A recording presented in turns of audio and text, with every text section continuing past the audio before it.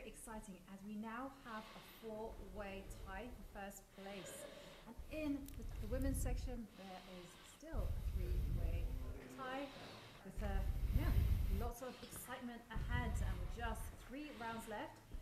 We're going to celebrate Bonfire Night today, so I'm going to say who is going to light the sky with the firework and who is going to fail to ignite. I'm International Master Jovanka Houska, and as always, it's a great pleasure to be here with the speedy, with the cheerful Grandmaster David Howell. Oh, thank you, Jovanka. I almost didn't make it. It is a morning round here in the Isle of Man. I'm hoping the players make it on time uh, in the open section where they will be starting very shortly. But yeah, adjusting from afternoons to mornings is never easy. I gave you a scare, Jovanka, just a few minutes ago. I'll be honest with you, I only arrived like five minutes before you. Okay. I think we both gave our producers a scare. Either way, uh, we see the players haven't yet entered the hall. I'm expecting some. Uh, Someone is crawling. Okay, I think that's our, one of our favourite arbiters, Matthew Carr, uh, dedicated to the cause. Uh, he's yeah, a fantastic professional. He's just taping up some wires there, it looks like, to make sure that we get full transmission of the games. Uh, but either way, I'm expecting tired eyes, some uh, some blurry vision this morning, and uh, maybe it will affect some players and uh, and their chess. Absolutely. And uh, let's take a recap of uh, yesterday's day of play. Um, here is the standings after round eight, and as I mentioned, it is a four-way tie at the top between Andrei Esipenko, Vidit, Fabiano Caruana, and Bogdan Daniel Deac. Yeah, four players atop the field. They are chased down by uh, quite a significant pack, including the likes of Hikaru Nakamura. Uh, so they know that they need to keep winning if they want to guarantee their spots, uh, for example, in the candidates. But um, yeah, Jovanka, we have some big clashes today. Yes, we absolutely do have some uh, fantastic clashes. First up, we have Fabiano Caruana. He is on six points. He is facing off against the young Romanian, now number two, Bogdan Daniel Deac. Bogdan uh, being quite the streaky player. He's uh, Mhm. just won three in a row. And then we have uh, Vidit facing off against very well prepared Andrei Esipenko. Yeah. And uh, if that's not good enough, you know, we also have Hikaru Nakamura there on board three playing the uh, renowned second top Bulgarian Grandmaster Ivan Cheparinov. Yeah, we do have the likes uh, lower down the table on board eight. We have the likes of Levon Aronian. Board nine, Maxim Vachier-Lagrave aiming to make late charges uh, to the top, where they will need to get to if they want to uh, score in the candidates. And uh, meanwhile, lots. Uh, yeah, lots to look forward to today, of course. Lots of young players at the top of the tables, um, including in the leading pack, with Andrei Esipenko, Bogdan Daniel Deac being extremely young. But we also have the likes of Sam Sevian, uh, Sindarov on board 9, on board 10, Vincent Keymer, Nihal Sarin. It's uh, who's who right now, and of course, no margin for error anymore. We're in the final stretch. It's the final sprint with just three rounds remaining. And um, there we do see the playing hall starting to fill up slightly. the only player I see at his seat right now, uh, at the foreground of your camera, at the bottom there, is Grandmaster uh, Mircea from Romania, who's long been affiliated with the Isle of Man. He plays for the Manx team in the Four Nations Chess League.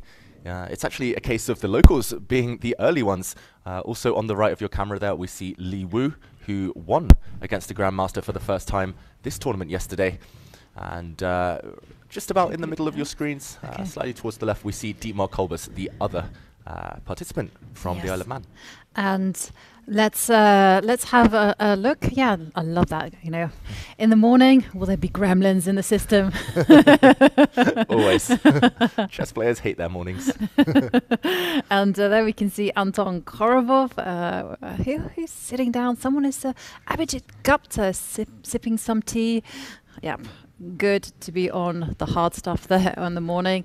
And we also see Mikhail Krasenkov. I mean, these are really good players. Is that no, I, I thought that that was uh, Parham Maghsoodloo, but it's absolutely not. But we do see Dietmar Kolbus, uh, Isle of Man player.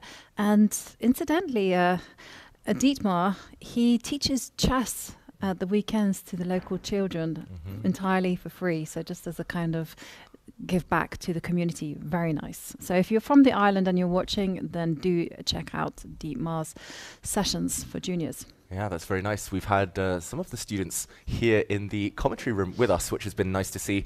Um, there are many seats here in front of us, and uh, we love the interaction. So uh, we'll be keeping an eye on the results of the Manx players uh, from the Yeah. Isle of Man there. But uh, it's only the consummate professionals. It's only those morning, uh, Yeah. those early birds who have taken their seats. Uh, the vast majority of the playing hall still empty with Yeah. eight minutes to go before start of play. Yes, and uh, well, you might be asking, what about the women? The women are actually joining the fray at 1 p.m. They have a shorter time control, and uh, there we can see Ivan Cheparinov. He will be facing off against Hikaru Nakamura, and you know what they say: the early bird catches the worm. catches the Nakamura in this case. and uh, Ivan Cheparinov, yeah, he won a nice game yesterday against Jan Krzysztof Duda, but it was mainly thanks to a blunder in the final stages. Uh, either way, he's had a great tournament. Uh, as has we were talking yesterday about husband-wife uh, scenarios, as Oh, has his partner It was Antoaneta Stefanova. right in front of us, and we didn't we didn't remember. we'll remember today. And yeah, there we can see Ono, the arbiter in the background, and the other players do have to be on time. And there we see Fabiano Caruana on board one, facing off against Deac, Bogdan Daniel Deac. How have you found it historically, Jovanka, playing in the mornings or kind of switching uh, time zones almost when you've played every single game uh, in the afternoon, suddenly having to adjust the body clock? I I don't struggle with that normally because I have a big problem in life. You know, I tend to wake up at six or latest seven every day. It doesn't even matter if I've been Wow. like out until four. Like come six o'clock, like a child, I'm up. Wow. And yeah, so I, I I'm okay. I'm okay with early morning rounds. But one of my favorite pastimes, though, when it comes to early morning rounds, is uh, to watch the bleary-eyed players. I like seeing them rub their eyes, concentrate. And uh, here comes Maxime Vachier-Lagrave Mhm. and uh, hoping to make his way up the standings.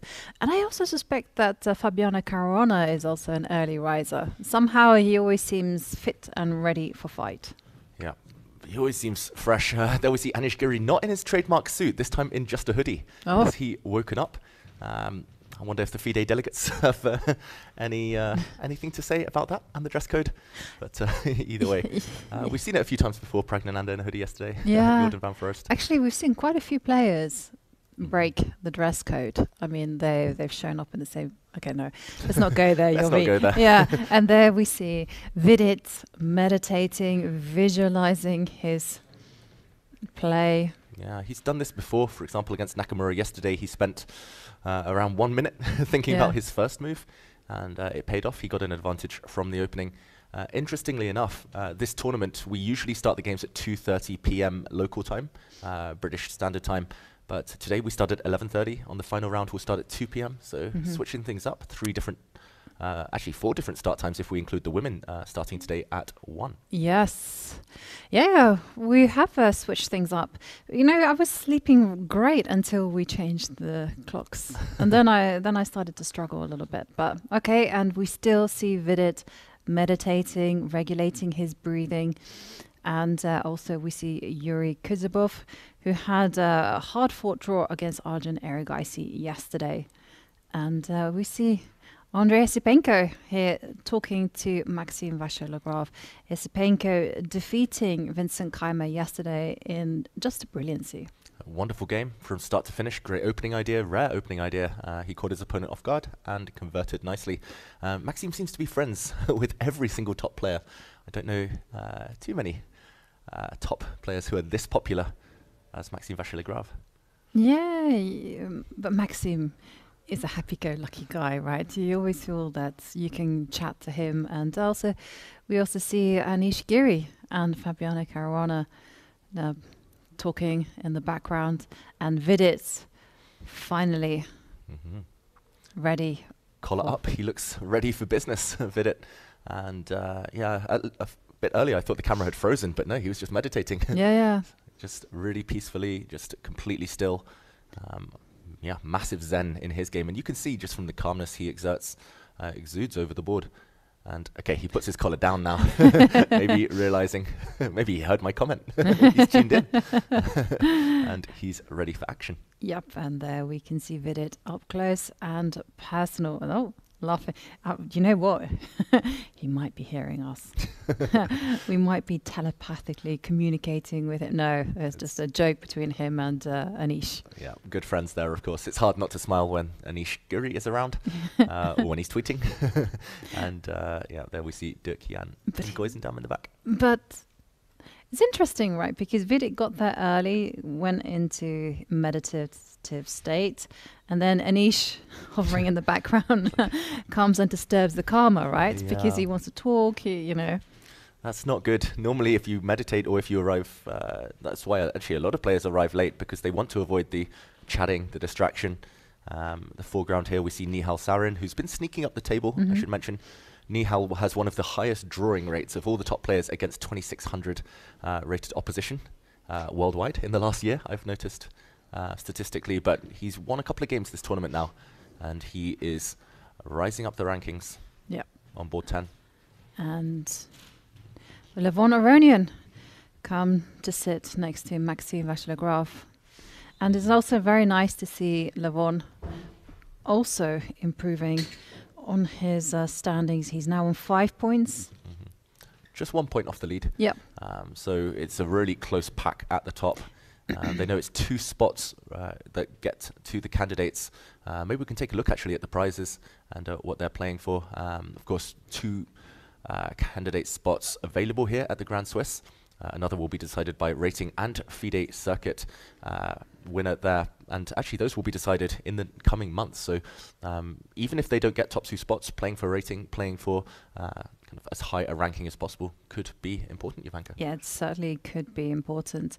And uh, there we can see the prizes. First place, and that's not only just that spot in the Candidates 2024, but $80,000. Second place also gives you a golden ticket to Toronto and $60,000. I mean, that is a lot of money. I mean, there's even prizes for those who finish in 46th place.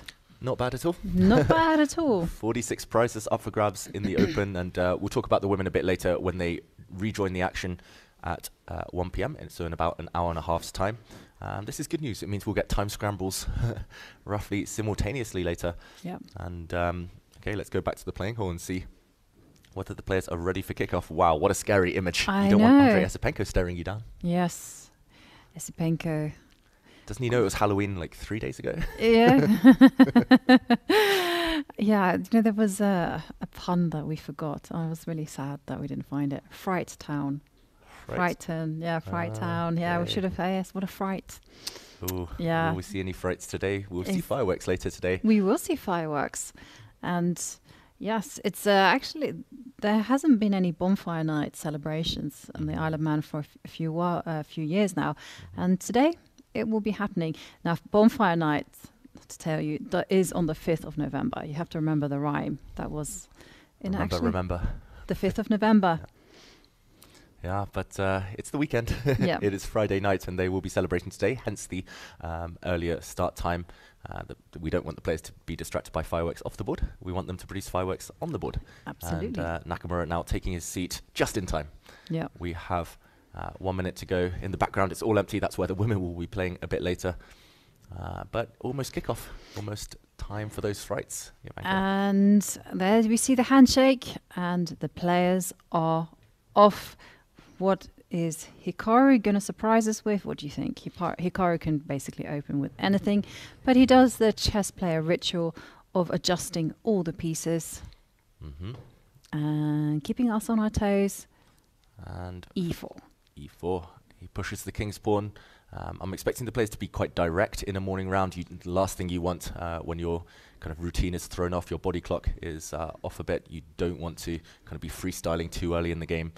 Um, you need to know exactly what's going on. You want ideally to land some opening theory, force your opponent to be the one to think. hmm Uh, quick e5 from Cheparinov, who used to be a religious uh, Sicilian player. He used to play the Najdorf uh, without fail, but nowadays you need a solid option and solid string to your bow, and he's doing great in the tournament. A draw against Nakamura with black would be a fantastic result, and he plays the Petrov uh, defense talking of solidity, Jovanka.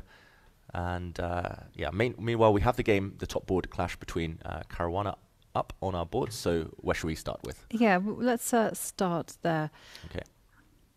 And yeah, let's head there because I, I got a bit confused when he said it was a Petrov because I was looking at the game between Fabiano Caruana and Deac and I thought, this one certainly isn't a Petrov. yes. well, maybe, maybe in some level, right? Mhm. And uh, it could be a Petrov. Uh, the knights are out on f3, exactly. f6. That's what I was thinking. I was like, hmm, a liberal interpretation, but uh, I'm going to run with it. All E e4, e5 looks Yeah. the same. and uh, okay, let's go from the start in this one. We've already had a bunch of moves, seven moves into this one. We started with E e4, e5. And uh, okay, the Italian game, white brings out the bishop to this beautiful diagonal, hinting at some uh, weak spots on f7. Black plays knight f6, a bit provocative, asking for white to come out with knight g5, and already a big double attack and a lot of theory here. This is ultra critical uh, in this variation. Uh, but instead, Fabio, Fia- uh, Fabiano even Yep. hard to talk in the mornings. Fabiano, uh, maybe finding it hard to attack in the mornings, plays d3 instead, a very calm move. And uh, here we transpose into one of the main lines of the Italian game, the Giuoco piano, as it's sometimes called because it's so quiet. And uh, Fabiano plays the very ambitious bishop g5, which he's uh, employed consistently in the Spanish, in the Italian, uh, in just in the last few years. It used to be kind of frowned upon when I was young because the bishop would simply get kicked around as it does here. Yeah. Uh, later, the bishop will get sidelined even further, but it's trendy stuff. Yeah, no, I, I can remember reading a book, very old book by uh, Max Euwe. It's called The Middle Game. It talks about this structure. It talks about the bishop coming to g5. And there it was very much tut tut because of this Capablanca game, you know, where black went g7, g5, and there was just no more break that white could do with f2, f4. So, I mean, how theory has changed, and modern day chess is all about that, you know, taking these conventional rules and just saying, you know what, we are going to make these particular uh, move maneuvers work. Yeah, that's the most impactful thing when the opponent thinks a move is impossible or an idea is uh, kind of simply bad, and you play it anyway, and it turns out uh, that it is playable. Uh, often that's just a big psychological shock to the opponent, and that's why all these new opening ideas are cropping up that were actually first played 200 years ago, were cast aside, and uh, modern engines have reinvigorated them. But now, just simple move a6 from uh, Deac, showing that he wants a hiding spot for his bishop on a7 he's waiting. It's a bit of a waiting game. Note how Fabiano as well refuses to castle, and uh, Deac instantly replies uh, with bishop to a7. It's a waiting game. If black ca- castles first, then white will happily castle and do the same, because then playing g5 would be uh, far less tempting. But uh, Fabiano is the first one to castle, so now it's extremely uh, important that black can play g5, having the king safe in the center. Instead, he keeps waiting. Deac, he's so well prepared uh, Queen e7. He's basically saying to Fabiano, I'm just going to wait and wait and wait, and at the right moment, I will lash out and start pushing pawns towards the white king. Yeah, so this is going to be super sharp. And uh, well, we do see G7, G5 being played, and uh, these two they know their theory. And G5 on the board, Bishop G3 forced, and now the main move is Knight to H7. Has that been played? Yep. Played. And uh, it was uh, really interesting in uh, yesterday's interview with uh, Deac, where he said first, after he finds uh, out his pairings, he checks the style of his opponents, and then he will choose how he's going to play against that particular style. Yeah. So it was very much play the man, not the board. Yeah, you have to play both, of course, but always nice to know the opponent's preferences, whether they like endgames, whether they'll hit you quickly with an attack early in the uh, early in the fight. Uh, knight to f8. Yeah, this is all mainline theory. It's hard to explain these moves because um, they look slightly unnatural, but essentially the black knight wants to sit on g6, and this will support a black pawn push, a pawn storm against the white king, while Fabiano will try to distract black by fighting in the center. Knight c4 geared towards breaking down the center. A flank attack versus a center attack. Okay, and uh, well, one game in my database, and that was from the Polish Extraliga just now, actually in the summer, and there it was a draw between uh, Aryan Tari and uh, Mads and. Okay, two top grandmasters there, a Dane and a Norwegian, Mhm. uh, who both love their opening theory. Uh, we call them spacebar players, where they're, uh, when you're studying openings, you click spacebar just to follow the top computer choice. You memorize all of it. and that is not a compliment. it's just, a it's just an obs- observation.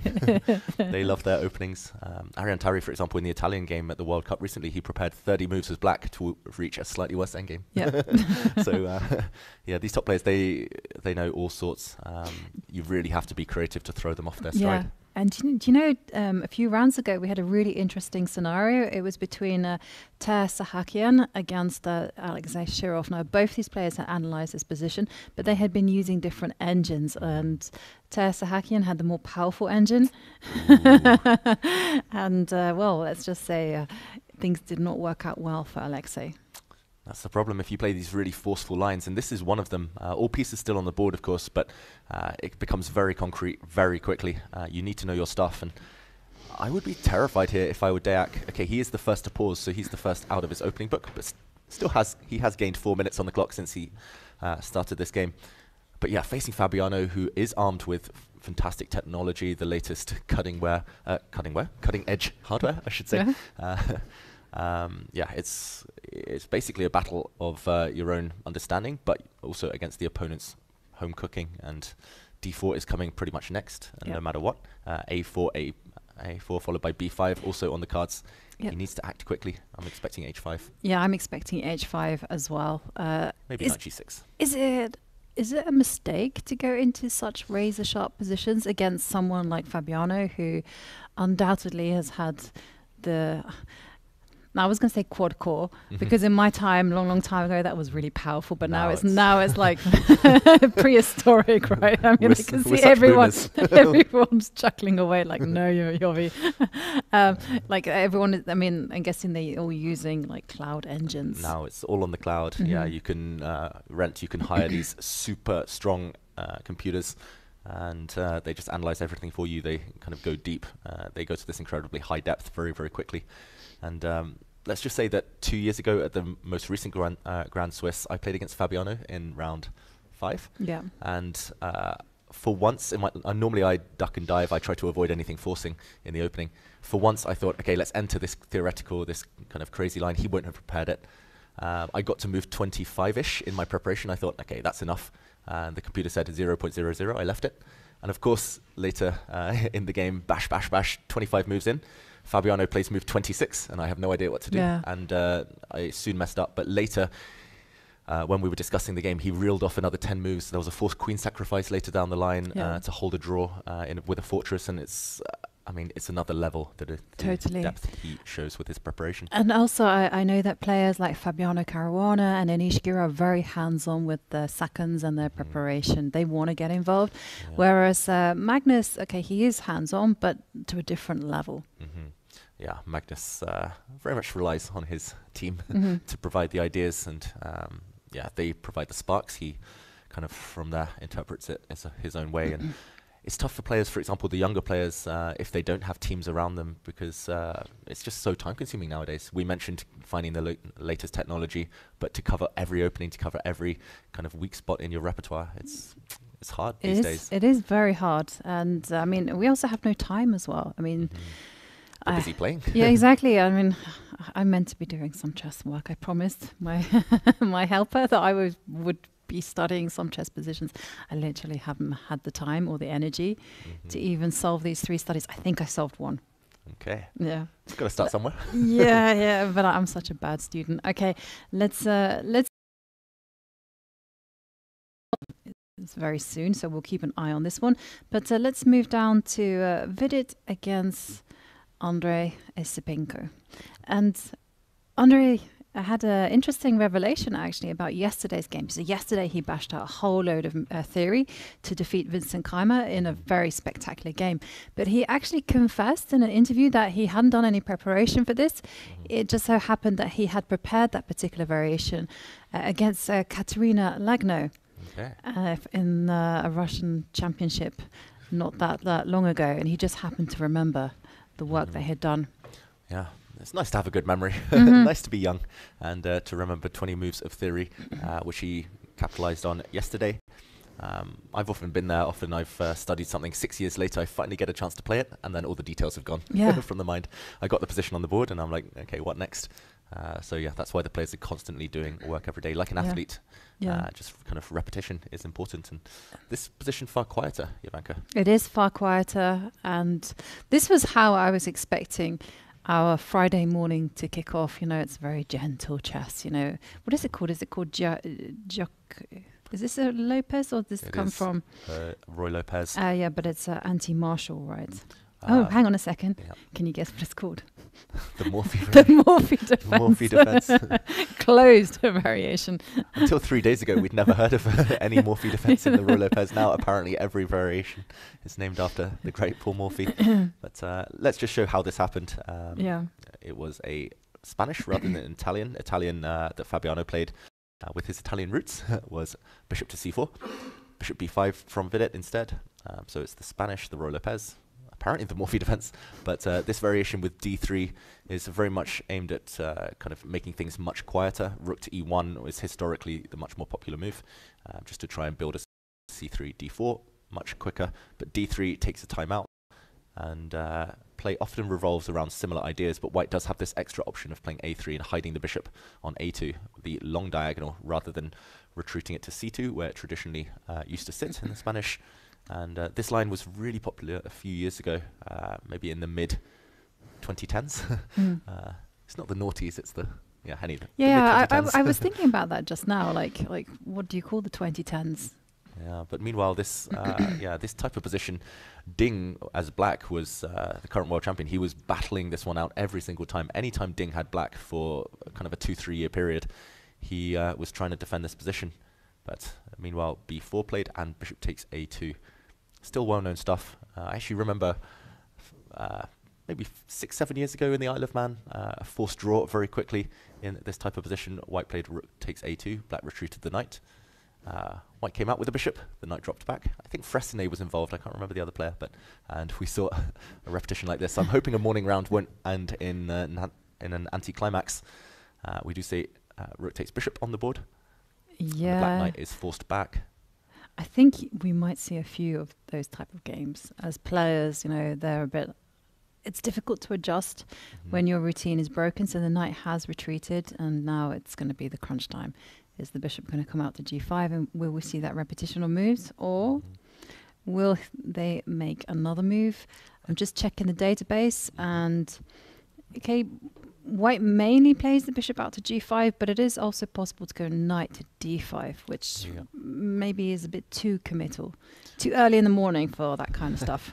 Yeah, and actually, I think there are some tricks in this position. If you want to be extremely sophisticated, you can play an idea such as bishop g5. Um, actually, often it's nice to be able to exchange off this black knight Yeah. because black will just be left saddled with a bad bishop. For example, I don't think black should allow this exchange on white's terms. White will happily plonk a knight into d5 and start pushing on the queen side. Good knight on d5 versus a very bad bishop.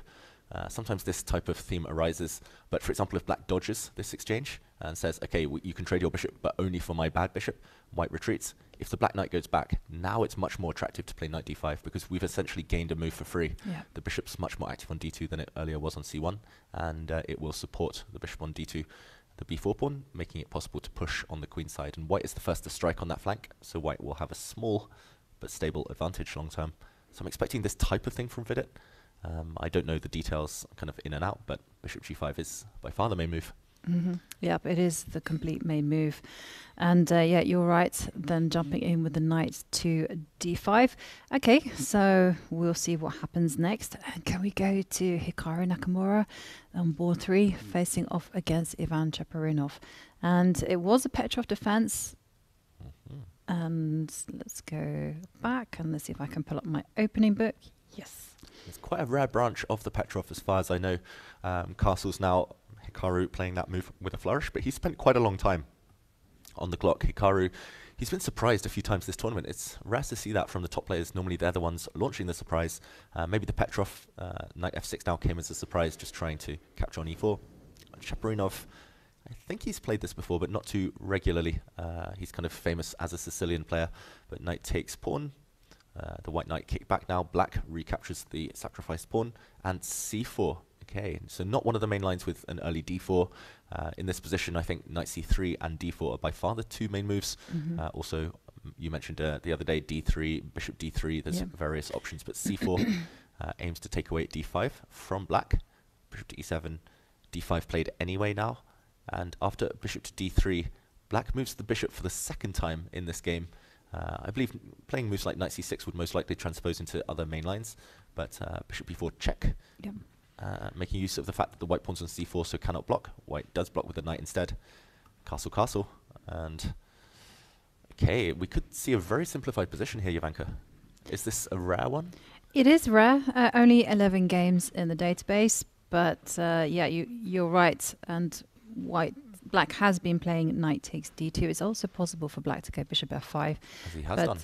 He has done that. Oh, okay. I just love this camera angle. I saw a knight in the center of the shot here. Anish Giri, of course, lurking in the background as he, as he always seems to do. Uh, and uh, Black's knight was in the middle there, and a bishop landed next to it, so it must have been bishop f5. Mhm. And uh, of course, Anish Giri, he's on every camera angle. Yeah, yeah. uh, just he never seems to be playing his own game. I, t- I tell you, you know, coaches must be like just pulling their hair out. They're like, no, we'd spend our time telling our students sit at the board, focus, concentrate, and then we have and he's just pacing away. I must admit, I actually found that to be bad advice because uh, as a kid, that was a little bit hyper. Mm-hmm. I, I really could have done with that walking around rather than being the sat out. there. Yeah. And I, I do my best when I'm actually allowed to pace. There's nothing worse than for me than playing on a stage, you know, when it's all creaky and and you just feel it's you have to sit there for a long, long time. No, no, no. And often walking around, it gives you this sense of freedom, and you need some freedom to be creative on the chessboard. Mm, You can't just yeah. be sat there, kind of locked inside your own mind, especially when the stakes are high. You don't want to be overthinking, uh, if anything. Well, my problem is is that I just have too many things going on in my brain. I don't know. It's it's like I have like all these tabs open. One one part is always playing music, which is really annoying because everyone goes, "You're a chess player. You Mhm. should be able to just to focus on one thing." And I'm like, "Yes." Maybe ten percent of the time. The other time is like the conversation is being replayed in my mind. Some music is going on, and I need to pace in order just to refocus and just get back into thinking about chess. It's a good way to get the 10,000 steps in, your Yeah, daily steps during the chess game. hmm especially in morning rounds. They wouldn't have had time to do it beforehand. Uh, but I know the feeling, of Jovanka, on my both my computer and in my brain. It's just thousands of tabs open. Yeah. I need to just press close all and start again sometimes. I, I saw a really interesting interview where actually Anand actually confessed to the same thing, Mhm. and they were saying like, "What do you do when you have a silly tune stuck in your head?" And and he just rationalized it. He said, "You know what? My brain is so, it's big, so it can deal with this three percent that's singing away, and you know, j- again, he can just focus on playing chess and good moves. Yeah, he does it pretty well, yeah, Anand. Uh, but meanwhile, this position, uh, an opening Anand used to be uh, employing from time to time, bishop f5. Uh, so this is the Petrov. And is Nakamura got any hope in adv- of an advantage at all? He's been surprised. He's down 10 minutes on the clock. Um, just three games in my database, and well, one person tried c5. mhm. which to me is again very committal because maybe you're able to support the pawn, maybe you're not. It's also very tactical. it looks like a blunder c5. Yeah. Because black does have a threat. Uh, black wants to play knight, knight takes, takes f2 with a hit on the white queen. I think this would actually backfire. Uh, but for example, after bishop takes bishop now, black would be a pawn up. However, this bishop is trapped, so I could play knight to b3, discovered attack. And when that bishop saves itself, the other bishop gets trapped. So actually, it's a blunder that Yeah. sets a trap. Well, It's a fake blunder. It's a- blunder. It's a bluff. yeah. Okay, wow, c5 would be cool. But uh, like you said, it's quite committal. Hmm And uh, black, for example, could play moves like c6 later and uh, drop the bishop back. And white's fixed the center, which you don't usually want to do. Yeah. Um, so c5, definitely one, one to consider. Yeah. I know because there is. I mean, can you after a move like c5, can you also chip away at the center? hmm But I just. But maybe that's not satisfactory either. uh, maybe. because after a3. Well, But I wasn't sure about a3 because bishop takes knight. Yeah, bishop takes knight. I was wondering about bishop takes knight anyway. Uh, after c5, we mentioned that this is kind of a fake blunder because knight takes f2 normally wins a pawn in these types of positions due to the loose bishop on um, d3, but we figured out this bishop on b4 gets trapped later, so why not take first? Yeah. And now it's it would be a blunder for white to, for example, play bishop takes d2 because this clearance sacrifice again, hitting the queen. Still gets quite complicated because you do have a bishop out to g5. Yeah, g5 at the end. I mean, this is hard to calculate. This is hard to evaluate as well if uh, he's been surprised, Nakamura, especially in a morning round. Cheparinov clearly with 1 hour 40 left on his clock knows what's happening here. Yeah. Uh, these these players who are seconds or famous as seconds for kind of the elite, like Cheparinov used to be for Topalov, uh, they know everything. That's the problem. Hard Yeah. to find uh, any way to get an advantage against them in the opening. And uh, there we see Hikaru thinking. I'm sure it's running through his mind. He might play something. This is calculation face. Yeah. I was just wondering, he might also just go queen c2 or something and then just Mhm. overprotect the bishop on d3 and uh, just logical. keep the tension. Yeah, it's uh, the shifty eyes face, I call it, when Hikaru is calculating, and in the end he does play knight to b3, so very similar idea. Yeah. Uh, firstly, defending his bishop, so avoiding all of those tactics we showed, but also maybe trying to catch this bishop uh, unawares in the near future. It might be a threat now to Exactly, play c5. Oh, well, we will see whether Cheparinov is uh, sharp in the morning, and I'm expecting him to resolve the situation with that dark square bishop. Let's move on to uh, the game between Fedoseev against Arjun Erigaisi. Because uh, don't you play this, David? Or y- I have done from time to time Yeah. with both colours, but um, I very rarely see Fedoseev employ main lines, uh, especially with the white pieces. He normally keeps things very offbeat, normally plays a variety of flank openings. Or if he does start the game, then it's with 1d4. In this one, we'll catch up with the live position, but uh, he played e4 on move 1, and Erigaisi, one of the young players who plays anything under the sun. yeah, He plays E e5, c5, Caro-Kanns, anything. There's Anish Giri, of course, in the Yeah, background. and uh, instead, it's the French defense. Uh, wow, so Eric Erigaisi really showing some big ambition here, trying to surprise his opponent, I guess. And uh, now we head down the classical variation of the French defense rather than uh, the Winawer, for example, uh, where it gets crazy after bishop to b4. Mhm. Uh, we see white gain all the space in the center, f4, building the nice pawn chain. I, I like to play at Jovanka with, for example, knight to e2 here, uh, so that I can put a pawn on c3, connect 4, you know me. me too. and uh, often we'll see a, structure such as this one, pawn on f4. White might even play g3 and build the Yeah. big pyramid of pawns. I, I did this once and I really enjoyed it, but the but then I played another game and, and black just went f5 hmm and I was like, "Rah." It's just blocked. yeah, fair enough. some players like block position, some don't. Uh, uh, it's definitely a matter of taste. Yeah. But f4 instead, immediately, meaning that white has to support the center with pieces rather than pawns. Uh, but on the bright side, if you ever take here as black, white has a beautiful outpost for a knight, or replacing it with a bishop. Hard to uh, challenge for this square. Um, so we see instead bishop to e7, a3, which is a bit of a rare one. Usually white automatically plays queen d2, or if you want to castle kingside, you could even play moves like bishop to e2, bishop to d3, yeah. and castle at this flank. But a3 keeps the options open, and now queen d2. Yeah, and uh, because you've gone a3, I would not advise white to castle queenside because then black has a ready-made attack with a c4, b5, and it's just no fun for white whatsoever. I mean, look at that. That's just hor- horrendous. Yeah, I was talking about the big pyramid. Black is the one to Yeah. build one here. Looks like the tick. And uh, Mhm. b4. You call this a hook, right? Once white Yeah. has pawn, pushed a pawn to a3, it's actually easier for black to break open some lines if the opponent has a hook for you to wrench open the position with. Um, so yeah, this would be horrible. We definitely don't want to castle queenside while black can close that flank and start pushing pawns.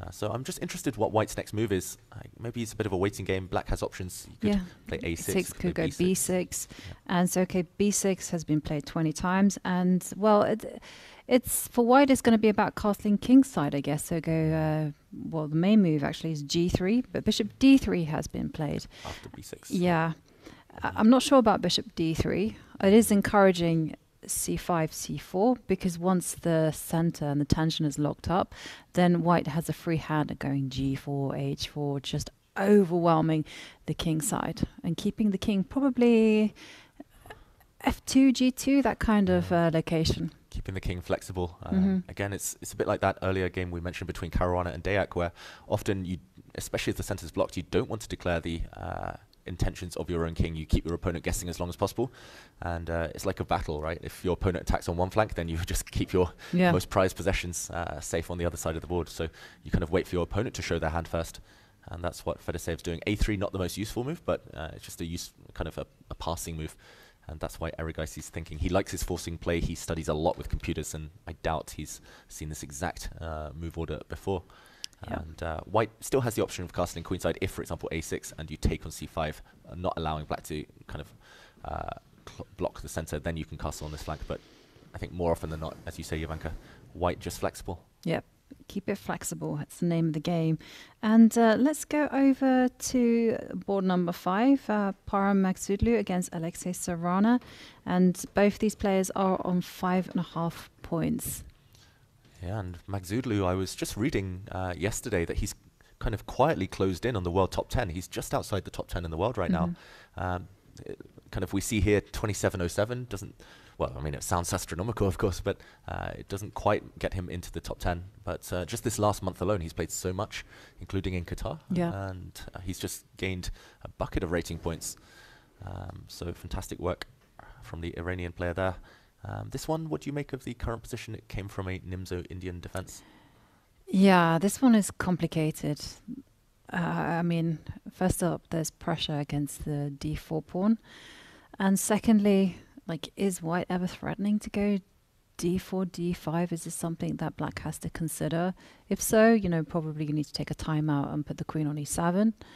If if not, then uh, I guess you can even think about still putting. I think the queen is great on e7 actually, hmm and then you can think about uh, giving white the hanging pawns, and then just uh, chipping away.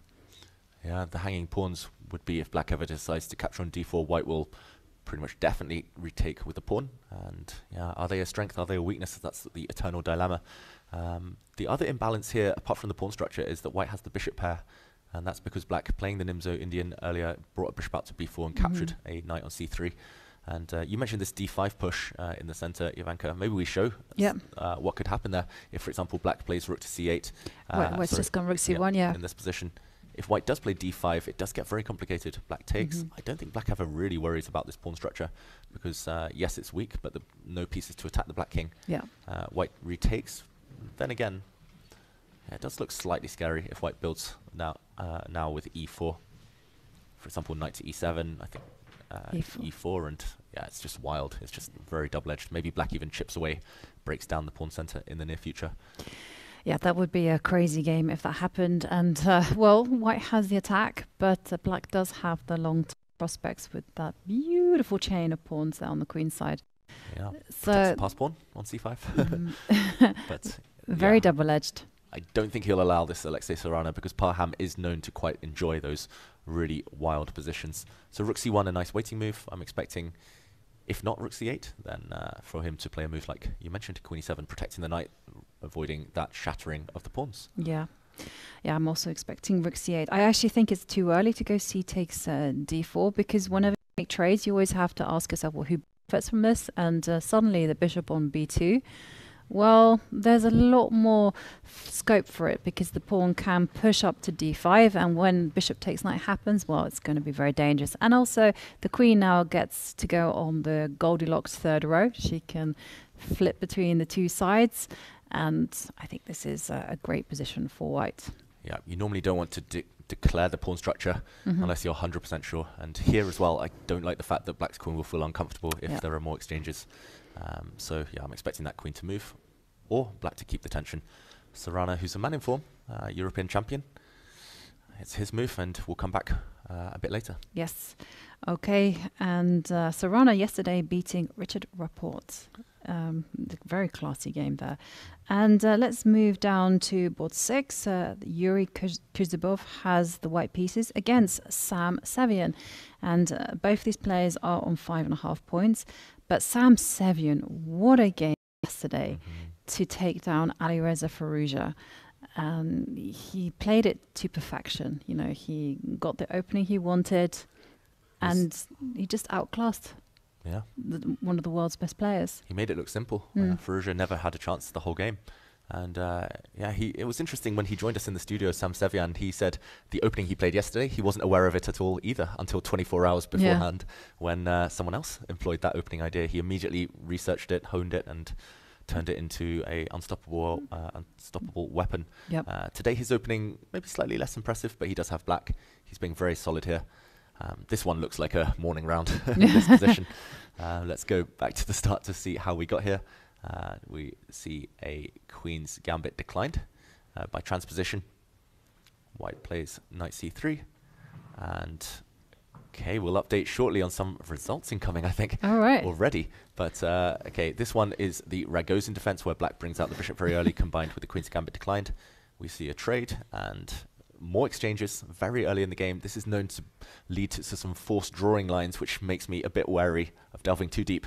But uh, capture here, good news. If white takes uh, kind of precautionary measures and castles, then there are so many forced draws in this type of position. Black playing a knight to c6. Um, actually, the most famous draw, I kind of, I think at top level is knight to c6 here. Trade of knights, uh, bishop to b5, bishop Yep. d5. Uh, this one I've seen way too many times in my life. Uh, but luckily, we see some ambition from Kuzubov. Knight d7, allowing white to shatter the black pawn structure. The pawn was doomed anyway, so level material again. And uh, if we catch up, knight to e5, knight takes. Okay, who do you prefer here, Jovanka? Bishop pair or white's superior structure with some weaknesses for black? Oh, that is a dilemma, right? Because I do like playing against bad structure because it gives you such an easy plan because it's literally, you know, move the queen, double up on the c line, pressure, pressure, pressure, maybe even reroute the bishop to f3, you know, have some fun like that. Um, yeah, so I, I'm going to say in this particular case, I'm going to choose the bishop and knight and Mhm. play against the c pawn. What about you, David? Yeah, normally I'm very loyal, uh, especially to the bishop pair.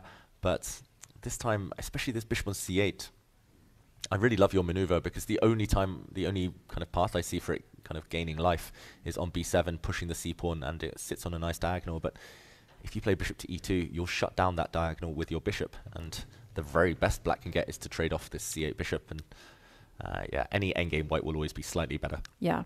It's not much, but something to nibble at. No, it, it isn't much actually. Let's be, because yes, the pawn on is c6 is weak, but also there is an uh, rook on the open b line targeting uh, b2. So as long as black constantly has pressure against that point, it should be only very slightly worse. Yeah, but it's a risk-free Yeah. position for white, and that's normally what you want. Um, you want to take the sting out of your opponent's play, kill their enthusiasm for the game, bore them to death. and this is very much Kuzubov style. We mentioned it yesterday when he got an endgame against Erigaisi. He was still worse, but he held it very calmly. And uh, he's a, very much a grinder. He kind of loves these positions where uh, he's not being attacked, and that's very much the case here. White has some play. It's far less clear what black should be aiming for, but most likely roughly level. Yeah, and uh, we'll we'll move on down to board seven. Etienne Bacrot against Alexander Predke. Now Etienne yesterday having that heartbreaking loss to Fabiano Caruana. It ju- it looked like he was almost there within grasp of that draw, and then Fabi managed to find some tricky moves, and Etienne just collapsed. Yeah, one slip, and that was enough for uh, Bacrot. He'd had such a good tournament up until that point. He's pretty much only played one bad move the whole event, but uh, it cost him against Caruana. That's the margin uh, for error at this top level. It's such small, Mhm. uh, yeah, small margins. But okay, this one looks like a much wilder game. Feels like both players are taking some risk in the opening. Predke, famously uh, in this tournament, kind of checkmating of several opponents. He's a big attacker. And here with black, he's taking some strategic risks. It's the Sveshnikov Sicilian. Long-term white's doing very well due to this beautiful knight, and due to the potential of a passed pawn that you can create very shortly on the b-file. Uh, but black is active, black's bishops especially. Who do you prefer at first glance, uh, Jovanka? Um, when I used to play e4, I was terrified of having these type of positions with the white piece- pieces because I, I, I just couldn't handle the activity of the bishop pair. So I'm going to say black. Okay. Although I know that if I were playing with the black pieces, I would feel that stress, right? you know, you've got to generate something now. Yeah, black has to play very dynamically, very energetically, because there's this backward pawn on d6. a5 is an eternal weakness as well. Um, yeah, it's, it's what we would call dynamic equality, with white having the static kind of short term, uh, sorry, long term advantages, Yeah. but black having the short term activity of the bishop pair. Black often has this plan of playing e4, knight into e5, and uh, yeah, I think Predke's going to be happy stylistically. Bacrot, at least on the camera, doesn't look as comfortable. Mhm. Um, has spent 20 minutes more than his opponent as well, so we'll come back later. But um, yeah, Bacrot, he needs to stop the bleeding. He needs to make sure that uh, the ghost of that one move yesterday against Caruana doesn't come back to haunt Yeah, him. and he needs to get his pieces off the back row as well. he does. Get that queen active. exactly. nice one, Jovanka. no, I just I, I just basically plagiarized your fun. You're welcome to it. Thank you. Uh, get these pieces active. Uh, Yeah. yeah. Okay. And Yeah. Okay. L- before we move on, I'll just mention uh, we'll probably go to board eight next. Yep. But um, there have been draws already. Two draws. Disappointingly, uh, we see Alexei Shirov has left the playing hall. He drew against Mustafa Yilmaz. Um, I'm wondering how the players repeated here. Yeah, because there is a no draw before move 30 rule, and look how convoluted this is, Jovanka. Uh, earlier, we saw this position where the rooks came off the board. Black took on a1, white's queen took. Black plays knight b4. Yeah. Looks very natural. The knight can't be attacked here. White retreats, knight to a2 Oh, I see. I see. I see. offering Yeah. to trade knights. Black says Nope. no. White says, okay, I'll come back. Black jumps back into b4 and ooh, Alexei Shirov. I actually bumped into him yesterday uh, on the way back from dinner and he was like, David, why aren't you playing? And I was like, oh, stop reminding me. but uh, he, and he said he just uh, he's had so many long games this tournament. We remember his game against Abdusattorov, for example, 150 moves Yeah. almost, almost, and he said he was just exhausted. So I kind of understand why he took the draw here in the morning round. But yes. uh, with White, maybe. Uh, I think if he had any uh, more ambitious intentions, this was the round to strike. Yeah. Uh, he's is he known to be an early riser? I don't. I don't know too much about Alexei um, and his sleep patterns, to be honest, but uh, I know about his chess. yeah, that was a bit of a dumb question. yeah, because the reason I was going to ask because we also saw a draw between Alan Pichot and uh, David Navara, and whenever I've played at like the FIDE Grand Swiss, or all these events, like I'm one of the first people to breakfast, but there's always someone who beats me to it, Ooh. and that is David Navara. Early riser. Yeah, yeah, he's an early riser. And he was also one of the first to actually enter the playing hall today. He's also one of the first to finish. Yeah, and uh, this game, Oh no! famous position. You should um, get minus points for this one. We really should. we should. We need to get FIDE to uh, enact a rule. But uh, this one is the famous Berlin draw. Um, I think everyone's had this. Uh, anyone who plays the Berlin has had this at least once in their life. Uh, even myself, much to my shame. but But uh, can you avoid it with black? It's hard to avoid. So this is the Berlin defense where black takes this pawn, Mm-hmm. and uh, white now has the option of going into the Berlin endgame by taking the knight on c6 and then taking on e5, and the game goes on. Uh, this would be the start of the Berlin endgame, which has been debated for years and years. And uh, instead, white takes on e5. Looks very flashy. Uh, when I was young, I was I thought this was a really cool variation. Uh, again, little did I know, very naive. Uh, white gives up a bishop, loses a piece, but the black knight on b5 turns out to be trapped. Yeah, and uh, in modern times, this is just a drawing motif uh, for white because yes, you regain the piece, but after a few exchanges, black has the bishop pair, and black is almost ready to castle shortly. So white has nothing better than a check, Yeah. a check, well, and just a dance between the queens. And you asked whether black has any chances to win. I guess after queen e4, you can play a move like bishop to e7, yeah, but but I guess rookie, yeah, it might be tough to castle. rookie one, and so you're going to have to go bishop e6. Oh no, but bishop e6 will drop a pawn, so you'll have to go. I know, but then your queen will get kicked around. This is actually quite risky to play on for a win with black because you're so far behind in development. Mm. And for example, here all of white's pieces are at play and um, black yet to castle. So this is uh, a cynical way for white to force a draw. And David Navara, um, yeah, big fan favorite.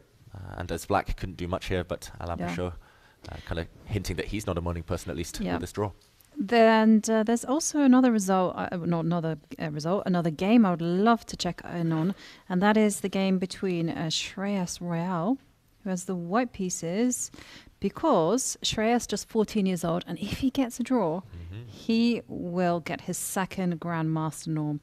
Your your record in. UK circles is uh, under fire there, David. So Yeah. what board is he on? Uh, we found him. He's on board 44. Yep. Um, so Shreyas has beaten two grandmasters, uh, two very strong 2600 plus grandmasters with the white pieces. Uh, Shreyas yesterday getting his first uh, result with black as well. So um, he's currently on three and a half points from eight games, but his opposition has been so strong that he's performing over 2600. And Yeah. Today another 2600 opponent. I think it's literally nine in a row now. Um, yeah, he's done fantastically well. And like you say, he needs to get the Grandmaster title in the next. I think he's still got a year and a half or something. So Yeah. he will break that record. He will become the UK's youngest ever Grandmaster. Um, he's super strong already. And yeah, he deserves it the way he's been playing. But this position is crazy. It's uh, reminiscent of a game we saw earlier in the event in the women's section, actually, between, um, was it? Tan Zhongyi against Bibisara. Yeah, Assaubayeva. And uh, in that game, Black won. Uh, Slightly different contours there, but uh, in general, many similarities with the white pawn on g5 blocking up the king side, me- meaning Black can't attack on that flank. Whereas, uh, yeah, Black, relatively active at the moment, Yeah. already has broken with f5. Feels like this is opening preparation from Shreyas. Yes. Every time I she- see Shreyas play with white, he's either got the Catalan or he's got the white side against the King's Indian. hmm And uh, I don't think he's employed this setup too regularly. He usually plays like systems with knight e2, knight g3 Yeah. very early. But Yeah. uh, looks promising for white to my eyes. It, it looks promising for white. I, I remember I was playing in a in a ChessKid match. I don't know why I said yes, David, uh, but I did, and, and, and Shreyas was one of the opponents, so I did some like brief preparation. He always played d4 Yeah. against me. He he took me on on my Caro-Kann. Oh wow! Okay, switch things up. Yeah, Yeah, he works very hard. He's uh, homeschooled, I believe, so Mhm. he um, pretty much dedicates his uh, all of his time to chess, um, yeah. And it's paying off. It is certainly paying off, and a promising position there for Shreyas. And someone else who is potentially going to get uh, IM Norm with a draw. It's uh, the only untitled player in this competition. It's also Manx resident Li Wu. And he has the black pieces, and he oh, was a tough pairing. He's playing Leon Mendonca. Wow. Uh, yeah, black against a very strong 2600 Grandmaster. You mentioned he needs a draw? Yeah. that- wow, okay. But I like his position as black, I've got to say. Um, this position, he's got an IQP, the Ice Queen's Pawn. Uh, but then again, the rest of his position looks very healthy. Black's bishop's going to come out to g4. His rooks are going to slide into the center, d8, e8. Uh, the bishop on c5 can drop back, maybe even around from a7 to b8 later to attack on this diagonal. Looks very active. Yep. Looks like um, a position you achieve in actually a variety of openings with white and black. But um, if you like the isolated queen's pawn, this is maybe one of the better versions. So Okay. Definitely a game to check back in on. But yeah, definitely. he's a man in form, Li Wu. Yeah, he is, and if he if he gets an IM norm, I mean that fantastic news for the Isle of Man chess community, and uh, we do see the knight go to A4. Yeah. And uh, well, we'll keep everyone posted on our norm hunters. But uh, let's go to Radoslaw Wojtaszek against Levon Aronian. Let's uh, yeah jump back there. So this is board eight in the open section. Levon Aronian yesterday forcing a draw with white against the Berlin uh, against Hans Niemann. So he really needs to Yeah. knees. Yeah, yeah, he needs to start picking up the wins. He certainly does need to start picking up the wins. Only three rounds are remaining.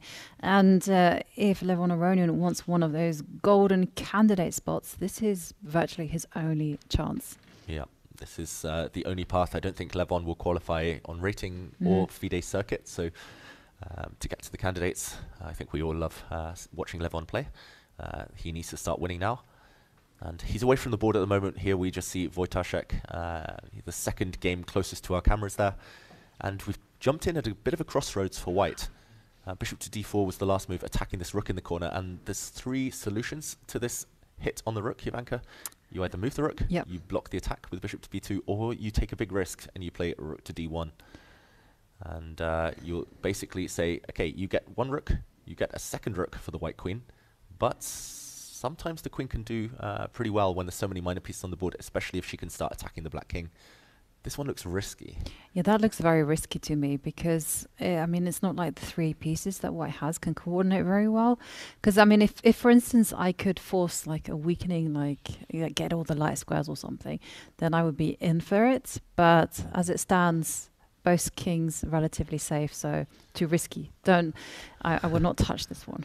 Yeah, if this was Levon Aronian with white, I think he would go for this. Uh, something like, I don't know, bishop to e4. You mentioned provoking a weakness. Yeah, hitting this pawn, saying, okay, if you push this one, you might be weak on those light squares, as you mentioned. Uh, maybe white plays h4, king g2, hopes to one day attack the black king, knight f5. Kind of talking myself into this one. Mm-hmm. but uh, yeah, Wojtaszek maybe less known for his risk taking, and he's made a move. It's bishop b2. I was going to say this is maybe the least ambitious of the options, Yeah. but uh, also the most solid. I was actually thinking you should go rook b1, and at least then you can get rook b, rook d1 as well, and pin potentially win. Yeah, The pin is mightier than the sword.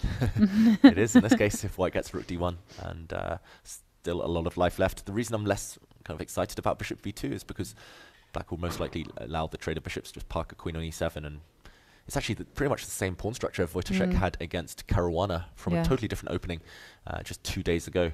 And that one ended up fizzling out to a draw. This one reduced material. Yeah. Neither side can push their pawn majorities anytime soon. Yeah, it's because of that white knight. Because if that knight wasn't on e3, then white could really actually do some serious damage by going, as you've indicated, E e4, f4, push the pawn up to e5, and maybe even use the f pawn as a wrecking ball, go f5, f6. I mean, that is very dangerous. But knight on e3, mm, Gets in the way. it gets in the way uh, unless he has some idea of what to do with it. I, I, like like half of me actually wants to play a terrible strategical move, which is like knight c4. But I, I mean, I totally can't do it. And then the whole idea is, yeah, you accept this terrible pawn structure, but then you open up the b line. Mhm. Yeah, actually, in this exact scenario, it makes a bit of sense because black's Hmm. bishop uh, will be pinned down and there's some severe pressure on these pawns. But ultimately, it should just be level. Yeah. Um, and I think that pretty much sums up the current position. Bishop to b2. Levon will happily snap this bishop off. And yeah, maybe he'll set one last trap. He'll play queen f6. hoping that white plays f4, attacking the knight. And whoops. oh, you, you blundered your knight, David. These early morning rounds. I blundered my knight, but uh, luckily the white queen was undefended. Yeah. and uh, black would profit there. So, um, yeah, this looks very, very balanced. We'll come back uh, bit later. Yep.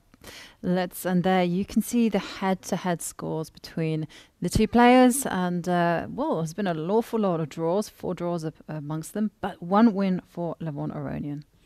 Okay, so uh, some uh, history between these two, and meanwhile, these are their paths to the top. Uh, we see both players there on five points out of uh, eight games so far. Uh, today, round nine. Uh, Levon lost uh, quite early on against Sindarov on round three, but he's bounced back since with two wins. Meanwhile, yesterday was Wojtaszek's first defeat of the tournament against Deac. That uh, game we saw where ultimately he just didn't get a chance. Yeah. Well, actually, that uh, loss will certainly impact the way that he approaches this position because when when you lose psychologically, you just want to stop the bleeding, so to speak. You just want to play carefully and see what happens. And uh, well, we will keep an eye on this game. Let's go back to the top boards where Fabiano did employ this aggressive system. Uh, there haven't been too many moves, but uh, the knight did come out to g6. Okay, black in this position we left it at, played knight g6. The white knight drops back to e3, uh, hinting at jumping into a bit of a hole in black's position. Uh, the black queen retreated. This is so sophisticated. This must be computer preparation.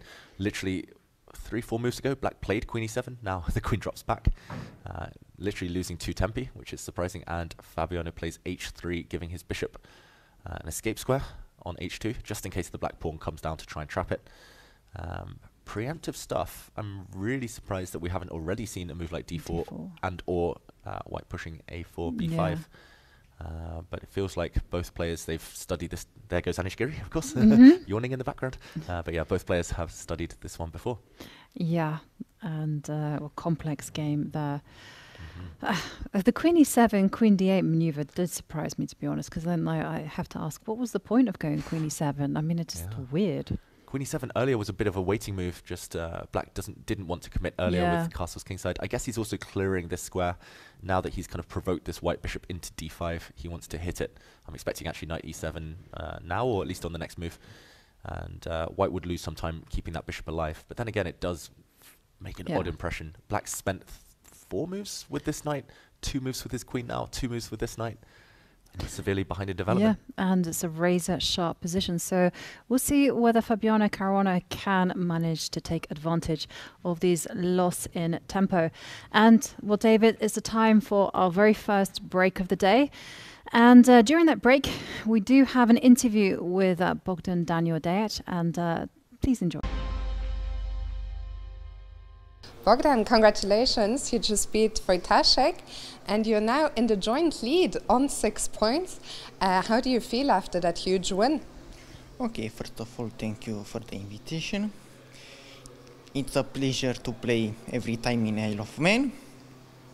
Until right now, all things goes good. I hope to continue to play good. How do you reflect on the first uh, eight games? You kind of started uh, very solidly, but now you won three games in a row. What are your, your feelings? Okay. Until right now, I'm thankfully about my ga my games. I hope to continue to play the same on the same level. You played here in the Isle of Man three times before. Uh, how do you like it here in general? Okay. In general, I like Isle of Man, small Iceland.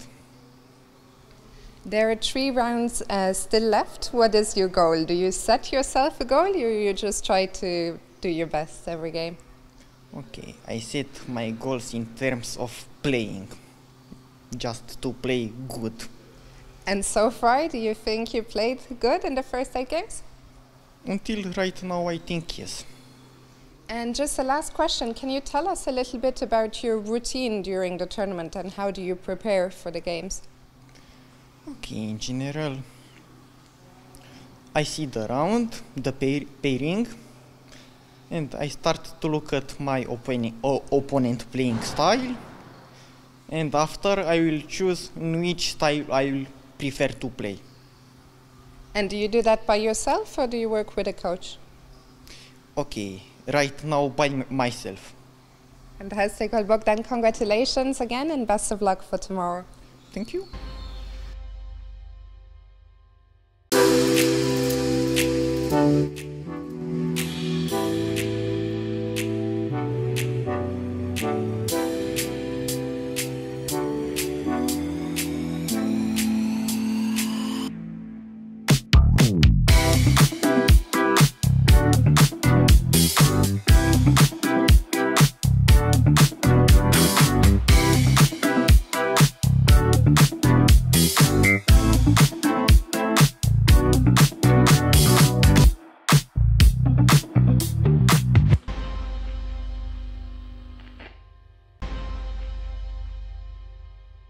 Li, congratulations. You just beat uh, Alon Greenfeld. Your first GM scalp of the tournament. How do you feel after the win? Um, yeah, I feel pretty happy. Um, yeah, what, what, can I say? So I'm completely overjoyed. Uh, I played in uh, in this in this event before as well, and yeah, I don't think I got a win. Actually, yeah, four years ago I managed to get a win at the very very end. Um, but yeah, so pretty happy so far. I imagine you must be especially happy given the way you won the game. In the end, it looked like you were kicking his king around. he had to resign as it looked like either some material was going to drop or the king was going to get mated. Is that especially satisfying? Um, I, I, guess so. Um, so I think he, he tried to avoid exchanges and to play for a win against me. Um, I surprised him in the opening first, and then he tried to change from his normal opening. So in order to avoid a series of exchanges, it was a symmetrical English. He got into a worse position and, and blundered, and after that, I converted my advantage very smoothly. So yeah, so I'm pretty happy with, with that, yeah. It's of course such a strong tournament. Uh, it was a tough start for you. You scored one draw out of the first five rounds, but in the last three rounds, you've now scored two and a half out of uh, three. You have three points. How do you reflect on the, the first eight rounds of the tournament? Um, well, I just, I'm, I'm just here to enjoy myself. Um, I didn't, I wasn't really disheartened by the five losses. I, I really enjoyed them. Um, I'm grateful for the opportunity to, to play here. Uh, obviously, I'm here on a on a wild card, so yeah. I mean, I, I'm not really results oriented. I just play my best and enjoy. Yeah. As you mentioned, you are one of the local uh, wildcard players. You live here on the Isle of Man. Um, how does it feel to be playing in this event alongside all the, the superstars? Well, luckily I've been to these events a few times before, but I remember the very first time and seeing Vladimir Kramnik, and was, it was a complete shock. um, but yeah, so nowadays, I mean, I have a, I have a full-time job. I, I'm, I don't really play chess um, professionally. Um, so yeah, ha- having it here, um, it, it really is the perfect event. Um, very, very well organized, excellent conditions. Yeah, n- not much I can ask for. How do you juggle a full time job with the tournament? Well, I mean, luckily I was able to take time off. Um, uh, my company allowed me to, to take two weeks off. So yeah, I I'm 100% on chess right now. Um, just yeah, enjoying myself, enjoying the uh, experience. That's very nice of them. Uh, so, can I ask you what your routine looks like during the tournament during these two weeks? Um, I guess I would. Um, um, okay, after after the the parents come out, I would prepare maybe one or two hours, and then try to go to sleep because I'm too excited. Um, and then the next morning, um, I would I'll probably just do some tactics, um, just to get myself back up to speed because I, I don't really play much. if you if you check my my games, yeah, this is pretty much the only thing I play. Quite the tournament to be playing. And uh, just a final question because I think a lot of viewers don't really know much about the, what's going on in the with chess in the Isle of Man. Can you tell us a bit about that? Um, well, th- th- there's a, there is a chess club, and um, yeah, it, it, it's in Douglas. Um, I think they meet. Uh, we meet every Tuesday. Um, yeah, I mean, right now it's it's on pause because everyone's playing this tournament or watching it. But yeah, if you if you based on the island on the um, on the island, um, feel free to come around. Um, yeah, there'll be people playing. Um, yeah. That's great to hear. I hope people will take you up in that league. Congratulations and best of luck with the last three rounds. Thank you very much.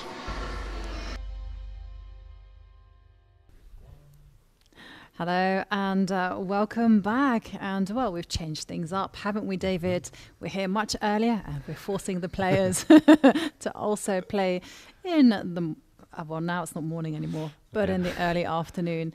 And well, it hasn't phased anyone yet because take a look at what's been happening between Fabiano Caruana and uh, Bogdan Daniel Deac.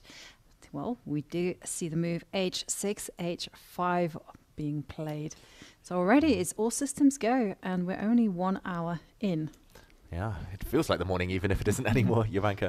Uh, but definitely fireworks promised on this board. Um, yeah, this fireworks display incoming with G4, H4. Uh, White's king is not going to be feeling safe. And uh, I know we were slightly questioning Deac's uh, kind of maneuver with queen to E7, then back to D8. But he is ready to attack, and Fabiano needs to start figuring out how he's going to face that or how he's going to start creating action of his own. Mm-hmm. Or how how to meet this? Usually, don't they react in the center and they ignore everything? That's classical chess wisdom, right? Yeah. Uh, if someone attacks on the flank, strike back in the center. So d4, I quite like. Um, I don't really see any downside to this, other than the fact it might sacrifice a pawn in some cases. Uh, if white kind of takes back, uh, maybe you just take back with the knight here. Yeah. But uh, in some cases, you might be forfeiting this pawn. But I don't think that's actually too important. Uh, for example, there would always be tactics like check and check anyway. Yeah. Uh, with a nice double strike. Mm-hmm. So yeah, d4. Why not? Yeah. So the big question is though, can Black just go? You know, I'm not phased. Let's continue. and how to continue though? Do we go? Do you go h4, f- push the bishop back to h2, and only then? But then I'm just actually literally sacrificing a pawn. now this So- guy's covered yeah, twice. exactly. I uh, failed at my maths there. So uh, let's put uh, g4 on the board first. Yeah, I l- I like your idea. Just go direct. Why Mhm. why dally? Um, okay, I'll say I take. I'm slightly reluctant to open the H file, but um, say I take and go back. Please don't checkmate me. No, I, I just liked how we became like, I, I, this is our, this is not our position. we were so brave, and suddenly now, uh, Yeah. at least I'm a chicken. Yeah, so.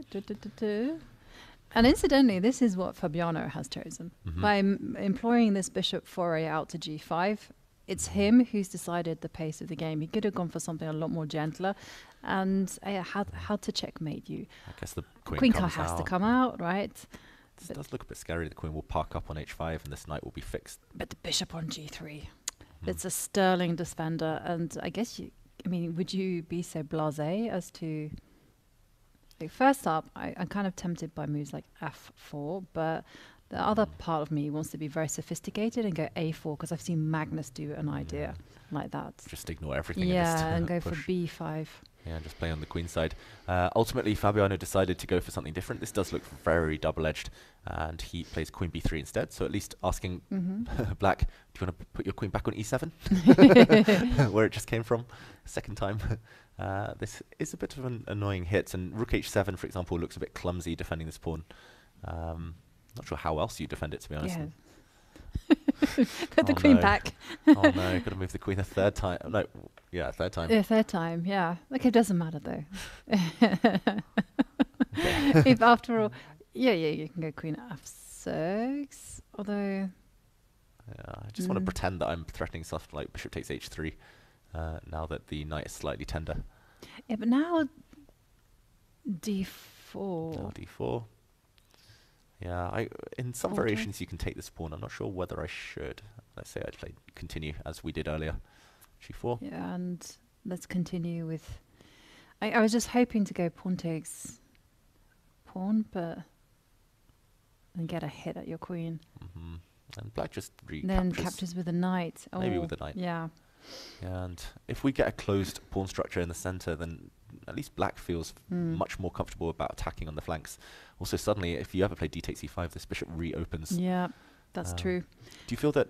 Uh, okay, we see Ekobi in there. Interesting uh, way of watching that game. Um, do you think that Bogdan Daniel Deac he chose?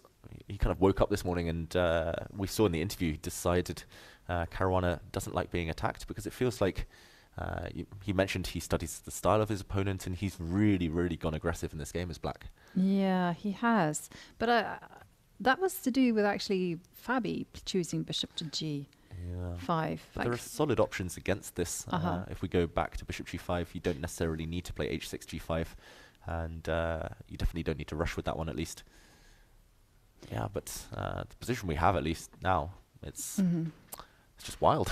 yeah, it is. It's super crazy, and uh, both sides have to tread very accurately. The price of an error is very high here. So let's go. Let's run through queen f6 and how to handle this particular move. Like hmm I, Looks the most natural, to be honest, to defend f7. yeah, and now how to. See, I'm I'm not used to these type of positions, so like I'm I'm looking at doing weird things like knight to f5 and Mhm. Knight f5. I guess I could just take this yeah, and maybe be greedy. yeah. I was kind of hoping that It makes some sense. You've opened the e file though. So yeah, that d4. d4 was was the order of the day, but Black King never really wants to castle queenside either because White has an easy uh, lever to Mhm. open up that flank. Oh, wow, this is just wild, wild position. They're making us calculate too early in the day, Jovanka. yeah, Normally we're just having our lunch now, just getting in the zone, waking up. Yep. Um, but yeah, this is uh, not a position that he's enjoying, judging by the Mhm. camera. Deac right now. Uh, this one you need to be ha- uh, kind of fully sharp for because it's razor sharp, as you said. yeah. Bishop takes f7, a threat. He has to move his queen again, I think. Do you think... Oh, castles? Defend f7? No, no, no, no, no, No, no, you need to keep no, the rook no. on the h-file. Yeah, You want to keep the rook as an attacker here. no, black has gone all in for the attack here, so you have to just roll the dice and move the queen. But and it's not that easy how to conduct the attack. I mean, let's be chill about this. So let's go Mhm. uh, like queen f6 or queen e7, and okay, so uh, so moves that you could make like b5, or do you prepare it with a4, Mhm. a4 and then b5? Big question. Yeah. Uh, good question as well. b5 immediately. Take, take. And there's a, there is a threat of capturing this knight, which m- black might just ignore by kind of moving the king, or could defend against with a move like knight to e7. It Definitely feels like you're making some progress on the queen side, distracting black from the other flank. Yep. But you're never going to take the bishop, so now it's Mm-hmm. and, and every single turn I have to calculate what's going to happen after g4. Yeah, it is coming. It's kind of yeah, it's on the horizon. Mm. it's like the bad guy in all the movies. It's, Yeah, yeah. it's always there in the background lurking. uh, even if you don't see the villain, you know Yeah. it's present. And g4, h4 at the right moment will Yeah. start hitting this white king side. Um, yeah, the other alternative you mentioned after queen f6 would be to support with a4 and then b5, Yeah. but it, this one feels a bit slower. At least black might have time for knight e7 and And then c6. trying Yeah. hit this bishop. Wow, um, this one. I'm going to say it now. It's going to be a decisive result. I just have a feeling. Yeah, I have Not a sure for feeling. who. yeah, I have a feeling as well. This one's going to get. And just a one one last thing. Mm-hmm. There's no sacrifices, right? After Like knight takes g5. I knight takes g5.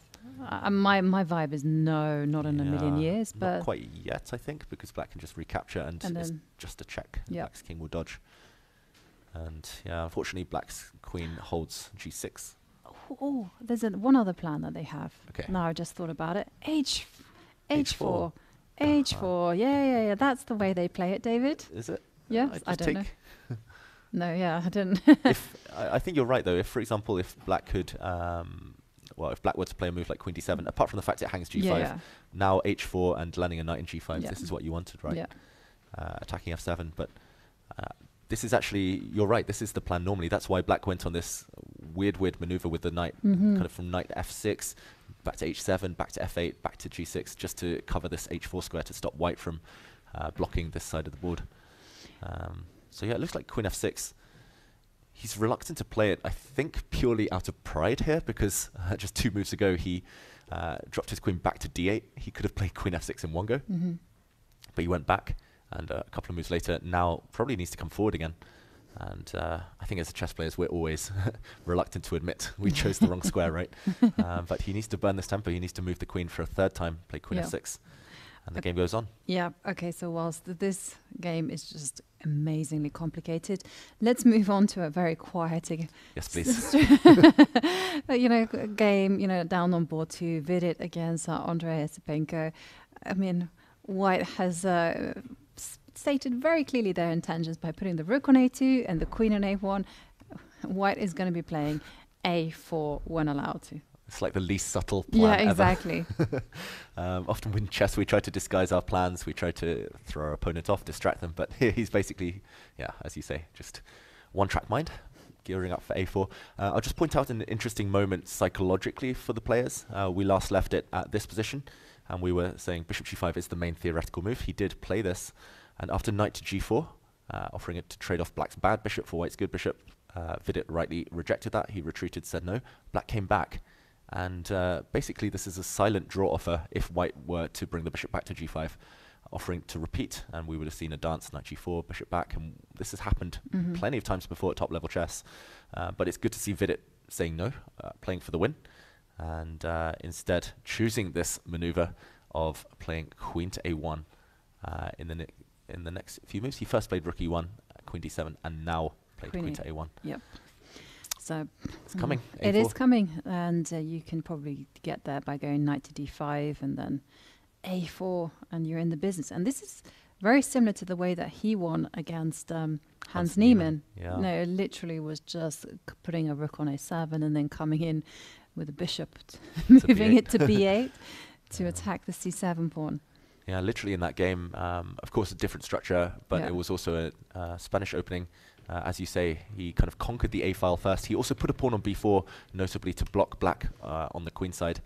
And for example, you mentioned knight d5 being a very strong move. I think this is his intention. And if there is a trade, black's knight doesn't have many good squares. Note how the queen on a1 also uh, guards against the black knight landing on d4. This would just lose a pawn now uh, for black.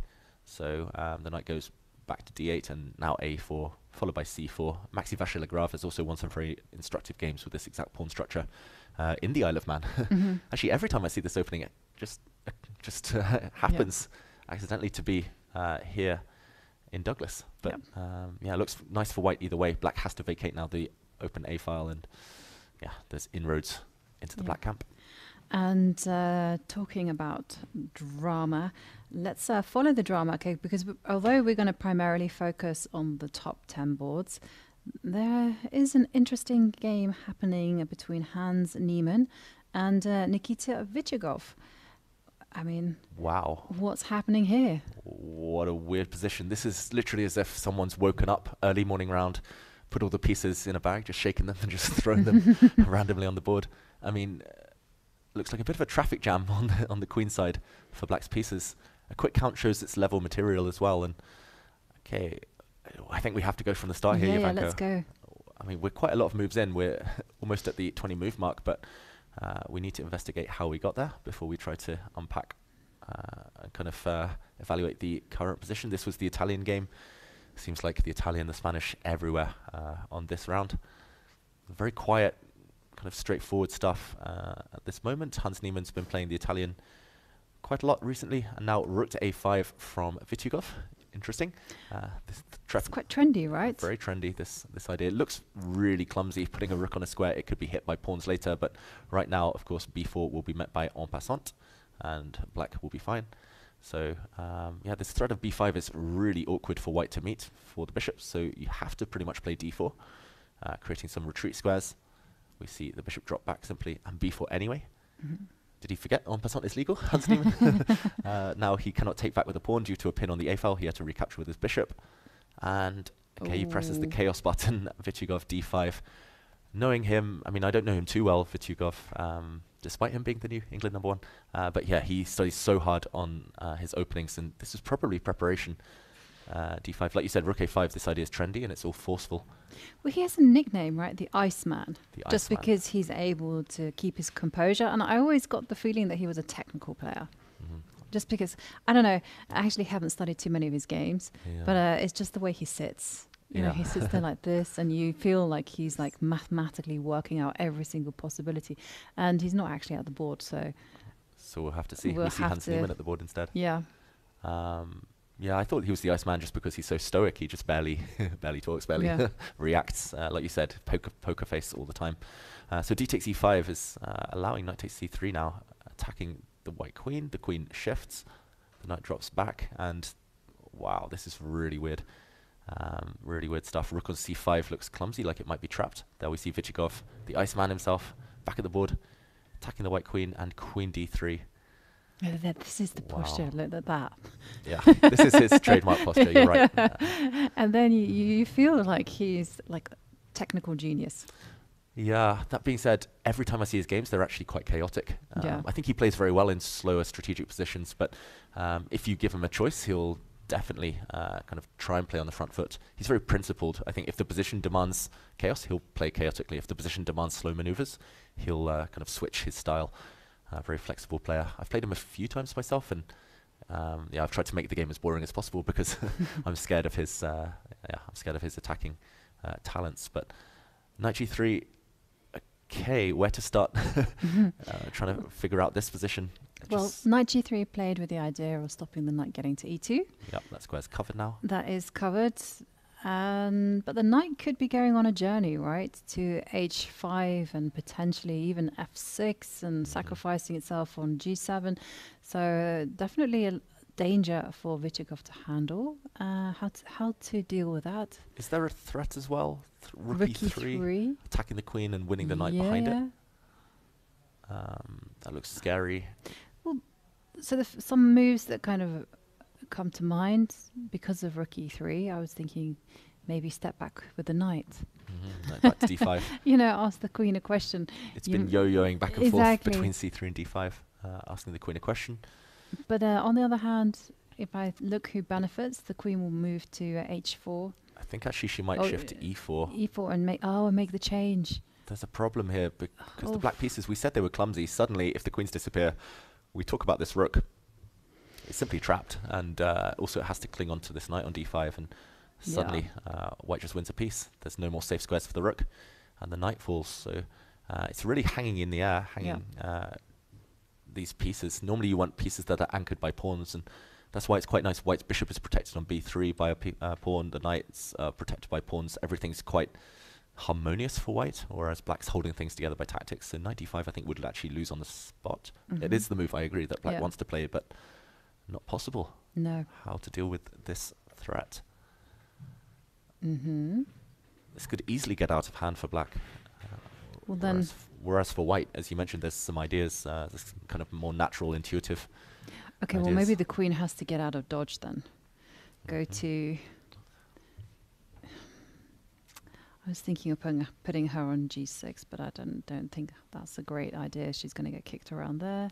Yeah, you're worried about knight yeah, h4 knight ideas. h4, and then I'll probably have to sacrifice. Uh, it's fine. The, the pawn on e e5 is uh, under threat, so Sacrifice. yeah, exactly. Um, yeah. think queen Queen G5. maybe? g5, yeah, was what I Yeah. had as a response to that. So yeah, the idea was to sacrifice a pawn, but then this one drops at the end, and actually It's very important that I take it with a rook. yeah, uh, the smoke settles, and uh, yeah, this one would have been a awkward uh, double attack. But yeah, the smoke settles, and suddenly it's level material, and black's pieces are really well placed in an endgame. Knight on c3, bishop on b6, and uh, the Iceman would, yeah, Not defrost.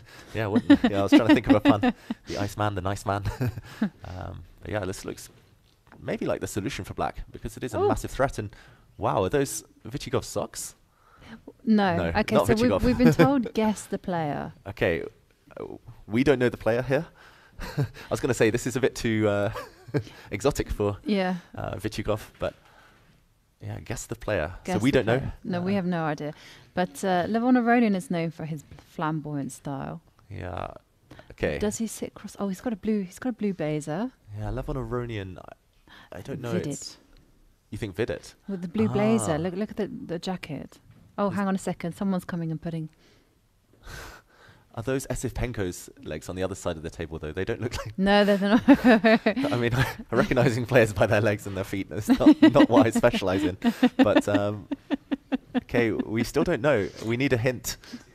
I can see it on the right of the screen. Ah, in the in the distance there, as Anish Giri, of course, photo bombs us.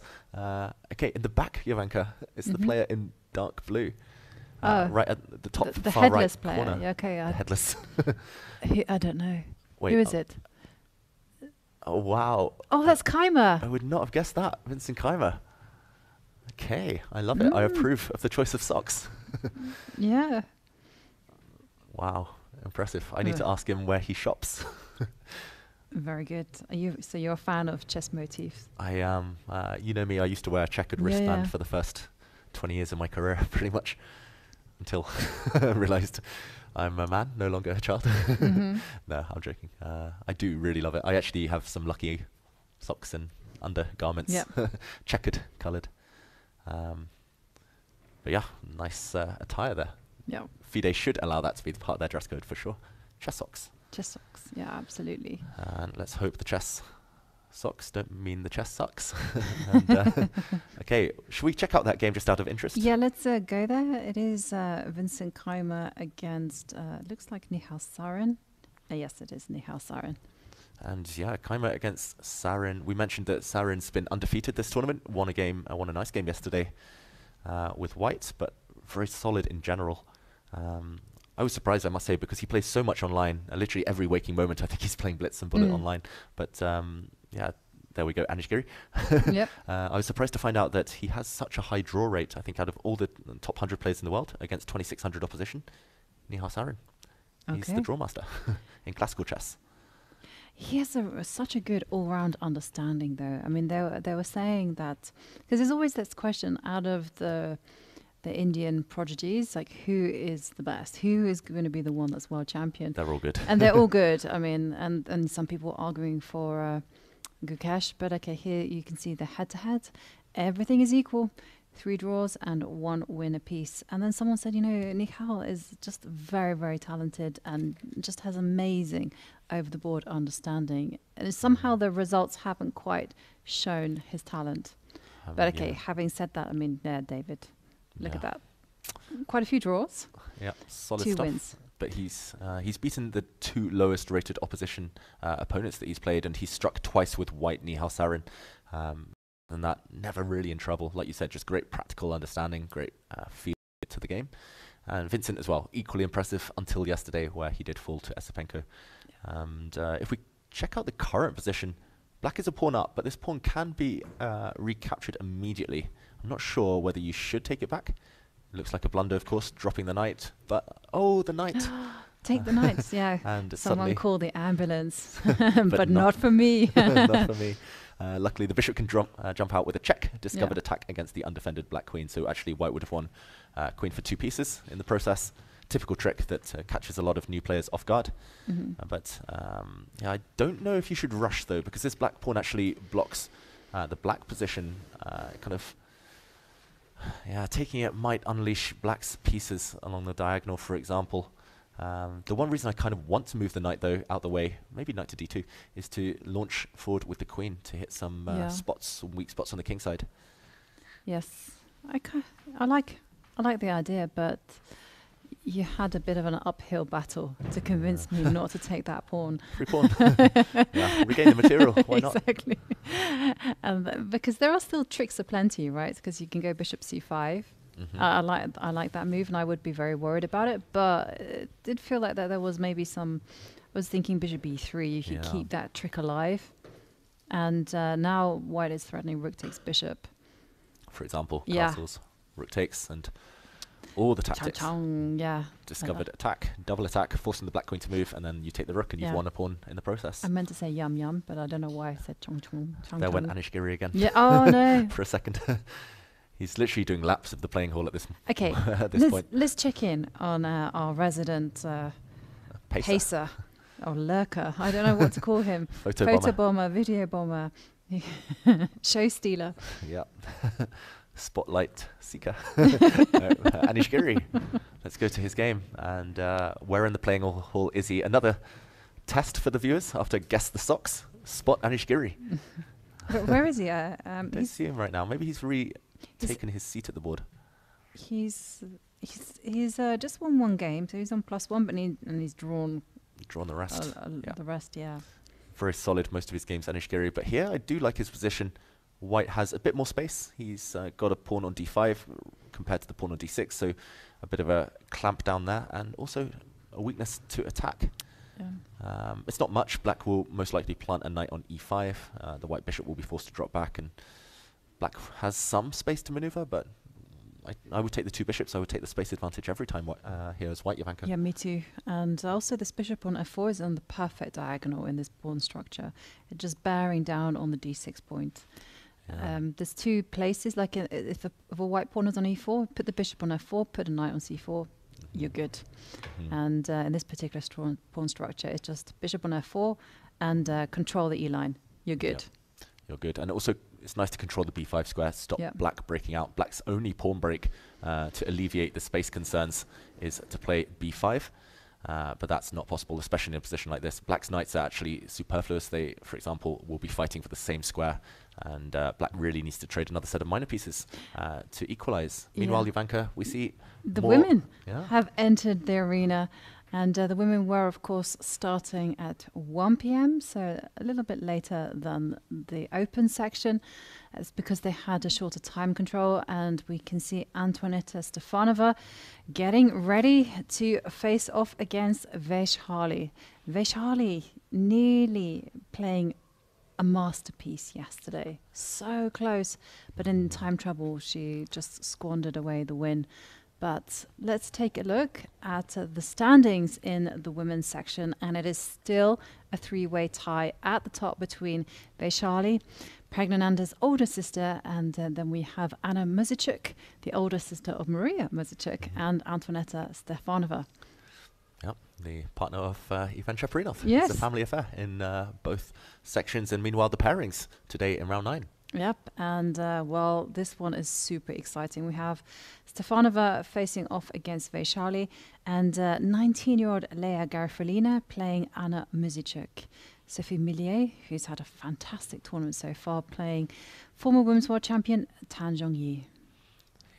And uh, some big names further down, like Assaubayeva, who was a former leader, Goryachkina, the top seed, who fell to defeat yesterday. Um, but I think we'll be focusing on the top boards where the leaders uh, are, and that, those games will be starting very shortly. Six more minutes, and uh, the players looking fresh. They've uh, they're starting one and a half hours earlier than normal, so uh, slightly more forgiving than the uh, start time of the open section. Are you expecting the rounds to be, be as uh, decisive as previous days, Jovanka? Uh, yes. Yes. I, I, from from my conversations with the women, they were quite smug that they were starting at 1 p.m. yeah, I know there was a lot of jealousy there. The open Yeah. players uh, very jealous. But uh, meanwhile, Garifullina leaving the board. Uh, Mhm. Still a few minutes to go, and we'll bring you up to date when those games do begin. But Yeah. actually, everyone at their seats almost. Yeah, it was interesting though, because how is the how are the arbiters going to start their games without causing a nuisance to Whisper. the open section. You Would can start like, now. Go, go, go. Yeah, maybe the afters will just come round as they used to in the old days and start all the clocks for the players. Ah, yeah, yeah. Not sure. Uh, Yeah. There we see at the foreground uh, Sophie Mie uh, starts her game with white. And the board behind, uh, Alexandra Kosteniuk will begin her game with black. Mhm. Uh, she's grouping up the standings, maybe putting together a late surge Yeah, uh, she's had a disappointing tournament so far, so it's uh, by her she- high standards. Yeah, but her, Yeah. you know, she really was.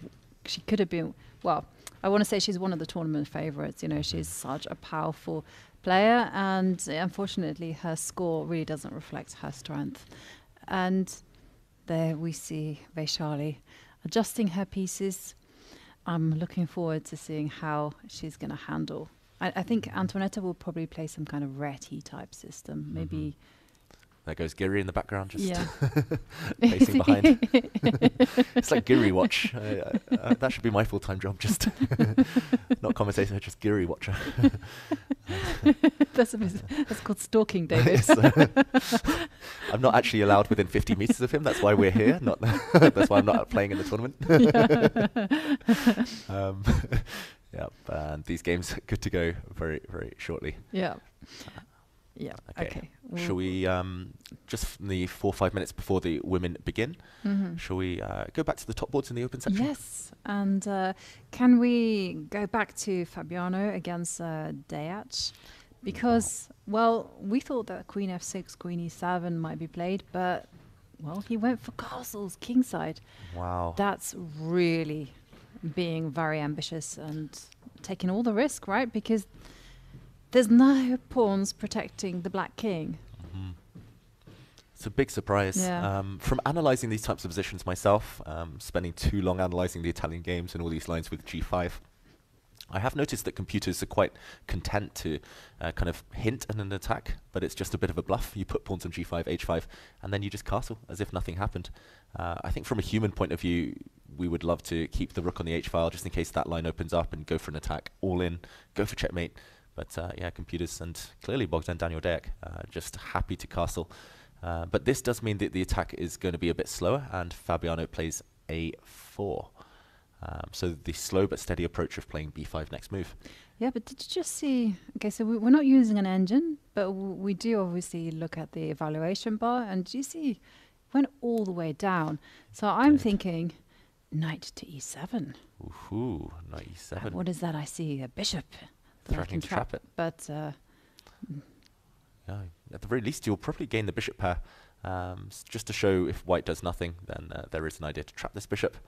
The evaluation bar would probably just uh, yeah, end up uh, on black side, winning a piece. I, I say that, and then the evaluation bar we've got on our screen is saying, no, white's fine. Why is this? I don't know. Why is this not winning a piece? I, uh, I, uh, I just realised g5 is hanging. oh, but okay. uh, so bishop takes f7 and knight takes g5, and actually there's a pin. Yeah. And uh, so knight to e7, maybe less tempting than we thought. yeah, yeah, because of g5. Okay, but in that case, knight to f4. Why go Mm. back when you can go forward? f4 for the score, as Yes. they say. And yeah, this looks uh, very promising. There's also the question of why Gee. not start attacking anyway. Yeah. Yes, the rook's not on the h file, but um, the black queen can swoop to g5. I think maybe this is why he resisted the temptation of playing queen f6 in one move because he Mhm. wants actually uh, to land her on a more ambitious square. Oh, and uh, follow that through with king to g7, rook to h8. Anyhow, correcting the mistake of Yeah, putting the rook on f8. Uh, yeah, black has a powerful bishop pointing down at the king. Always tactics there. Queen incoming, and not just uh, king g7 combined with rook h8, but also maybe combined with f5 Mhm. in some scenarios. Does look quite promising for black, I've got to say. Especially this knight on g6. I need to start playing this maneuver because uh, it has the idea of knight f4. It covers the h4 square. It just feels so harmonious suddenly for black. yeah. Could Fabiano be in trouble? Big question. But uh, meanwhile, the games in the women's section about to kick off, Jovanka. They are about to kick off, and well, we are one minute away from the start of play, and the photographers there congregating over the second board between Leya Garifullina and Ani- Anna Muzichuk. And uh, also the board with uh, Antoaneta Stefanova and Vaishali. Okay. I'm just curious how the arbiters will start the game. Here's one of the chief arbiters in the background, Anna Srebrenic. And Yeah. she does start the clock. We're off. We have action everywhere now in the Villa Marina. Yes, she's. I think you were right there. She, the arbiters are just going to walk around and just press the button that says "Let's go," and uh, we do have a first move from Antoaneta, D4. Yeah, D4. Her entire career, she's played these kind of Reti systems and uh, a bunch of D4 sidelines. The London system, the Trompowsky, um, the Torre attack. Uh, she defeated me a few years back with, um, I think it was the Torre. Um, yeah, okay. And Vaishali already thinking just move one. hmm What to do? We'll see a flurry of moves surely on the women's boards. Yeah, and Vaishali. We'll see how she handles that, and she develops the knight. hmm Knight to f6. And uh, okay, most games are just starting now. I do see they're mostly on move one, move two. Mhm. so uh, we won't do a too deep a dive yet. What do you think? Will Stefanova? She's been surprising her opponents every game, including yesterday where she played the Schliemann or the Jaenisch or The uh, Morphy or the Morphy- variation the Morphy defense. Uh, with Gambit F5. yeah, we didn't quite come to a conclusion about the terminology there. Yeah, Uh, the Jaenisch, right? That was that was what my database actually called it. We're just we're just uh, having an insider joke. hmm I'm pretty sure she's going to bring her bishop out at some point, maybe Knight starting with knight F3. f3. There we go. And maybe G6, Yeah, Vaishali, D5. I'm trying to recall her repertoire. Um, I think she plays both of these moves. Mhm. If I'm uh, not mistaken here, what is she going to go for?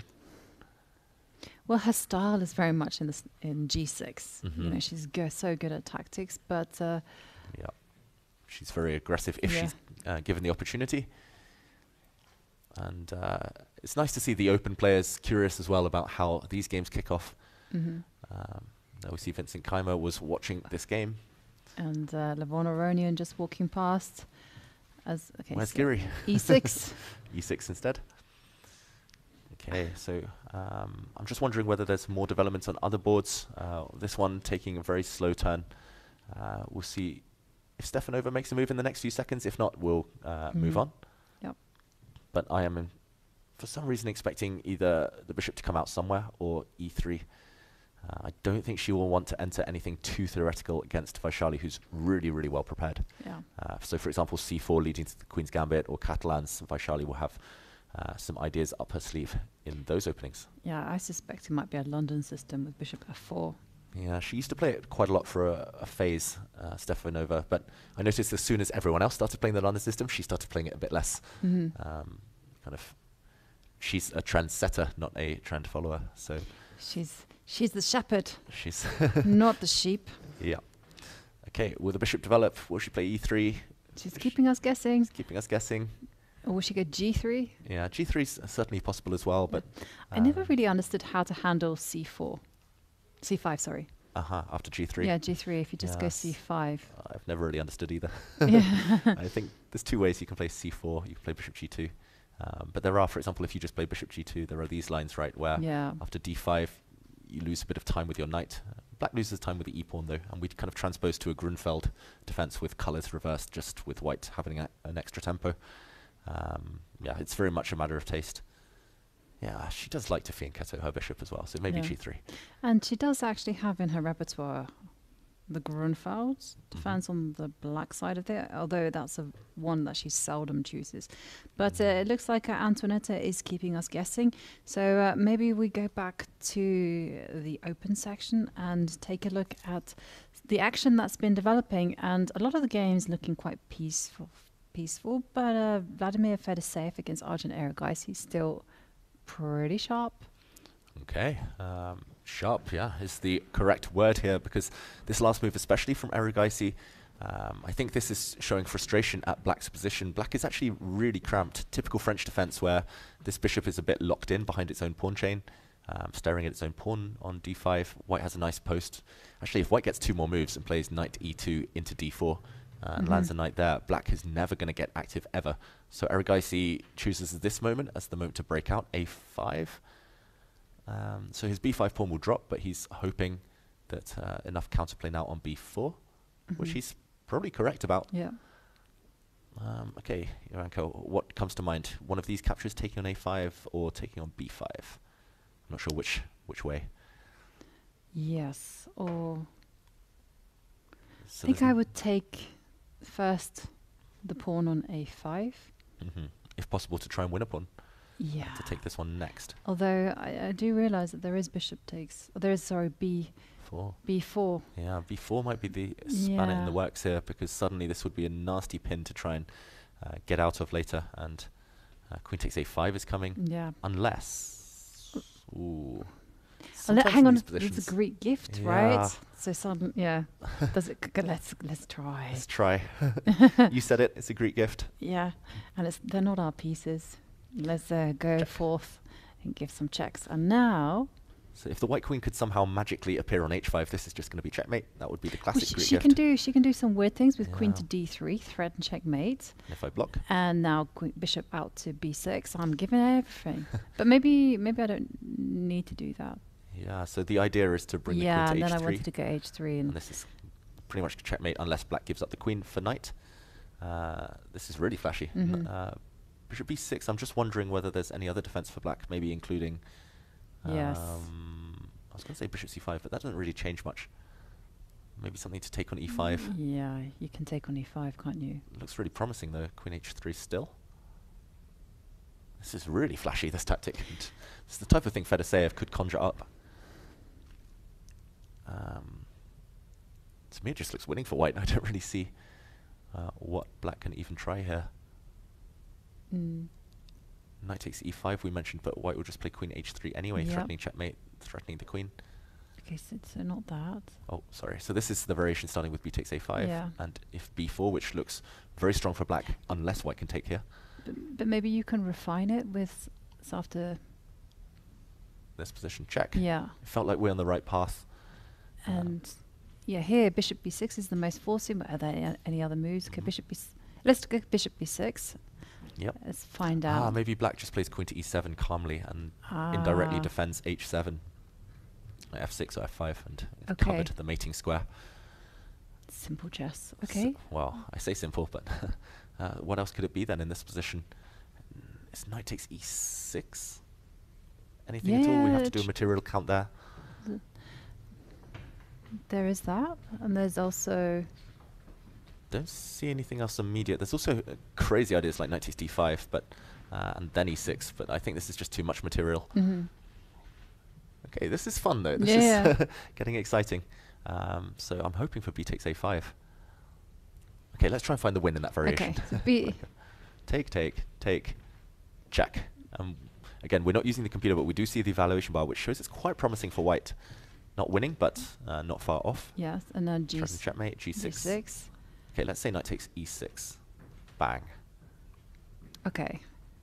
If you go first up, let's uh, analyze If you take the me. most obvious one. Take queen takes pawn, and then king h, rook f3, and it's going to be. S- Hmm? Lights out. I thought it was lights out. unless maybe black can play queen h4 and And- sacrifice the queen and rook g8 at the very end. Whoops. Um, Okay. So maybe not rook f3 immediately, but um, in this variation, king h8. On the bright side, we have a draw if Yeah, we need yeah. queen h6. Check, check, check. Um, maybe we start with this. mm, this Maybe one. you can do the same thing, Mhm. but uh, go bishop b6. Ooh, okay, bishop b6, but now the black queen will come Yeah. Okay. and defend her king. Yeah. I, I kind of wanted the two rooks to be on the third row. Okay. ah, you do- wanted sneaky, sneaky. Yeah, yeah. Rook lift. Okay, maybe check. I, I got it. I got it. Check. Queen h. Okay, now and now rook lift. hmm And I, I thought that the king was running away to f7, but uh, Never no, runs. no, no. That uh, was an ass- assumption, and you know what happens when you assume. You make an Assaubayeva out of you and me. um, here, there are all sorts of tactics. How are we going to trap this king, though? Um, Well, we have check. There's even knight takes d5, followed by e6. And yeah, check that out, Jovanka. On the balcony here in the Villa Marina, there's an Indian flag Oh. that's been put up. Maybe supporting Erigaisi in this game, supporting uh, uh, the bunch of Indian players Vidit on uh, top board, yeah, on one of the top boards. Uh, yeah, and nice to see that there's some supporters there. I love it. Feeling patriotic. I like it. Feels like a football stadium now It with flags, with banners. It, it. That's what we are missing. Should be commonplace. It yeah. is. there goes there goes Giri in the background. Oh, yeah. uh, just walking off on the left of your screens in a moment. Yeah, this feels really strong for white. At the, again, at the very minimum, there's always perpetual checks, but here it feels like there might just be checkmating ideas. I was thinking F5. Uh, F5 as well. Yeah, F5. That's very, very yeah, strong. Yeah, yeah. Because uh, now you're threatening. If the king tries to run, I mean, I know no one's going to play king e7, but if you go Mhm. king e7, queen takes, queen Cool. takes pawn, Oh, yeah. and that is like some kind of weird epaulette mate. Yeah, checkmate. So actually, all of these lines look quite tempting, and this is quite critical for the evaluation of b takes a5, uh, because if black cannot play the move b4, cannot go for that pin, um, then black might be losing a pawn. I think bishop Mhm. takes a3 there would be the same tactic. For example, bishop takes h7, check, luring the king forward, and again, all sorts of mating patterns uh, arise. Watch out for the Greek gift. I've fallen for Mhm. that too many times in my career. Yep. But uh, b takes a5. If black has to recapture on a5, then uh. Okay, oh yeah. you have another idea. No, no, no, no. That's good. Knight takes b5, and at the very least, white would go into a slightly superior endgame if black wants to regain the pawn, uh, because white white would now control the dark Yeah. squares. It's not much. Uh, sorry, rook b1 even. Um, it's not much, but it's certainly something, and it's a pretty safe long-term advantage. So it's certainly tempting, but uh, Fedoseev maybe calculating the alternatives. Knight takes Yep. b5, bishop takes b5. We'll come back a bit later. I think we've dwelled on this one for uh, yes, long enough. we will come back to that game, especially if we see bishop takes h7. We'll make a beeline, and uh, Uh, let's he's played knight takes b5, so we won't get that, but it was fun to Oh. it's fun knowing you, David. yeah, this is a different kind of position. And uh, let's go over to the game Alireza Firouzja against uh, Aravindh. And that's on board 12. Okay, wow. Um, yeah, as uh, we're being told by our producer here, Ali Reza channeling his inner Alpha Zero, and that's because a few moves back in this very typical position uh, from the semi-Tarrasch defense, White didn't go for typical ideas such as bishop to d3, bishop to e2, and then just castle. White instead played h4. This was trendy for a while, uh, a few years back, I believe, and uh, still has some venom contained. Black, of course, has given White the big pawn center, and White, uh, there goes Gary. uh, White chooses to take the time now to play h4, h5, uh, even h6. If possible, just leave the pawn on h6 as the thorn in Black's side for later. Black blocks the advance of this pawn, but now, uh, rather than develop normally, it's uh, kind of very committal stuff. White's already moved this rook, now moves to the other rook, so black, uh, the white king now never able to castle, but the black king is the target, rook g3. I've actually studied this myself. Uh, I remember being terrified from the black side uh, when I was planning to play the semi-Tarrasch a few years back. This is one of the ideas that stopped me, and e5 cuts the board in half. Now there's also a diagonal opened up towards the black king if white can set up a bishop and queen battery on that diagonal. Could be fatal. Bishop d3, king h8, and bishop e3. Watch out for queen d2, followed by a sacrifice on h6. So black Mhm. plays f5. This is uh, a slightly panicky move, um, trying to close down the king side, and it does result in this pawn being extremely weak now, Jovanka. Yeah, it is very weak. I mean, how are you going to defend it? There goes Giri. There goes Gary. Maybe. Sorry, I'll stop it now. well, what would life be without Gary Some entertaining us all? entertainment. Uh, Mhm. Yeah, takes e6 is a big threat, and um, this is the thing we talk about, kind of taking big risks, attacking on the flanks. Uh, there goes wow, Oh wow! Indian flag. Were we getting a thumbs up there? Yeah, they, they got a- we got a wave as Got a well. You know, Yeah, hanging out the flag. I mean, that's just. nice. to I've never seen that at a chess tournament. Have you? No. The closest I got was at the Olympiad, where uh, we were allowed. I was allowed to be a flag bearer at the opening ceremony, so I was draped in the English flag. Yeah. Probably the highlight of my career. But um, no, ni- nice to see this. I think there should definitely be more of it. I agree, Jovanka. Yeah, yeah, I Why not? And uh, okay, there's a problem on e6 we mentioned, but this was dealt with queen e8. We're focusing on an Indian player's game right now, our event, of course. Uh, so kind of apt. Uh, it's appropriate Mhm. that we have the Indian flag on our screens. But queen e8, this is an indirect uh, defense, or at least an attempt at a defense, because bishop takes pawn would be met by a check, discovered check. And black's arguing, I guess, in a position like this, that there is sufficient compensation for the sacrificed pawn because of the light square bind. Bishop might park itself on d5. a2's attacked. Black might even play f4. Yeah. Opposite color bishops. Anyone's game. Although I'm slightly still attracted to knight h4 into g6 for still white. very crazy. Uh, somehow you do feel that white has to act now and be really precise because if not, black has a very happy plan of just going a5, attacking on the queen side, and then just taking control of the open line. So, Mhm. mm, Yeah, I think Firouzja, he's not a materialistic player. He will be reluctant to cash in uh, and take this pawn unless he sees something concrete behind that because that position with the extra pawn for white, far, far from clear. yeah, mm, Um, he could, for example, consider what to do. Queen b3, pile up the pressure on this pawn. Does he just kind of maintain the status quo, just king f1, king g1, hide the king? that's what I would be tempted to do. Just Yeah. put the king on g1 and uh, ask black, what are you going to do? Because after all, the queen on e8 isn't the best placed piece, let's say. Yeah, and the e- e6 pawn, the weakness, Mhm. it's not running away. It's easily targetable uh, later on. And all he has to do is just consolidate, you know, get the queen out of out of the island of a potential rook on d8 and Mhm. control. Yeah, looks nice for white.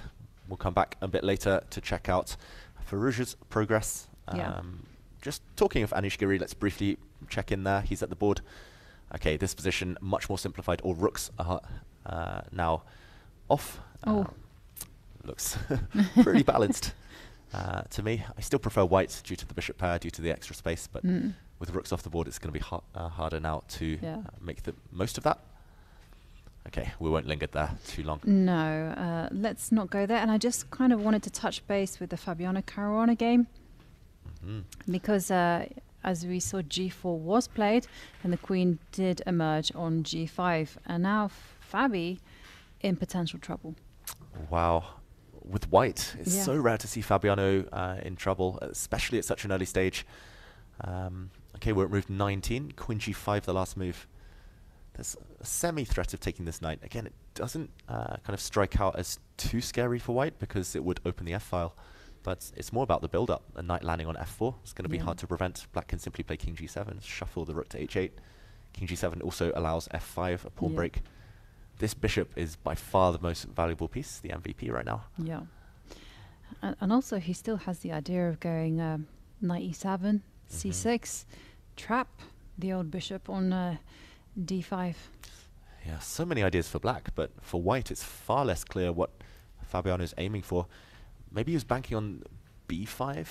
Yeah, but here is isn't there some problems now? I like a takes b5. hmm Problems for who? Ah, the yeah. Yeah, yeah. And th- this is going to be a problem. No, I was Yeah. actually planning to go uh, knight to e7. Mhm, Knight to e7. But uh, no, but he- here you can even go moves like b6, and Yeah. then oh no, the bishop never going to get out. Instructive pawn sacrifice. The bishop's pinned, so pawn takes pawn, and now this is just caged. And uh, we said it's the most valuable piece. He needs to keep it alive. Um, so what is Deac's response if b5? Knight, e- knight e7. Yeah, there's two squares for this knight. Knight a5 looks a bit clumsy, but it does hold up white on the queen side. Um, Yeah, but the knight true. won't play a role much longer. You can defend this knight now with bishop b6, for example. Actually, you can be flashy here, bishop c5. Blunder the knight. Whoops. Yeah, oh, but the queen. The queen is trapped. But actually, it's not so bad as well because if you can just use one piece to hold off White's initiative on the queen side, then the rest of the forces can dedicate themselves to the king side. And we have a result between. Um, Etienne Bacrot and Alexander Predke on board seven. Um, so these two players currently, uh, they're currently half a point off the lead. yep.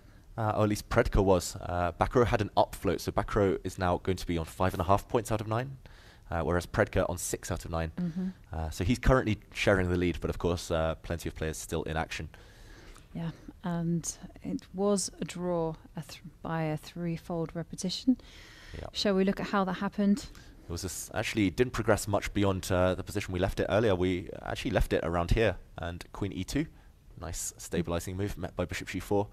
If White was feeling ambitious, potentially could have played on with f3, but this is slightly weakening for the White King, so he decided to move the Queen. He played Queen e4, and continued to get harassed, and the Queen was chased three times, Mhm. and a repetition. Uh, it feels like Bacrot just wanted to stem the bleeding after yesterday's heartbreaking defeat to Caruana. Yeah, and the sixth hour. Okay, well, result there. Can we also check in on Hikaru Nakamura against Ivan Cheparinov? This one doesn't look like it's a wild game, but Hikaru with the white pieces, and it's actually looking like he hasn't gotten that much out of the opening. No, it looks like uh, surprise paid off, uh, but he's now down on time, so uh, we'll catch up with this one just the last 4-5 moves since we were last here. Knight b3, we mentioned ideas of c5 uh, and trapping this black bishop. Uh, this was enough to force Cheparinov to break the tension in the center. He captures a set of pawns, knight d7, a3, kicking the bishop back, and a set of pieces was soon exchanged. It was the light squared bishops. This normally would favor black. More pieces, uh, the more pieces that come off the board, the weaker white's isolated pawn would become. But knight to a5, he's trying to tie black down, keep black honest to this pawn. And actually, this is a really instructive uh, setup that occurs in a lot of openings. If white can just establish a pawn on b4, knight on a5, then it clamps down, it kind of ties black down to these two weaknesses forever. You can never really play b6 Yeah. due to the weakness of c6, and therefore, um, this is just really uncomfortable. It's not the Mhm. end of the world for black, but uh, No. it's a tough spot to find yourself in. No, it's uh, not going to be easy, and this also fits in with Hikaru's strengths as well. You know, he's just going to play the position, keep the tension. That knight on a5 is a nuisance, and keep on improving the pieces. So, yeah. So Hikaru with some chances to push for an advantage. Yeah, I wouldn't. I don't think it's much. Um, I'm expecting Cheparinov to quickly try to plant a knight into d5, if possible. But it's a bit awkward right now. This tension, especially if this knight on a5 is able to sit there for a long time, maybe backed up by bishop on d2. Also, you can play bishop d2 immediately, just kind of Mm. create some tension on this diagonal. There's ideas like queen b3 coming. The more I like, uh, the more I look at it, the more I like it for uh, Yeah. Nakamura right now. Could you could you do weird things? So like because of this bind that the knight on a5 is creating, so instead of going c6, could you push one more pawn, like one more square, c c5? Ooh, c5. Yeah, I, I want to neutralize everything immediately. Hitting the knight and uh, trying to neutralize. yes, yeah, I, and I, I understand that. Really, I don't want to be doing this, but because I'm playing Hikaru, yeah. well, I'm not playing Hikaru, but Black is playing Hikaru. I'm glad we're not playing Hikaru. but uh, yeah, it makes a lot of sense. Kind of liquidating. Now these pawns are guaranteed to come off the board. Yeah, but then okay, but you can still get on with your plan of going uh, pawn takes, you can go pawn takes pawn, and then Mm, the dreaded b4. yeah, maybe. B4. Um, say the black knight comes back and Yeah, yeah, it does look a bit scary. White's really active, especially if the white moves the queen, gets a rook to d1. yeah, White's ahead in development. Uh, it feels like black's knights look solid but a bit clumsy. hmm Okay, I'll say small nibble for Hikaru Nakamura. Yep, I agree with that. And uh, well, we do we did also have a lift off in the women's section, so uh, let's go there and see how on the top board how Antoaneta played this. And the B pawn is missing, Mm-hmm. which leads me to believe that there was a G3. Yeah. And this was met by is this the Polish defense with B5 or is it like some transposition almost to the Polish defense, which would be, for example, d4, b5. Um, this type of opening, I guess, would be called the Polish. I'm not 100% sure. These days, I doubt myself uh, anytime a opening comes up. Yeah. Judging by the fact we've been corrected, there goes Giri, of course. um, but yeah, knight f3, e6. Now b5 makes a lot more sense because the bishop is going to be planted on this diagonal, so b5 is not as weak as it would be. Uh, it doesn't forfeit the center, it actually clamps down on the c4 square. And a4 bypassed by b4, and trade-off d5. Um, often I notice in these positions, uh, when I was analyzing them from both colors, computers always prefer taking with knights, but humans prefer taking with pawns towards the center.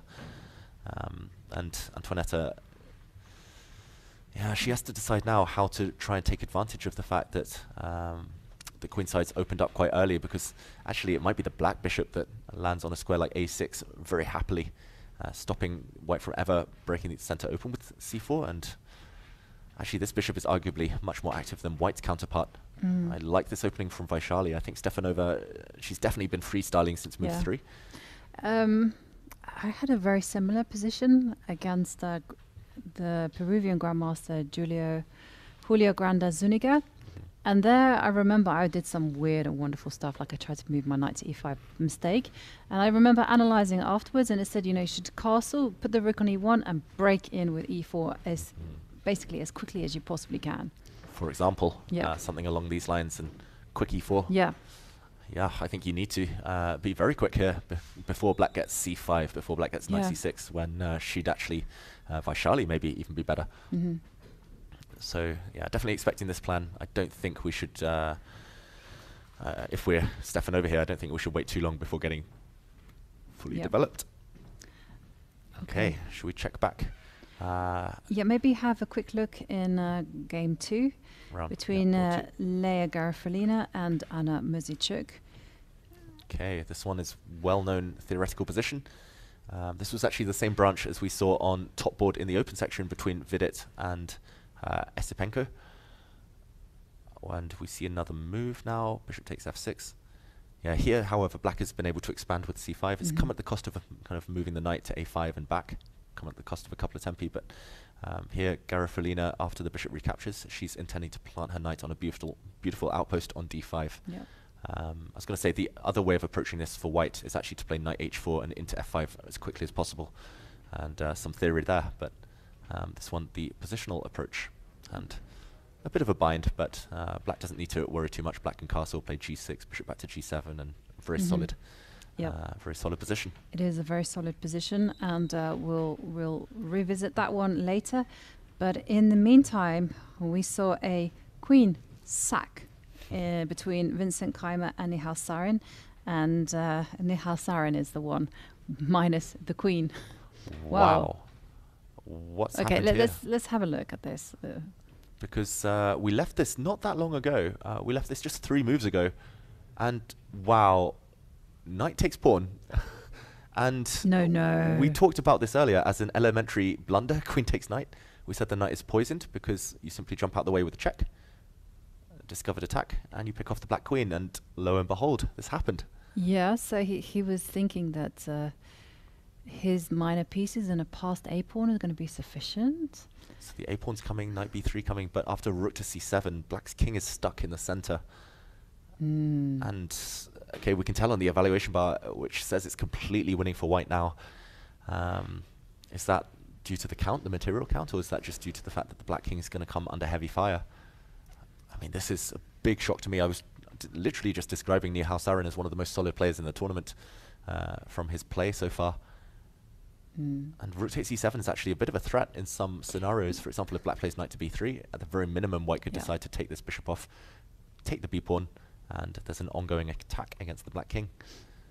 The black king can never castle now. It has to pr- pretty much go back, and you could even just slowly, boom, boom, checkmate. Yeah. Okay, Wow. that was a turn up for the books, and Nihal yawning as well, maybe just not adapting to the earlier start uh, here. This wasn't a blunder. He saw that he could. I mean, like you said, it was kind of a willing sacrifice of the queen, but but Okay, it's backfired immediately. yeah, because so you pointed out that rook take uh, sorry rook takes e7 is a big threat. So what happens if you just go bishop to d8? Say no sacrifice for you today. Okay, bishop d8. Makes sense. Now, rook a7, the move I want to play, would be met by knight to c6, Yes. I guess. Although, Although, queen takes d5, giving up the queen for as Oh, much material as possible. He's missed this, Maybe he's missed this. Rook takes at the end, and and then the pawn on a4 will fall. just the exchange up for white. Yeah, Rook for knight. and No. rooks are good as well. So Okay, yeah, maybe I didn't give him enough credit. He'd actually seen this far and thought bishop d8 would evict the rook. If the Mhm. white rook is forced back, actually there's no good squares, then now black could start pushing the pawn. Uh, Yeah. Maybe, or at least, oh, and suddenly we see a reaction from Nihal Sarin. Um, I think he's realized rook a7, he was relying on knight c6, but a blunder, queen takes d5. yeah, queen takes d5, Giving such a flashy move. It's just transforming the ad- advantage, really, from Mhm. queen up uh, to exchange up. And uh, we're being reminded that this board is actually cursed from the black side. Yesterday, we saw Duda commit a one move blunder and go from a draw to loss on this exact board, Yes. in the exact chair that Nihal's sitting on right now. so, one move blunders galore uh, on board 11. Are you 10. superstitious? I'm very superstitious, Jovanka. Yeah.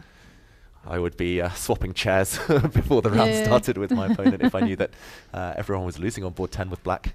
I, I once, to my shame, made uh, made um, the organizer swap put me onto a board where I was winning. Ooh. Like I always won at this one at this board, and I was like, "Please, can you play?" And they were like, "But boards- but it's board one." I'm like, "Yeah, I know, but it's an all-play all tournament. It doesn't matter. Oh, there are no spectators."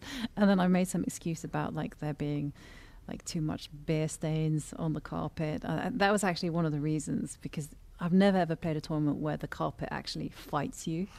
oh dear. But Doesn't sound ideal. yeah, so anyway, and uh, then I went back to my winning ways, so I was very happy. Okay, it's I not a like, "Thank you." coincidence. if you feel good, you play good, and if you're superstitious, you need everything to uh, Yeah, align. And actually, at the World Cup recently, just a few months ago, I started on board 14, and my lucky number actually, and I won the first round. Yeah. Next round, I played on board 13, and I got knocked out. Oh, so yeah. uh, I, I came to the hotel here in Isle of Man, room number 14. So I thought, okay, it's going to be a fun tournament. I'm not playing, but It uh, is going to be a fun tournament. I chess was, players superstitious. For I was talking to uh, Radoslaw Wojtaszek because he was on the taxi back with me, and he, he was telling me that he he booked into the same hotel. That he stayed at when he won this event. Nice. So yeah, I, I actually, uh, until this year, I always stayed at the same hotel as well in Isle of Man. Uh, until that hotel got knocked down, basically. I had to stay next door instead this time. it was condemned, David. Condemned, condemned. No, I don't know, down, It's still standing, but Yeah. uh, it's empty. And uh, meanwhile, we are being told confirmation that on board 10, zero wins for black in this tournament so far. Oh, Um, a few draws, but uh, only white wins, and this might be the fourth white win on this board. The curse of the Isle of Man, board 10. Board ten. There's a there's a ghost spooking out the participants sitting in that chair. Oh dear me. Nihal Sarin, queen down, and probably just losing this game. hmm Well, that's a very important win for Vincent Keymer, who is on five points, and a victory will take him up to six. Okay, so uh, where to go next? That was very dramatic. Uh, looks like the action in the open section, at least, uh, far less dramatic than this. On yeah, maybe we uh, can most boards. revisit uh, the top board in the open section because, well, y- we did mention putting the knight on a5 if a pawn arrived on b5, and lo and behold, it's on the board. it came to pass. Um, so this black knight is going to hold up. Uh, there goes Giri. it's going to hold up the uh, whole of White's play on the queen side. Queen c2 nicely not falling for that trick. Queen b4 would have backfired uh, to bishop c5, as we mentioned, and the queen gets trapped. Uh, so you could go not go hunting for that black knight. Queen c2 instead. And the big question, I guess, for black is whether to uh, just play bishop b6 and sit on the queen side, not touch anything there. Mm-hmm. We're normally told we don't want to play on the side that we're weaker, and here white probably has the upper hand on the queen side. Uh, so that's the only thing stopping me from suggesting c6. Otherwise, I like that uh, Yeah. that concept you mentioned earlier, Jovanka. Uh, just gaining time against this bishop, forcing it back, and then switching focus towards the white king. Mhm. Uh, maybe knight f4, maybe king g7, ideas that we uh, Yeah. mentioned. Yes. Still It's- looks pretty nice for black. looks great for black, right? I mean, black has got all the trumps in the position and the ability to improve the pieces and also the ability to actually put pressure on white's king side. Uh, maybe we can check out the head-to-head between Yeah. Caruana and Deac because, um, okay, Fabi, yesterday I think we put him on the spot with uh, his head-to-head against another player, against Vidit, uh, who he assumed he would be playing today, but he plays Deac instead, and uh, no wins, no decisive games between these two so far, just three draws. Yeah, three draws. But so they have played each other quite a lot in uh, Rapid and Blitz. Mm-hmm.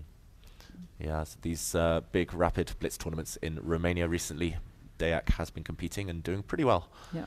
But uh, here's their tournament progress so far. Yeah, and uh, take a look at the progress of uh, Bogdan Daniel Deac, winning three games in a row. Started off with a, a victory against Jumabayev, Nodirbek Yakuboev, and yesterday winning a brilliant game against Radoslaw Wojtaszek.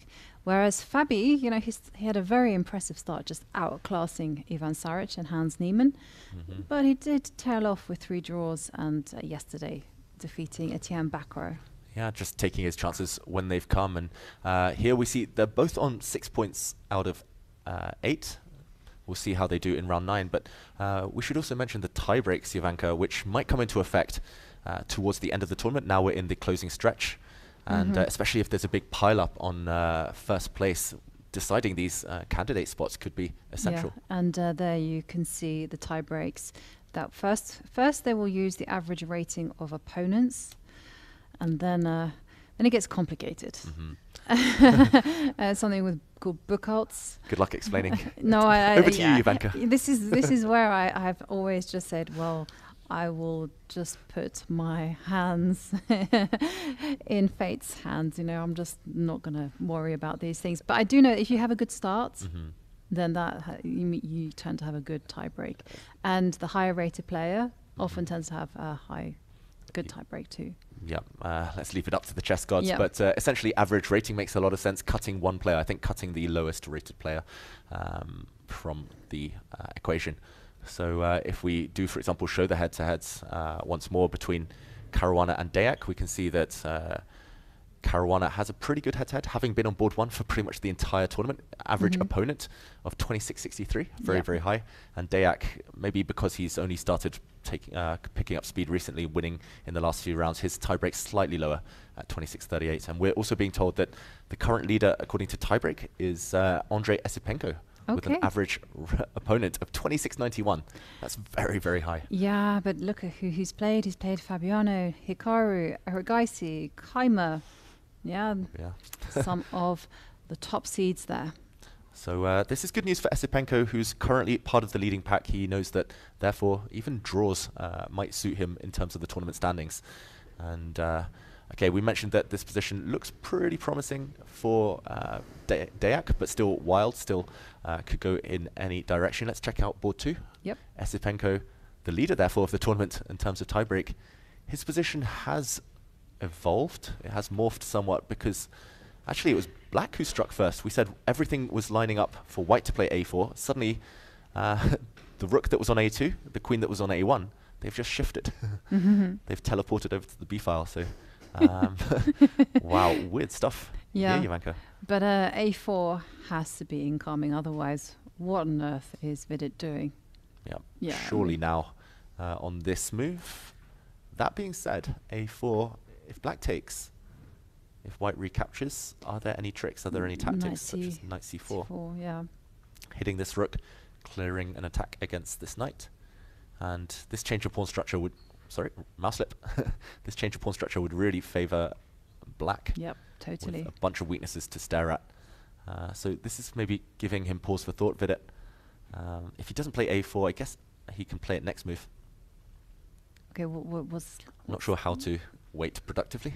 what's the first move that he needs to play? Let's say I play king h1. Okay, but Uh, you're not going to get A4 in because still the threat. Still is the on the board. Yeah, I just wanted to point out knight b7 doesn't stop a4. It actually Yeah. only gives it power uh, because there would now be a pin on the b file. Um, so of course king h1 won't be played. There's much more useful waiting moves at hand. Maybe b4 could be, uh, sorry, a4 could be considered anyway because after knight c4 there's also rook to b7. Uh, but this would come at the cost Knight of maybe bishop. yeah, allowing this exchange. And I'm not sure this is really that profitable for white. You've opened the B file, but you've only helped activate black's pieces. This just looks very, very level. Um, so Vidit, can he put any pressure on, on at all here? Hmm. Esipenko's got half the amount of time uh, as his opponent. Um, I'm not sure what he's been thinking about. This is uh, Howell-esque use of th- the clock. but either way, it looks like he's solved his opening problems. Vidit, Yeah. no real advantage here. Yeah, th- but there's a problem though. I- I'm actually stuck for a plan with white. with white. Yeah. So I'm actually thinking he's going to go and bail out because what else? What else? I mean, Process of elimination. Sometimes we're taught to scan the board. We don't really want to move the knight, don't want to move the king, rook, No. bishop. All perfectly placed. Queen and rook perfectly placed. Knight. If we move the knight, then black would be allowed to play knight b7 and uh, stop a4, attack this pawn. maybe c4 here. C4. Oof. But try and trade okay, yeah, but uh, it just again, you this is quite risky, Mhm. especially because the pawn on a3 is pretty weak. So Yeah. So we've literally talked about every piece. Yeah, every piece. None of them can be improved. So exactly. So A4. maybe just a4, and then your idea of knight takes after knight takes pawn, knight c4. maybe we don't have to take. Maybe this is the. Uh, yeah, you could throw in rook b, Rook b4. rook a2. I'm not sure which one, rook a4, rook a2. At least here the pawn doesn't run away. Maybe we take it with the rook rather than the knight Mm-hmm. to prevent tactics. Actually, this could be quite important. Um, because now, for example, if we take with the rook, at least this black knight is really clumsy still, and we could even pin it. Uh, we could go for the Alekhine's gun. Normally the queen would be behind there, but uh, tripled up pieces, Yeah. rooks and queen. This would be uh, pretty nice for Vidit. So okay, uh, I think this pretty much the only path. Otherwise, it's dead equal, and Yeah. Esipenko would be pretty happy as he walked across in the background there. Yes. Well, uh, KG stuff happening in that game, and well, l- just uh, thinking maybe going to the women's game and seeing how that's the women's section, seeing how that one's developed, and I also think we should perhaps take our second break of the day. Mm-hmm. Actually, maybe we'll do that. We'll take the second break of the day, and when we come back, we are going to dive into the women's section and see how their openings kicked off. So don't go anywhere.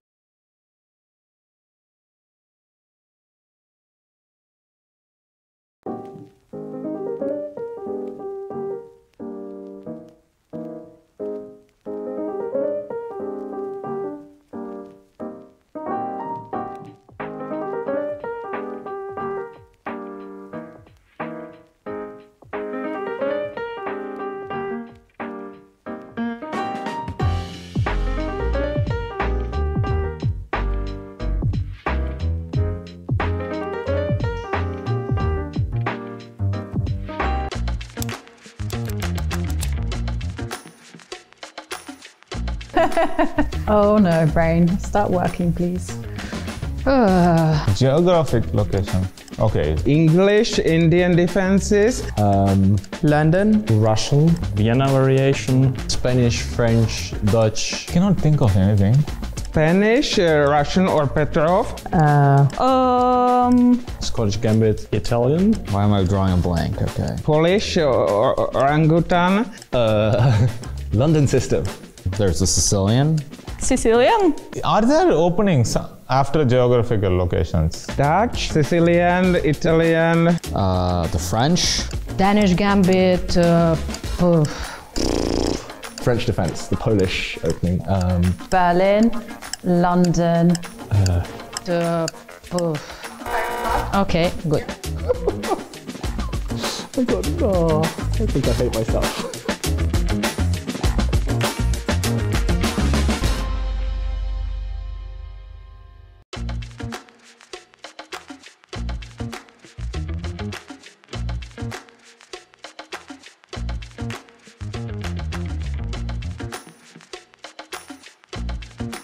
As many spins or toss them in the air or something? Oh my gosh. A girlfriend does this a lot, yeah? but I can't spin it like him. He can like do a full spin in one. I have to do it this way. I don't even know how he does it. Two ends. Maybe with the left hand it will be better. Okay, I'll try. Does it have to be smooth? I have only one hand, yeah, I suppose. I guess I'm not as good as girlfriend, but I'm really not. It was probably originally left-handed. this is so silly. Oh.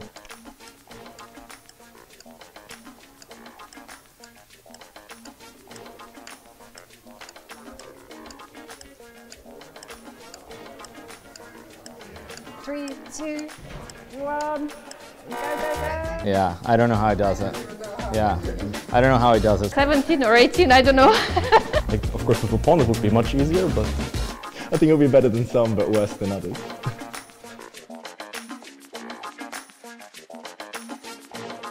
was really? Really? Okay.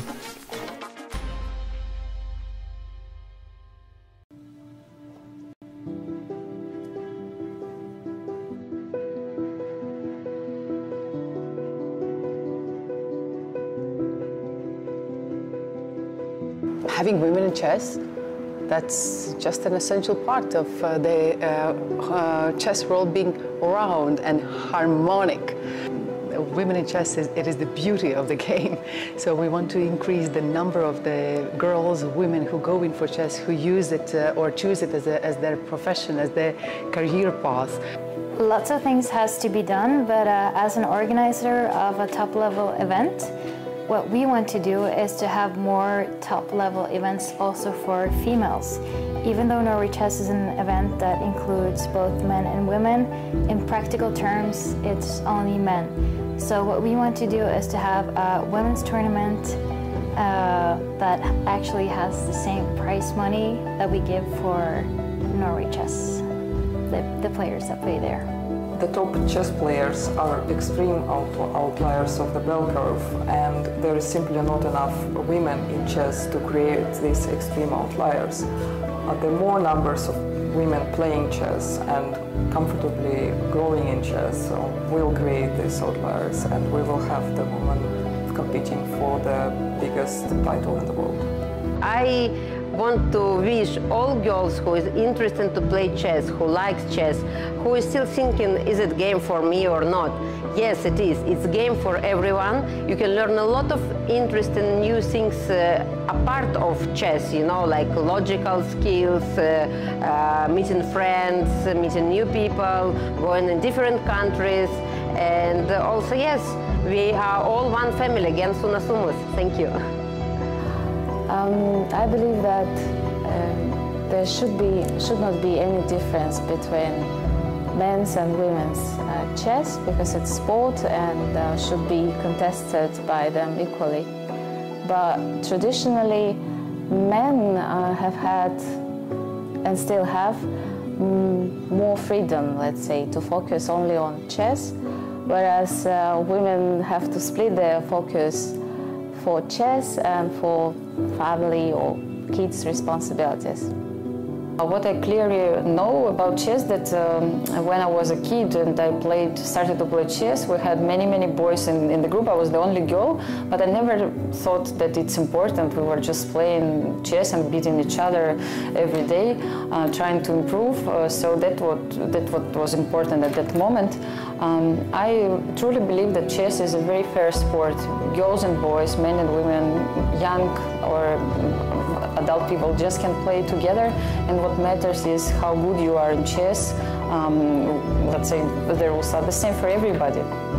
I think in life everything is possible. So yes, sure, it's very possible to have a world champion. And yeah, with these activities and promotion of uh, women in chess is yeah. So I, I'm very sure if it's very possible. Estoy segura que es muy posible. Provide the conditions and the environment so that uh, girls feel secure, so that girls feel encouraged, for, so that girls uh, feel appreciated, and so that girls can afford going in for chess. And one day, a lady will fight for the crown of the world.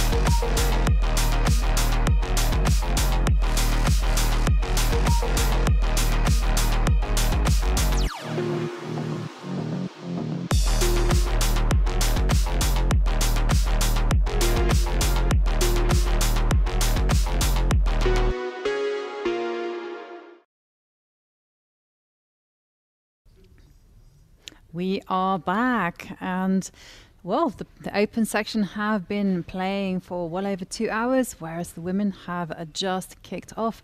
But it's an exciting start, despite the changes in the routines for the players. And uh, there we can see top board in the open section, Bogdan Daniel Deac with the black pieces against Fabiano Caruana. And uh, maybe we can go immediately to that position because, well, if we count material, we see that Fabiano is a pawn down. Yeah, the pressure's on Fabiano as he kind of sits back down at the board now to uh, justify this pawn sacrifice, I'll call it. But uh, at the same time, it was a necessary sacrifice. And in this position, we were actually advocating black just kind of keeping the tension, pawn to c6, maybe knight f4, some very tempting moves, king g7. Uh, he decided to cash in the material now. Bishop takes e3, but that was black's most valuable minor piece. It was a beautiful piece staring down at the white king. So uh, a bit of a uh, kind of contrast in emotions here. Yes, your material up, but uh, at the same time, you've lost some of your pressure. And after uh, an exchange of queens, we see this current position, king g7 just played, getting out of this pin. And as compensation, Fabiano, this black knight is a bit offside. He's going to have pressure on the f-file against this backward pawn. Maybe the white knight relocates first back into e3. And uh, I don't think it's the end of the world. He has the bishop pair too, long term. Yeah, he does have the bishop pair, but uh, the bishop on g3, let's be honest, doesn't make a great impression at the minute. Uh, I love your plan of going knight to f1 to e3. That's the one that I would be tempted by as long as f5 doesn't Yeah. work. There's pros and cons right now behind every move because f5 might be a small threat to try and break out, try to simplify the equation for black. Uh, you could stop this with rook f1, but then after f6, this knight just looks. Mm. Well, how do I not be harsh about this knight? Uh, looks a bit silly. Limited. looks limited, yes. Uh, ridiculous is not the right word. the knight in h2 is stuck. So um, yeah, if we do take time out to reroute it, then we have to work. Um, there's a flyer in the studio again. Oh, no! there's a f5. Um, yeah, we have to figure out what to do here. hmm Okay, interesting uh, moment now for Fabiano because this could really uh, kind of simplify things for black. To be honest, I think this transition really helps black. Yeah. Okay, big decision then for Yeah. Fabiano. Pawn down, and uh, he's not the only one who's a pawn down, Jovanka. Oh, who else is? It looks like uh, Hikaru Nakamura uh, on board three is munched on a pawn. Uh, so Cheparinov, the man we see on camera, also a pawn down. And uh, this one was a much more willing pawn sacrifice than Fabiano's. Uh, if we go back in this game, knight a5 was the last move we saw, putting some pressure on b7. But the pawn currently defended by black's knight. And after bishop f4, he decided, okay, the pressure's too much. I'll leap forward with my knight, putting pressure on the isolated pawn on d4, but it's a big pawn to sacrifice. And after queen d5, knight back to c5. Uh, the problem for black is taking back this pawn immediately comes with some downsides too. You can uh, find yourself caught now, on, embarrassed on the c file, and uh, the the pawn will be regained next move. Yeah. Yeah, that's not uh, great news for Cheparinov. So n- you can't munch on. Queen b5, does it continue? Mm, Rook takes c7. It looks really scary to allow a rook to park okay, up on the seventh rank. And if I just bite and steal your pawn, Mhm. what will happen? Maybe this is what he's relying on. Uh, so it's just a temporary pawn sacrifice. I'm really scared though something's going to collapse knight g5. I'm, I'm also concerned that the queen will simply slide, slide in to h7. I'm also concerned f7. about moves like. I know they're really risky, but the knight on uh, f5 is not stable either. hmm So even here, uh, g4 Yeah, g4 was what Tight I moves. wanted to.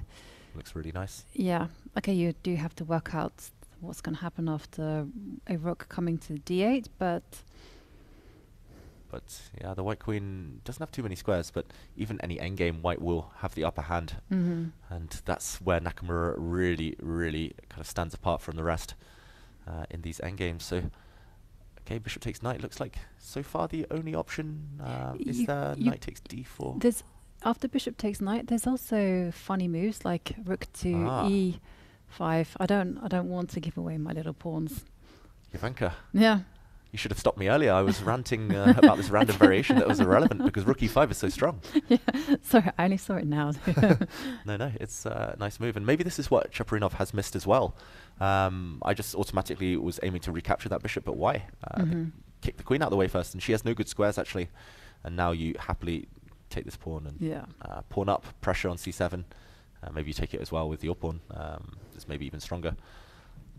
Wow, Nakamura uh, looks like a big favorite right now. Are there any options for black? okay, just pile up on the pawn. Bishop f6. Let's continue as if nothing happened.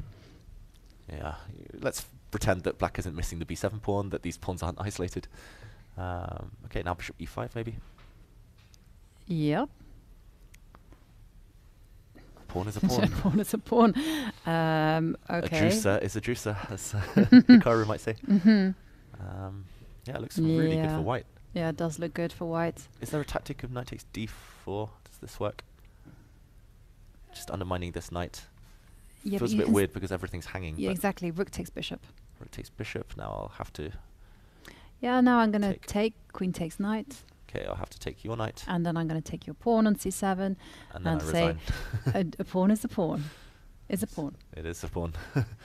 and uh, not just a pawn, but if I go to the wrong square, you could be hitting this rook and Mhm. uh, cashing in on f7 next move.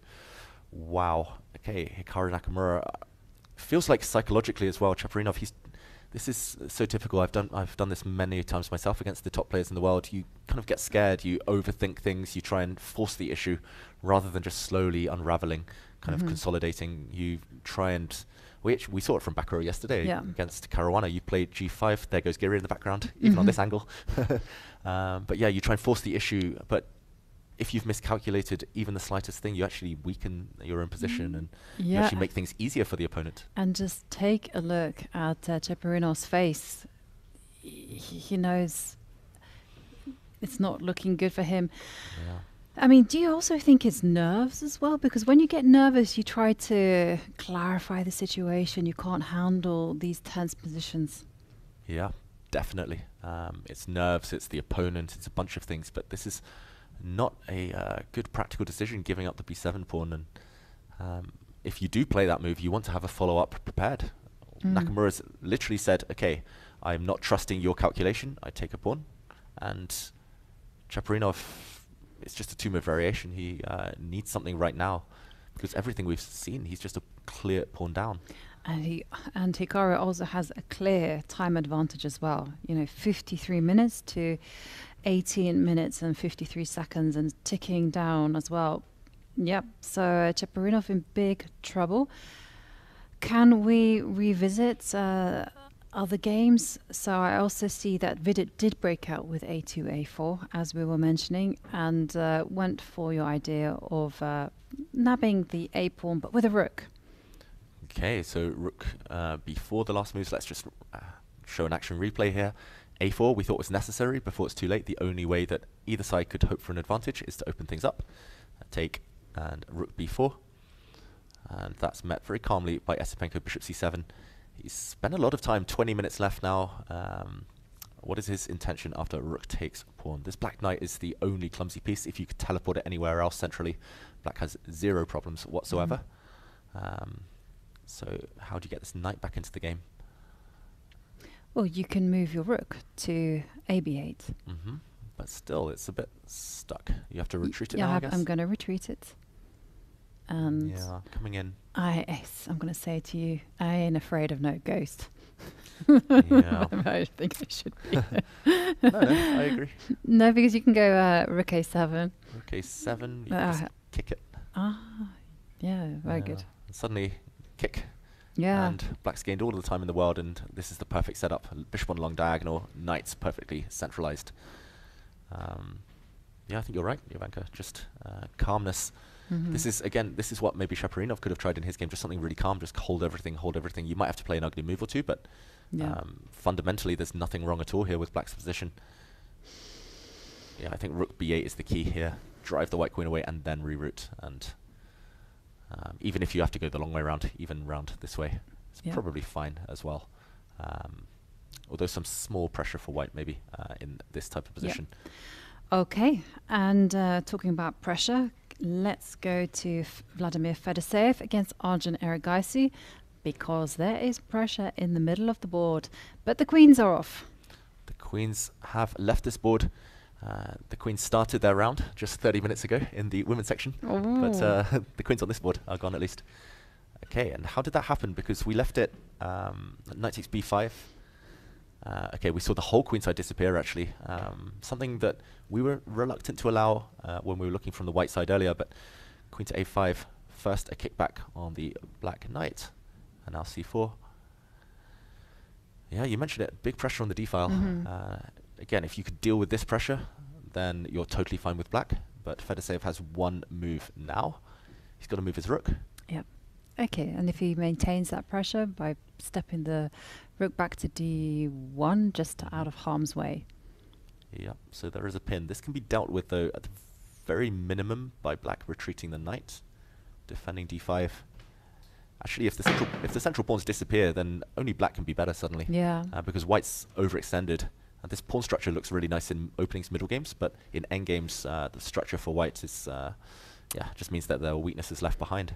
Yeah. uh, So, yeah, that's not good. yeah, but can white try anything? I'm seeing some loose pieces on the B line.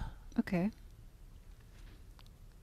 Guess you have to offer trade of bishops. Yeah, I'm wondering whether anything at all for white here. Looks like a nice knight on d6, but maybe that's it. It's just one pretty piece, not much else. Mm. Um, maybe knight d4 and Yeah. a little bit of pressure, but again, it feels like it should be uh, fizzling out with best play here for black. Yeah. Yeah, Fedoseev, he will surely retreat his rook, and I think Yeah. we'll see something along those lines. Okay. So, uh, kind of relatively okay there for Arjun Erigaisi. But, uh, well, let's uh, check out Jan Krzysztof Duda, who yesterday made that heartbreaking blunder against Ivan Cheparinov. But here he is playing Ramazan Zhalmakhanov. And, well, this position is completely winning. But it's still good news for Zhalmakhanov because he has uh, obtained a Grandmaster norm regardless of the result today. Brilliant play. Yeah. Uh, actually, we jump in as it finishes. Uh, this was a simple win of a piece. There's a pin on the fifth rank. Uh, so we saw the handshake, the players leaving the board. But uh, congratulations to Zhalmakhanov, who does get his Grandmaster norm. Yep. And uh, he's going to be at Grandmaster very, very shortly, judging on the level of his play. It's, of course, meant hard to maintain for nine rounds. Yep. And uh, facing the likes of Duda, he's faced all the top players, Firouzja, uh, Giri. Um, yeah, he's had a fantastic tournament despite this game. Yeah, absolutely. And uh, well, there are other contenders for Grandmaster norm. We also have Rodrigue-Lemieux. If they draw or win, then they get a Grandmaster norm. And as we saw, 14 year old Shreyas Royal needs to draw or win their game in order to get that norm. And uh, Li Wu needs to draw or get a result to get an international master norm. Yeah, let's check out some of those games. You mentioned uh, Shawn Rodrigue-Lemieux, and uh, yeah, the Canadian player here. He's had a great tournament. He even beat Ivanchuk, uh, legendary Ivanchuk, earlier in the event. Looks very solid for black. Uh, I would choose white with the knight on e5. Yeah. And I think, knowing Bassem, Dr. Bassem Amin, he's going to play h4, rook g3, g5, try and power through on the king side. But uh, either way, great tournament for uh, Shawn here as black. Yeah. And if he holds this one, it would be a great result, of course. Yeah, he would uh, definitely. He would be celebrating Grandmaster Norm. And uh, what about 14 year old Shreyas Royal? Okay, this one is wild. and um, Unfortunately- not so good. yeah, I laugh because it's so wild and I don't even know where to evaluate it. But from an English standpoint, unfortunately, at least according to the evaluation bar, it's in black's favour. I think we have to backtrack, just show the last few moves, Mhm. Jovanka, because we were here not that long ago, just four or five moves ago, uh, and we saw this position where it looks very blocked. We liked white because of uh, the space advantage, pawns on uh, h4, g5, clamping down the king side, pawns in the center, locking down there. But uh, after a trade off, bishop g4 from Volodar Murzin, bishop e2, uh, capture, and how did this position explode? Okay, here. I don't think white should be aiming to play h5. Normally, this pawn structure is actually set up to prevent counterplay. It's actually a, uh, a bind It's a very positional strategic idea, not a dynamic one. So attacking with h5, we saw something similar rebound in that game Mhm. we mentioned a few days Yeah. ago with um, Tan Tan Zhongyi. Uh, she played something similar h5. She got nowhere, and it only weakened her position because uh, I think it was important to try and get this king to safety. I'm not sure how. Maybe just simply rook f1, just trade off and uh, keep the game going. But h5 allowed rook f3. Rook, look at this, rook h4, Mm. and the move Shreyas had missed, bishop to h6. Wow, this is a pin after all, and g5 is collapsing. Oh, but what a nice move. Beautiful move by uh, Murzin. It still looks fine for white. I'm not sure exactly how he should continue. There's a threat, for example, if white does nothing. Um, there's a threat Mm, of rook, rook takes, takes bishop, bishop. and a big, big double attack uh, on the queen and the rook on h4. This would win material. So he wanted to deal with this. He retreated his rook, but now, bang, knight f6. Oh no. And there's still a pin on this diagonal, so the knight is uh, poisoned. This would end in disaster for white, and the knight, uh, the pawn cannot take the bishop either because of the simple knight to g4 Yep. double attack. Uh, and once the bishop on e3 falls, it's Mm-hmm. just game over for white. Yeah, you can defend your rook with the bishop, but at the very end there's a nasty, nasty check, Check. And white will regret suddenly not castling the king. Yeah, I mean, white's position would be fine if the king was on a1. If like you could just uh, switch the placing of the king and the rook, all Mhm. good. But I know as it stands, no, no, no. And it's it's really Disaster. unfortunate for the Englishman here that uh, castling kingside is never really possible because simply knight takes e4 and you've castled into it, the open c file coming back to haunt you too. So there's no safe haven for the Mm. king, and that means knight f6 might be a winning blow. Double Yeah. threat, knight g4 and knight takes e4. In the space of two moves, it's collapsed from a slightly better position to what might be just a lost position. Yeah, but this is the problem with uh, sharp openings, right? Mm. Because if, if you play a solid opening and has a good foundation, then when things get sharp, you always have something to fall back on. But when you go for it immediately, then, as you mentioned, Too I late to mean, bail it's, out. it is too late to bail out, and it's all primarily because of this h5 move. You know, suddenly g5 completely weak. Yeah, let's just show that again. H5 and just really should never Yeah. be played here. Black is the one who should be playing on the king side. Even just uh, rook f1, even... There are some scenarios where you just kind of walk your king over. Yeah, I was thinking that. I was thinking knight g3 as well. Knight you know, g3, but the rook nice. will come come in. There's- Yeah.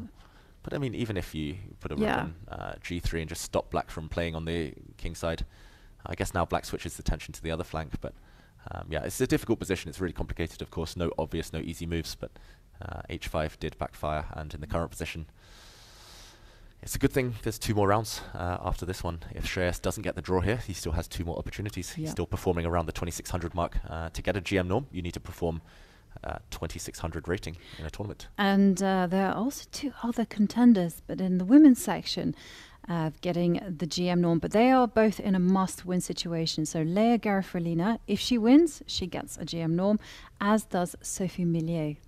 Okay, wow. So uh, let's catch up with this game. We last left it a few moves back. This one's very blocked up. Uh, needing to win here, Garifullina. Um, she's won some nice games actually this tournament. I was playing through them a few days ago. And what do you make of this position, Jovanka? Very different in nature uh, to the game we just left. very, very different. yeah, it's difficult to adjust, right? Um, well, it's tense. I, I'm not sure who is actually better. I mean, I don't. Normally, the answer to that one, if we don't know, is it's equal. it is equal, yeah. But uh, I don't know. You know, Black does have uh, ideas at the right time of going f7, f5, Mm-hmm. and just trying to open up lines with the bishop. Whereas if White could move the knight from f3 to e3, then you feel that White is doing well. I was thinking knight h2 to g g4, doing it that route, but uh, Yeah, a definite possibility. I think Black's last move hints at a clear plan. Um, often in these positions where it's uh, roughly level, it's about whose plans are more effective and who's uh, easier to enact. But King h7 defends the h6 pawn, therefore means that g6 is possible next move. It wasn't earlier because the queen could have taken this pawn. So for example, if white waits, uh, g6 will be played. If white waits again, the bishop will drop back, and then now your idea of Mm. breaking with f5 definitely on the cards. If the position opens, it suits black, and kind of historically in these types of positions, um, I think in a lot of books, in a lot of uh, kind of instructive works. They used to say white has a long-term advantage because white has the access to d5. White has a nice bishop on c4. White even has a b5 square as an outpost. But actually, uh, modern chess, especially um, Magnus Carlsen, he loves this pawn structure from Sicilians, from e5, and uh, it's because white simply has no pawn breaks. White can never really break with d4 because this square is covered so many times by black. Um, white doesn't really want to take on b4, that only helps the black pieces. Getting f4 in with white uh, only opens up uh, the black dart squared bishop, so it's really hard to find a plan. There's no pawn breaks, no open lines, and uh, kind of long term, it's much easier in practical terms at least. Yeah. Uh, for black and Anna Muzychuk now after rook fd1, which doesn't really necessarily threaten anything. Maybe she'll play just g6, continue her plan, drop back the Yeah. bishop. Maybe it was a mysterious rook move from Leya, so I'm thinking perhaps her plan is to go bishop takes kn- uh, knight takes bishop. Yeah, check. I take back. Yeah, and then just stand there with the light square bishop and um, just maneuver the knight to. I, I really want to go knight h2, knight f1, knight e3. One you way got rid. to e e3. Got rid of one knight, but another one is coming your way. Another one is coming, and it would be a race now if black, uh, for example, can break on with f5 or not. If black can, then probably she's pretty happy happy here, Anna Muzychuk. Uh, but the game goes on. Maybe the other plan that she's hinting at is that she'll just trade everything off, and uh, for example, like this, and now finally Mm. go for d4. Yep. But in this case, I would rather have the other rook on e1 rather than a1. Uh, so a bit mysterious the choice of rook.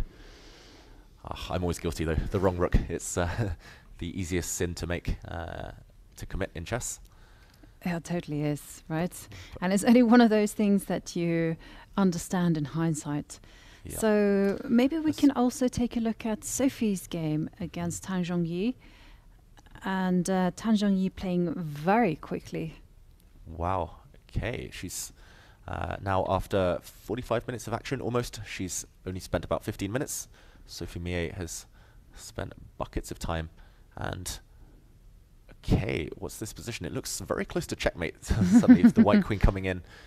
I'm shocked, at least on uh, our screens, on the sideboard there that you see on your screens, um, the evaluation bars in black's favor. Maybe Sophie's last move was a bit overzealous, uh, overambitious here. Um, let's just show the last move here. Queen to c7 does put some pressure on this pawn. Yeah. And after knight g5, very natural. She's attacking h7, but is it just a bluff? If you have to start retreating with knight to h3, it's it's kind of understandable why uh, White's position would uh, be simply worse there. Yes. Yeah, no, and can you go back to where? No, you Yeah, can't go back to where you came from because e5 falls. Um, Suddenly black's just a pawn up, and uh, that one move threat I mentioned is very much just a one move threat.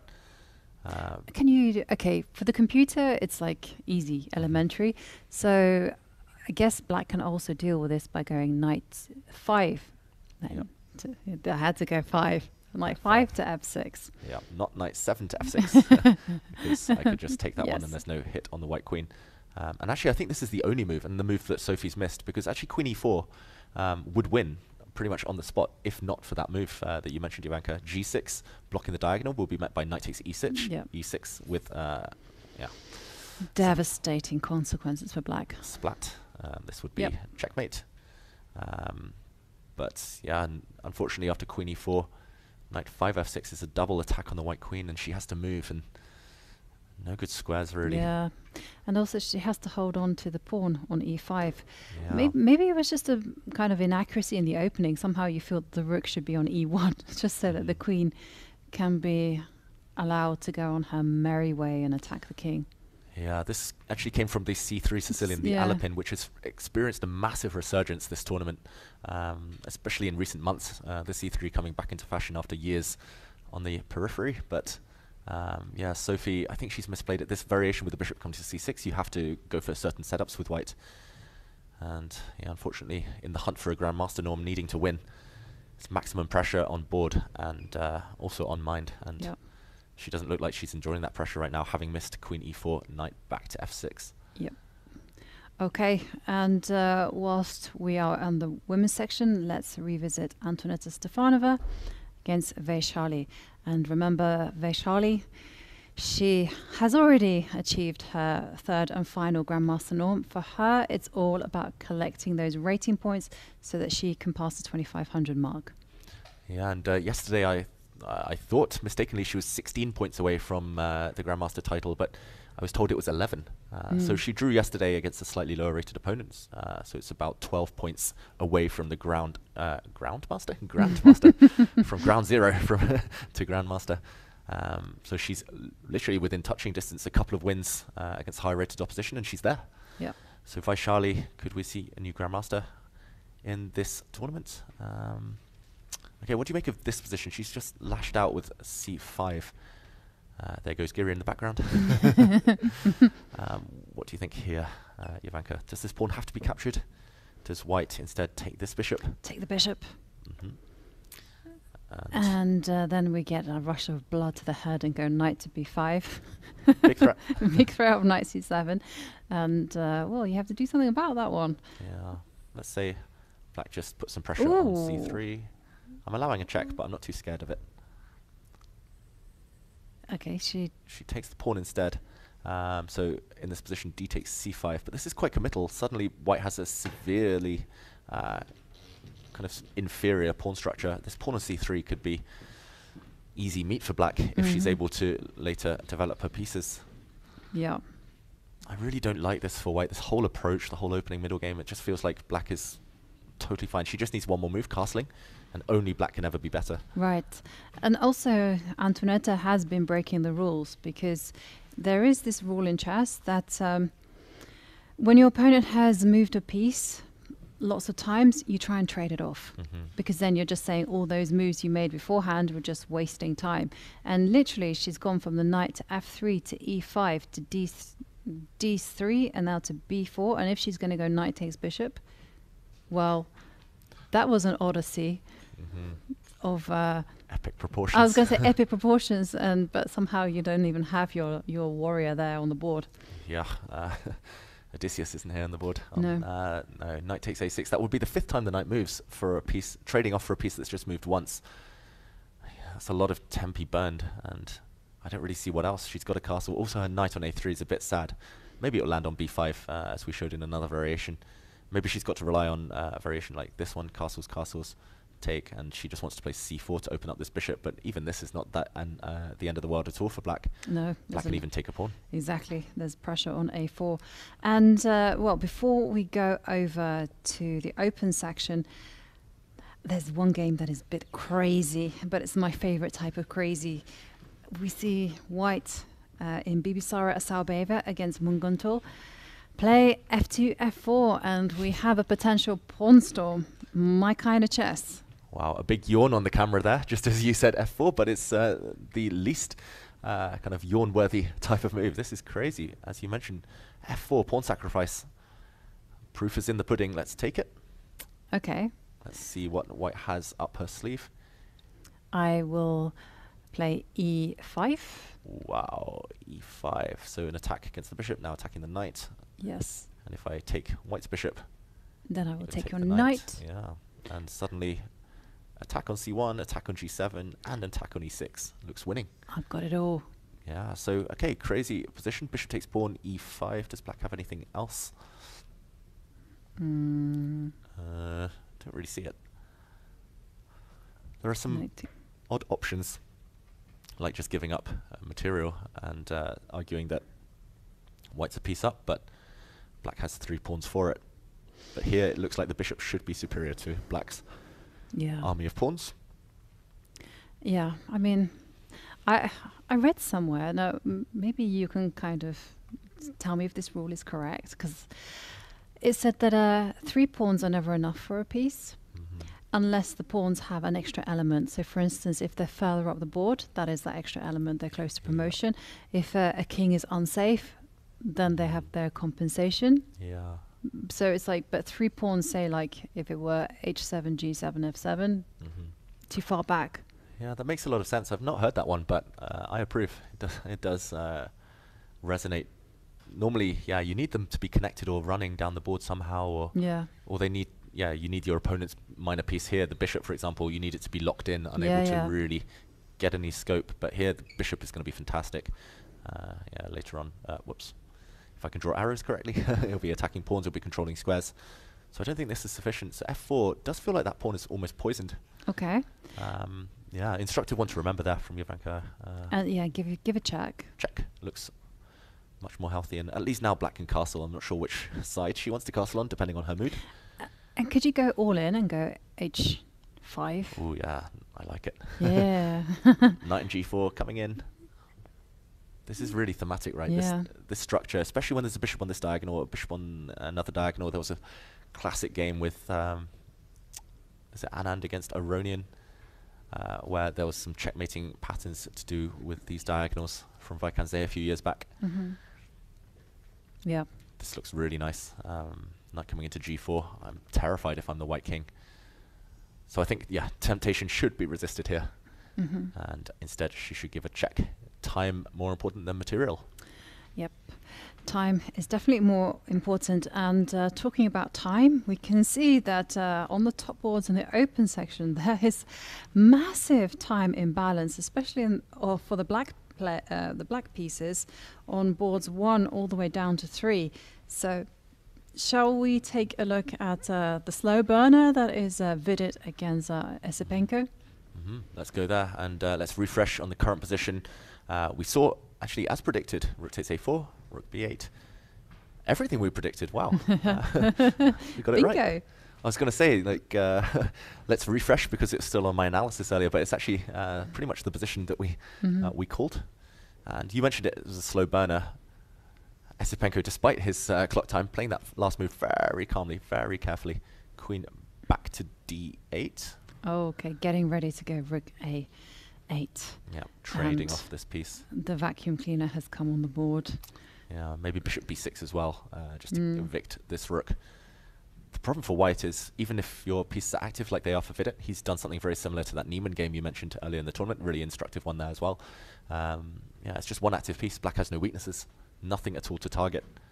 Yeah, I also feel that this rook to b1 was maybe a mistake.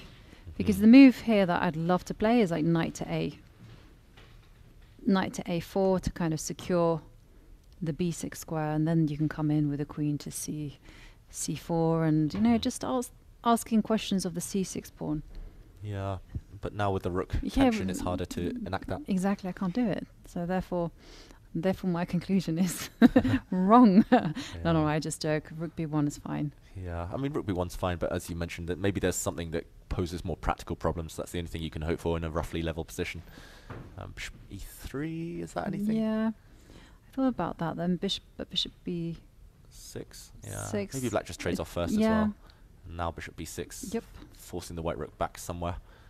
And yeah, and still now looks queen, roughly level. yeah, queen c7. You start mm, coming forward, unless there's some rook b2. Maybe, maybe I'm a bit dismissive of Rook b2. bishop a. Don't know. Yeah, maybe we're being too dismissive, Yeah. but uh, either way, it doesn't feel like much for white. It's uh, yeah, fighting for scraps here. He's gonna try and turn wa- water into wine, wine into water. Well, yeah, water into wine. Now These that would be that would be a great superpower if you had the ability to turn wine into water. Worst superpower ever. the poorest superhero in the world. Uh, I mean, I mean, you'd have so much fun. You've been in a restaurant, they've ordered some expensive wine. yeah. Either way, this one uh, I should have said squeeze water from a stone. This that would have been a better analogy because here it's very very much level. Yeah. And uh, we'll check back in later. It looks like rooks will depart from the board, and Esipenko, despite 16 minutes left on the clock, has everything under control. Yep. And uh, let's also g- revisit the top board. Fabiano Caruana against uh, Deac. Well, we do see Fabiano enacting this knight f1 plan. hmm Yeah, let's go back to recap the last few moves. Uh, actually, after king g7, yeah, the other move I was going to mention earlier, uh, I was so fixated on knight f1 to e3, uh, but f5 a bit of an issue. Uh, the other move I wanted to mention was d4, and I kind of distracted myself, but uh, Caruana not distracted at all, putting pressure on the center, making f- f5 far less uh, appealing for black. Uh, for example, f5 that might end up a isolated pawn on e5, a big, big target for white to start staring down at. Uh, Mhm. So this definitely uh, deterred uh, Bogdan-Daniel Deac from playing the move he wanted to play. Instead, bishop d7 a bit slow. And now the knight comes round from f1. Interesting that he's sacrificed a second pawn. Uh, b5 was hanging. Uh, he didn't take this now. He played c6 instead. If he had captured Jovanka, I guess Knight- knight e3. Knight e3. And this pawn is hard to defend unless you go back Yeah. when uh, suddenly knight f5 check. And this knight is going to lose protection over e5 and, Mhm. And the- suddenly the bishop's reigning supreme. Yep. And you you feel like that kind of position can actually turn in White's favour. So Yeah. don't touch that one. So Deac just decided to make a different move. Played c6, kicking away White's bishop from the center and maybe hoping to profit from this temporary uh, potential pin on the a file, but I didn't see any ways yet because the bishop is protected uh, via the f2 rook as well. And knight b3, for example, would be a flashy tactic, Mhm. But just doesn't get anywhere after the white rook moves. D1. and uh, yeah, everything is Yeah. holding. So bishop on a2. If white gets one more move, knight e3, like you said, things could start to turn. Uh, despite black being a pawn up, the knight getting into f5. There goes Giri. um, Yeah. okay, how does black keep this one under control before it spirals? Yeah, it's not so easy. I mean, could you offer a trade of bishops, for instance? Bishop e6. And oh, right now there would Oh, be no, a no, yeah. unfortunate tactic with Ok- a okay. pin. But the idea is uh, a Yeah. sound one. If we can get the specifics to work. Bishop e6, not quite possible, but we definitely want to break and kind of uh, neutralize this bishop long term. Okay, wh- what about we go pawn takes pawn first? Okay, takes and. Oh no, bishop takes d6. Oh no, no, no. one. Yeah, I, I cannot do that.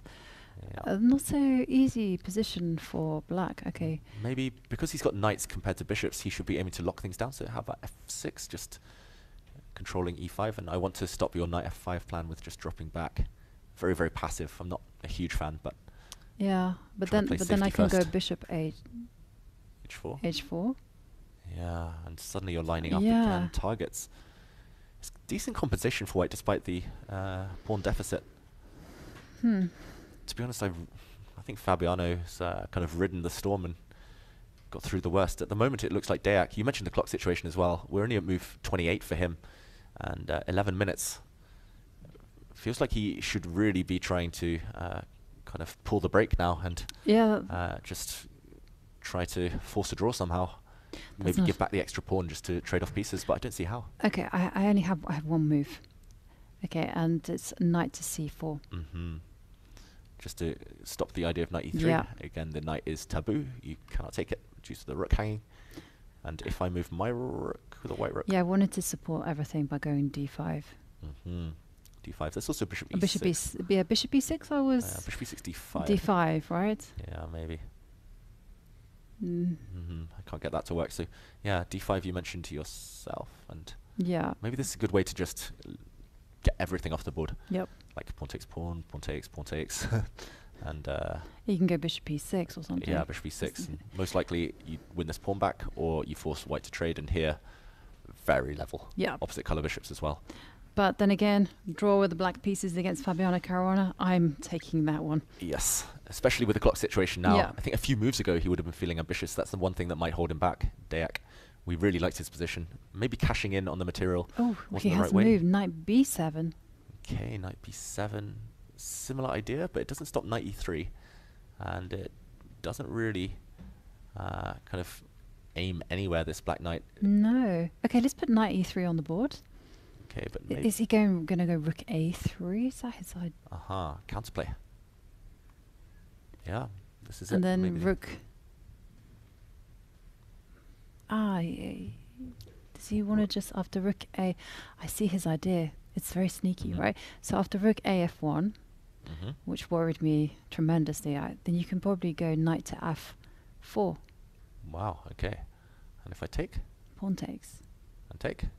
The the bishop. my bishop the is hanging. bishop's hanging. Oh, whoops. My arrows went crazy there for a sec, that was that was this, my one cheapo. Yeah, that's uh, that's a really nice trick. Uh, so I guess after ah, but you do have knight c. knight c4, Four. knight f5, knight c4 maybe. Yeah. Give me that pawn, but uh, take f4. It's still a complicated Mm. endgame, despite things disappearing. I think you're right. Rook a3 must be his plan. Um, still a healthy move, but okay. Ten minutes on the clock. Eleven moves to make. We'll catch up later. We will catch up later. And uh, we are also being told to head to board 19 between Sam Shankland and uh, Nodirbek Yakubboev. Wow. Well, we could see a result any moment, and um, we see them on the camera. They're the third board closest to us right now. Um, Sam Shankland in move as white, but oh no, actually he has just moved. He's just He's dead moved lost. His, yeah, he's moved his bishop to h2. Let's just recap the last few moves. How did Yeah. the black bishop land on f3? It actually landed there just a few moves ago. Uh, we saw a crazy position, rook takes f5, and after a trade of pieces, bang, bishop Oof. f3. This is painful. White's king lacking defenders. If uh, if White had captured this bishop, what would be the easiest path to victory here? Where's the Um, knockout blow? Um, there's check. You can also just Ah. simply take this pawn. You can go queen to g6, check. Ooh. Yeah. I'm not looking further than that. Keep things simple. Oh, I really need to. I really need to up my calculation game. No, but that, I think that might be the best move. Jovanka. Don't need to up it when it's uh, sufficient. Uh, yeah, this also poses White an awkward question. I think you just win more material. Uh, for example, if White tries to block with the queen, you don't take this bishop, you uh, win the queen instead. Skewer. And uh, the White king cannot go to the h file. Well, maybe it can, but it will shortly get checkmated. Um, I take the bishop first because I don't want to allow it to come back and defend. And king f2, you mate by taking this pawn first, and later, only later, taking this bishop. Yep. Pawn up for black, ongoing attack. And uh, yeah, the white king exposed out in the open. Yeah, so bishop h2 instead, and uh, it looks like plenty of strong moves, including rook g5 in the near future for black. Maybe you can even add another ingredient to the attack. Uh, the other rook, Yeah, that looks great, doesn't it? Yakubboev going to win. He is going to win, and uh, we haven't actually heard from his namesake, Nodirbek Abdusattorov. I mean, he had a lot of draws. Uh, where? wh- What is he? Ah, he's he's on uh, board 18, playing against Benjamin Gledura. Benjamin being known as one of just a very solid player. hmm Yep, Hungarian Grandmaster Gledura, who now lives in St. Louis uh, in the US. And uh, actually, the two Nodirbeks are playing side by side. Ah. Uh, spot the difference. one in a white shirt, one in a dark shirt. And of course, they played off for the title against each other in Qatar last week, Yes. or two weeks ago now, Jovanka. And it was uh, Yakubboev that uh, won there. It's like the Uzbek uh, power team here. Yeah. so many players in this tournament, so many uh, hot prospects, these uh, top youngsters Yeah, breaking through at the same time. Yeah. Golden generation. Uh, and it's uh, quite instructive, like how many come from the same country. So you have India as a big powerhouse, Uzbekistan as well with uh, Javokhir Sindarov, the two Nodirbeks. And uh, well, talking about uh, youngsters, there was a big battle. Oh, and maybe we can quickly go there to catch the final moments between Vincent Keymer and uh, Nihal Sarin. Yep. Uh, We have- uh, that game is going to go on for a while. We'll catch up there. But as expected, Vincent Keymer wrapped it up with his extra queen. Yep. Uh, yeah, I think we'll recap and show that queen sacrifice slash blunder one more time because it's one of the most shocking moves I've seen uh, this tournament. It was based on a miscalculation, but the final position essentially black is resigning because this knight is going to fall. Uh, there's too much pressure against this rook as well. If, for example, rook to c8, then uh, multiple ways to win this one. Um, I think you can just play a move like queen to a6, hitting this rook, and eventually you drive it away and you will take the knight. Queen for two pieces and a winning position, but uh, just to recap, it was here he gave up the queen of his own accord, knight takes pawn, and wow, I just don't know what Nihal think, uh, was thinking here. Yeah. Hard to explain. Queen takes knight. Clearly, this knight was poisoned. Just check, jumping out the way, and the queen fell. Yeah, I was just bad calculation, and uh, obviously Sarin had seen this, but uh, the point was that after rook to c7, bishop can come to d8, and now rook a7, and if you play the desired knight c6, which I'm sure is what he calculated, this queen takes bishop. It just seals the deal. Queen takes d5, and at the end we do a count. White is the exchange up. White will win this pawn uh, with an easily winning endgame, and no real resistance after that, unfortunately. Yeah. And uh, okay, Vincent Keymer striking back after his loss yesterday, but Nihal Sarin, I think chances for the candidate spot have disappeared. Okay, where to go next? Results are coming in now. Uh, we also saw a draw on board 11 between uh, Hans Niemann and Nikita Vitiugov. Mhm. Looking very balanced, level material. It's actually nice symmetry here. Two knights, two knights. White with uh, two pawns versus one. Uh, black with two pawns versus one. And uh, okay, they just agreed to draw an offer from Hans Niemann, but very balanced final position. Yep.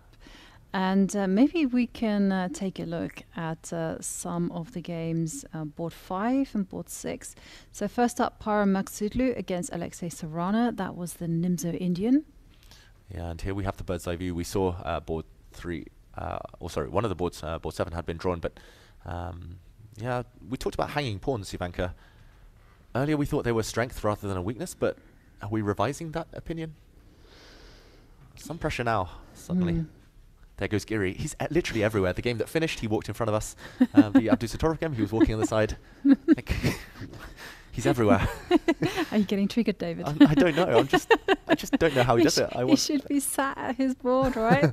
I want whatever he's uh, eating for breakfast. I mean, to find this energy morning rounds, just be pacing up and down constantly.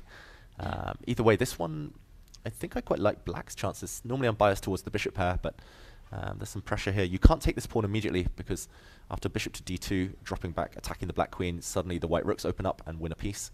Uh, but if you can f- fine tune it, then Yeah. c4 feels like it's going to be uh, a target long term. yeah, I mean, you kind of hit the nail on the head there. Just double up, right? Double up. Um, once you move your queen out the way as well. Yeah, yeah. Actually, is maybe the maybe the queen has a problem. Ah, maybe this is the issue. Uh, maybe Rook C2, the last move, maybe just clearing. Yeah, bishop d2. Okay, maybe we don't rush with rook to c8 Yeah. then. Maybe some pressure is needed on the e5 pawn, on the d4, D4 pawn. pawn. I was going to say e5 Yeah. might be an idea. That's why I said e5, but the d4 pawn. At very least, we kind of drop in and Yes. maybe come back, but maybe there's something more active. Does white have a threat? Hmm. Yeah, it's hard to know how to improve. This is the issue. Again, black would love to play moves like b5, but this would always walk into tactics. The Mhm. bishops are tricky. Yeah, very tricky. And, uh, it does, does feel that the queen on g5 is also vulnerable as well. You can see a situation if the queen steps to e1 and maybe there's some Mm-hmm. funny h. Yeah, actually, just can we show this Mhm. sneaky idea? For example, if so black yeah, just waits. just waste waste time, and then queen goes to e1, and then yeah, h4. Oof, you're going to force me into a box. Yeah, yeah. if Nobody puts queenie in the corner.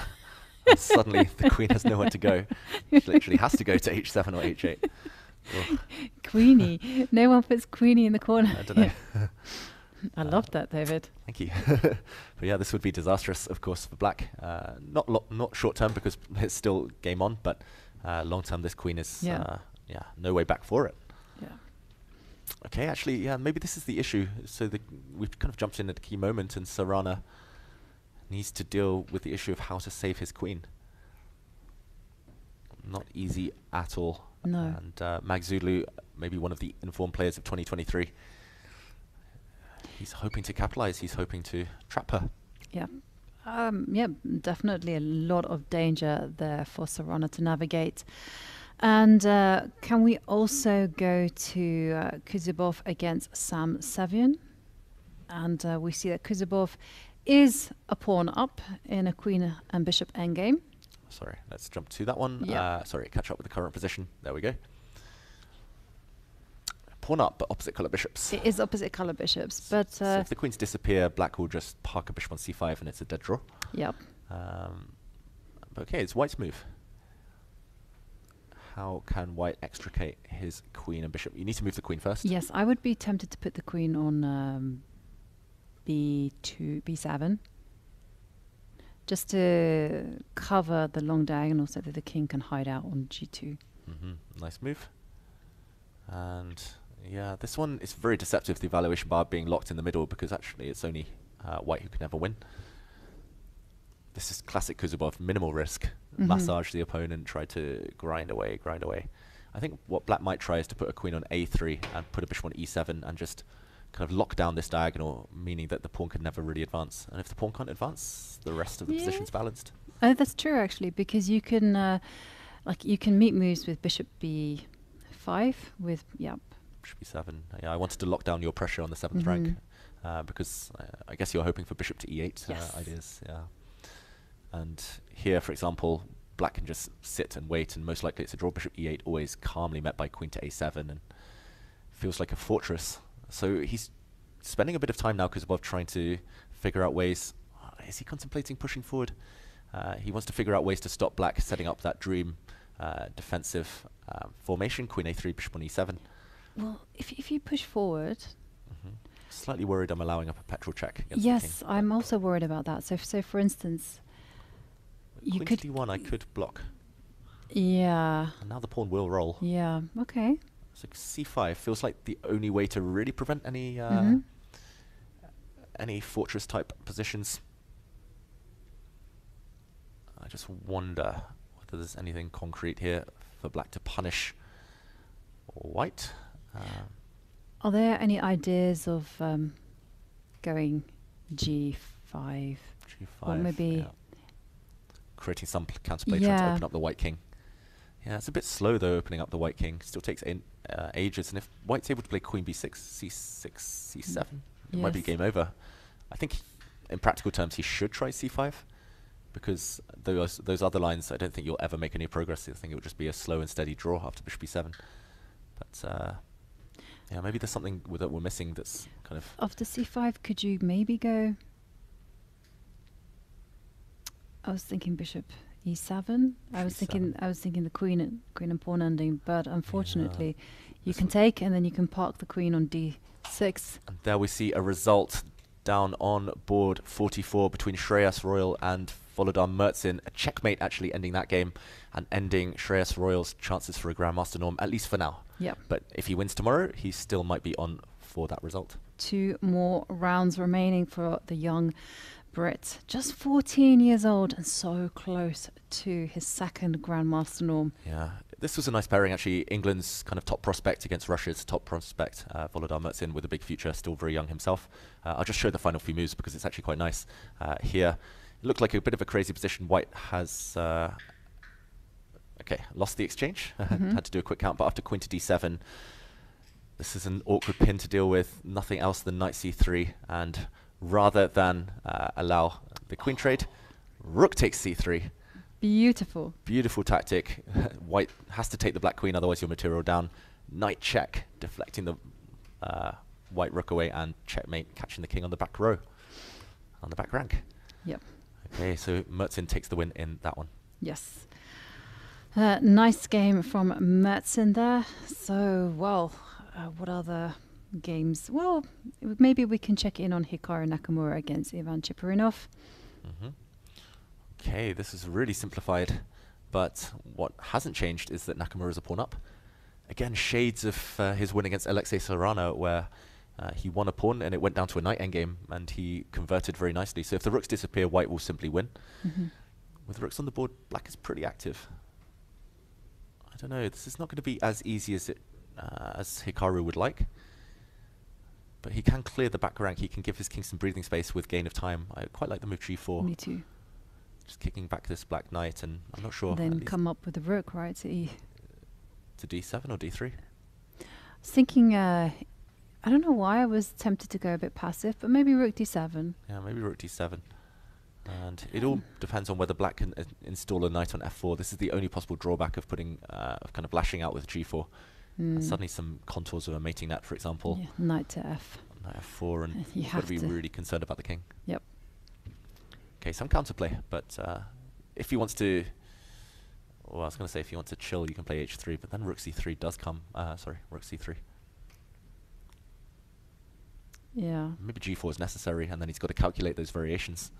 Yeah, maybe yeah, maybe g4, and then I kind of want to play. Maybe just. I have no. I- I'm sorry. I just was thinking about g5. I was also thinking about b. g5, yeah, makes some sense. b4, b4 was what I was. Oh. But then the rook c3 was really worrying double to me. attack. Yeah, if white had one more move, for example, if white already had a pawn on h4, and uh, I quite like that move actually in general, but uh, if white could kind of put a king on g3, then activate the rook, you never have to really worry about anything on the king side. Ah. Um, Yeah, I like your h4 move. yeah, I just Bec- wanted to stop g5 in combination Yeah. with knight f uh, into f4. And then you can meet. So if the knight does come to d5, Mm-hmm. could you meet that with? Yeah, now you can meet that with b4.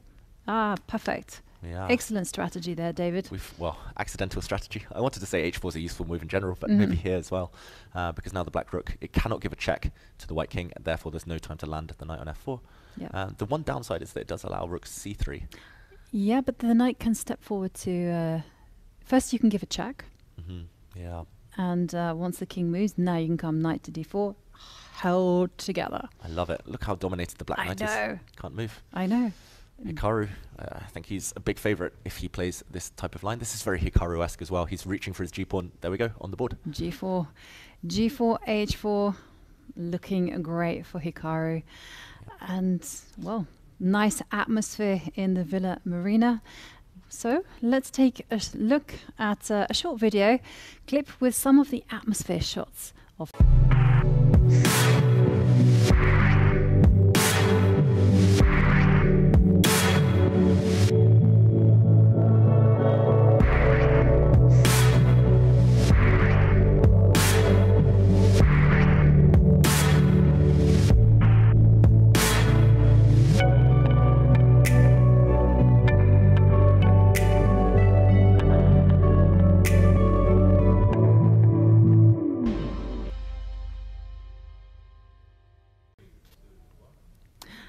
And uh, we are back.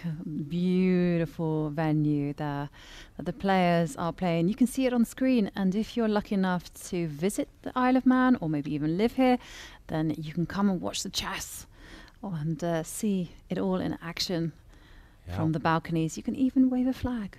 Recommended. Yes. we definitely encourage it. We've seen the Indian flag uh, already. Uh, if you have a favorite player, you can watch them uh, on their specific streams, or you can come join us. And Mhm. uh, meanwhile, Jovanka, during that uh, little transmission, we were discussing that players they're following our recommendations uh, on most boards, and we were undecided. Is that a good thing? Is it a bad thing? Always a good thing, David. Always. and uh, I just want to point out one curiosity before we kind of delve deeper into some other games, and that is on board eight, where Vladislav Wojtaszek against Levon Aronian. This game started. Uh, this started a long, long time ago with the Catalan. A few days ago, in the Slav, Wojtaszek had a game against Caruana with a Mhm. very defined pawn structure, and even though it was uh, two different openings, they've pretty much transposed Jovanka. He's got the exact same pawn structure he had against Fabiano Caruana. Yeah. This is it's like lightning striking twice. Um, that one just to make it happen. Um, for but example, David, there's there's a big trick on the board. Mhm. Sorry, I, ha- Yeah. I was itching to to say it. Sorry. No, that's okay. I was just going to point out that uh, I'm going to make it happen. yeah, but, yeah, yeah, go for uh, it. For example, if Black were to play some silly moves and uh, for the rooks to come off, uh, we could see basically the same position we had in that game. uh, exact same pawn structure.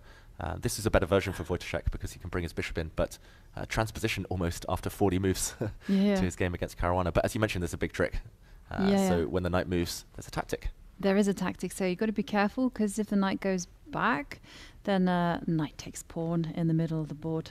Yeah, so you cannot retreat with the black knight, but uh, knight takes e4. Yeah. And suddenly Levon would be winning due to a skewer. So actually, I think Wojciech's missed this one. Maybe he, he, like me, was too fixated on uh, trying to transpose to his game against Caruana. That was such a nice point, right? It was just- yeah, sorry, I was getting, literally. no, but it was vu. literally wow. I had I hadn't even recognized that, and then you're like, oh yeah, you can go f5, e5, Same pawn the same pawns. Uh, It's yeah. good pattern recognition from me, but poor tactical recognition because, as you say, knight takes e4 is coming. So how does he stop it? Yeah, I don't know. Oh, hang on, I got it. I got it. I got it. Counterattack. Mhm. But king, King to d4. d4. Walking into the lion's den. yeah. Oh. Makes some sense though. Yeah, the thing is though, if you don't play king to d4, You need a good square for the knight. yeah, and you can't step back because of said problem with the rook. Yeah, and you could take this pawn, but then it comes at the cost of g3 as well. Just a pawn down. Yeah, and so you don't want to touch this one with a barge pole. So, So we can't retreat. Can we go to e2? Just to defend g3? yeah, you can, you can, you can, but you can. Uh, uh, anyhow, so you can win the a2 pawn.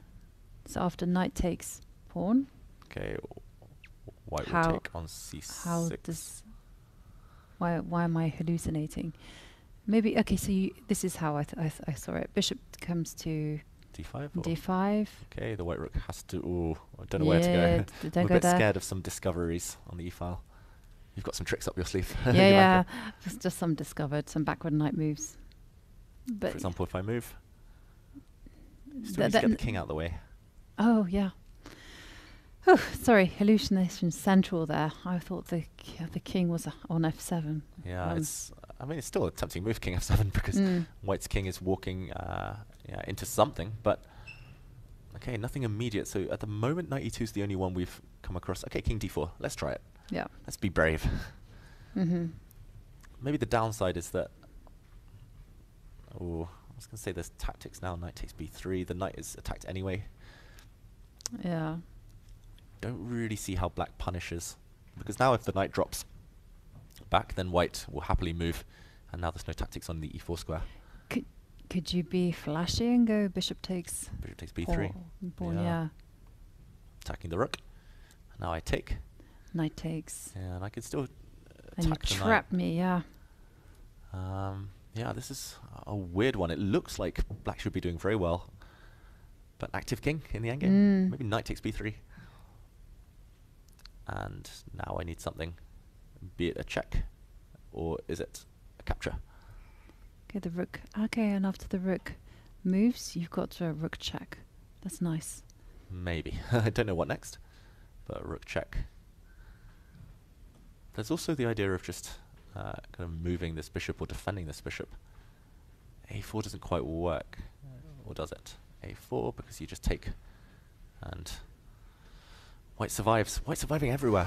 This is really uh, surprising, but maybe necessary. Maybe it's good news for Wojciech. He has to play king d4 or knight back to e2. We found two ways to not lose on the spot. But uh, yeah, I just wanted to point out the pawn structure. It looks like he should be able to defend. Uh, we do see the overview of the evaluations, uh, Jovanka, and it does say 0.00 in this game. So Mm. uh, Wojciech is just about holding on. Uh, but yeah, he, as you pointed out, he cannot retreat his knight uh, to the wrong square. Yep. Ooh, 0.0. Um, if you look at uh, loads of games, watch, and then we also have Sindarov. We've got four of the top 10 all being 0.0. I know, maybe five. Yeah, lots of equal positions. Um, Sindarov, I just want to mention that he knocked out Maxime Vachier-Lagrave from the World Cup recently, so there's a bone to pick here. There's a Mhm. bit of history between these two. Um, but, okay, he's a pawn up. Pawn up. Yeah, it is a pawn up, but For white, but unfortunately, uh, it is double pawn. C pawns. but he does have the past A pawn. Yeah. That's always good. I'm slightly surprised the evaluation says 0.0. I'm always surprised when it says that, when it's so imbalanced. Then again, black does have good counterplay with g4, h4, h3. Beautiful bishop here. Yeah. And it's not very easy for Maxim, sorry, Javokhir to get coordinated. hmm Yeah, this bishop especially struggling to get into the game. Yeah. Yeah. Great move there from Maxime Vachier-Lagrave. He's very tricky. And uh, whilst things are heating up in the open section, can we just quickly go over to the women's section and uh, find out what's happening there? Let's do that. And uh, here we see the overview of the top four boards.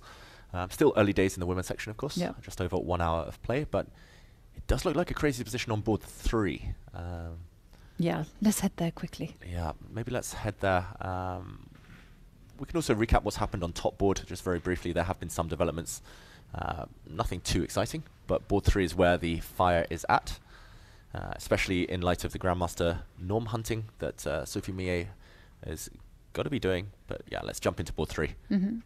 Uh, because I see a trapped knight behind enemy lines. How did it get there? Knight on h7, and it gets traded off. Wow, calm, calm from uh, Tan Zhongyi here. Let's just show the last few moves. Yep. H6. We were talking about what to do with this knight. I was talking about retreating it. Of course, Sophie Milliet, she never retreats. She says, allez, knight h7. Attacking a rook. The rook moves. The bishop drops back to b1, getting ready to set up uh, the queen and bishop battery on this diagonal. Queen b6, a bit mysterious. Mhm. Uh, or I guess the idea was bishop to b5 Yep. with a skewer. So white stops that with a4. And only now does she try to trap this knight. After queen to d2, the knight's trapped anyway. If king takes, I guess this would have ended with a check. And white now with a big, big attack. Yeah, you feel like knight to g Knight g5. five, or maybe Yeah, bishop takes maybe pawn actually. Bishop takes g6 first. And if the bishop is captured, the king has to go into the corner. This one would have been uh, pretty checkmate. Mhm. Uh, king h8. And now I'm looking at some rook lifts as well. A, a4 might have been a cl- really clever ploy. Um, okay, at the very minimum, there's a check and a draw. Yep. But yeah, knight g5, maybe your move now. Bishop Mm. takes and Bishop takes. Oh, Bishop is it takes, rook, or is rook it a3? rook a3 maybe? Rook a3. Rook a3. Masterpiece. It all suddenly f- kind of knits together really well for white. This a4 move looked irrelevant, but suddenly the rook comes and delivers the killer blow. So, okay, knight f8 instead. Really sneaky, trying to take the knight with black's knight, and if uh, a capture happens, suddenly white's attack dries up. White is riddled with weaknesses. Suddenly, b4 is a big outpost for black's pieces. Suddenly, threats Yeah. on the d file, knight coming in. Ugh, yeah, and white isn't fast enough to go moves like h4 and h5. Too much pressure in the center. Yeah, maybe it's still holdable. Maybe uh, she can play a5 and the game goes on, but definitely feels like, um, especially with the clock times. Look at that, Jovanka. Uh, Yeah. yeah. Advantage black. Huge problems on the clock time. And uh, can we just quickly look at the bird's eye view again for the women and uh, maybe check out Bibisara Assaubayeva against uh, Munguntuul? Yeah, because this fol- followed paths that we uh, did predict again, which is Mhm. uh, good news.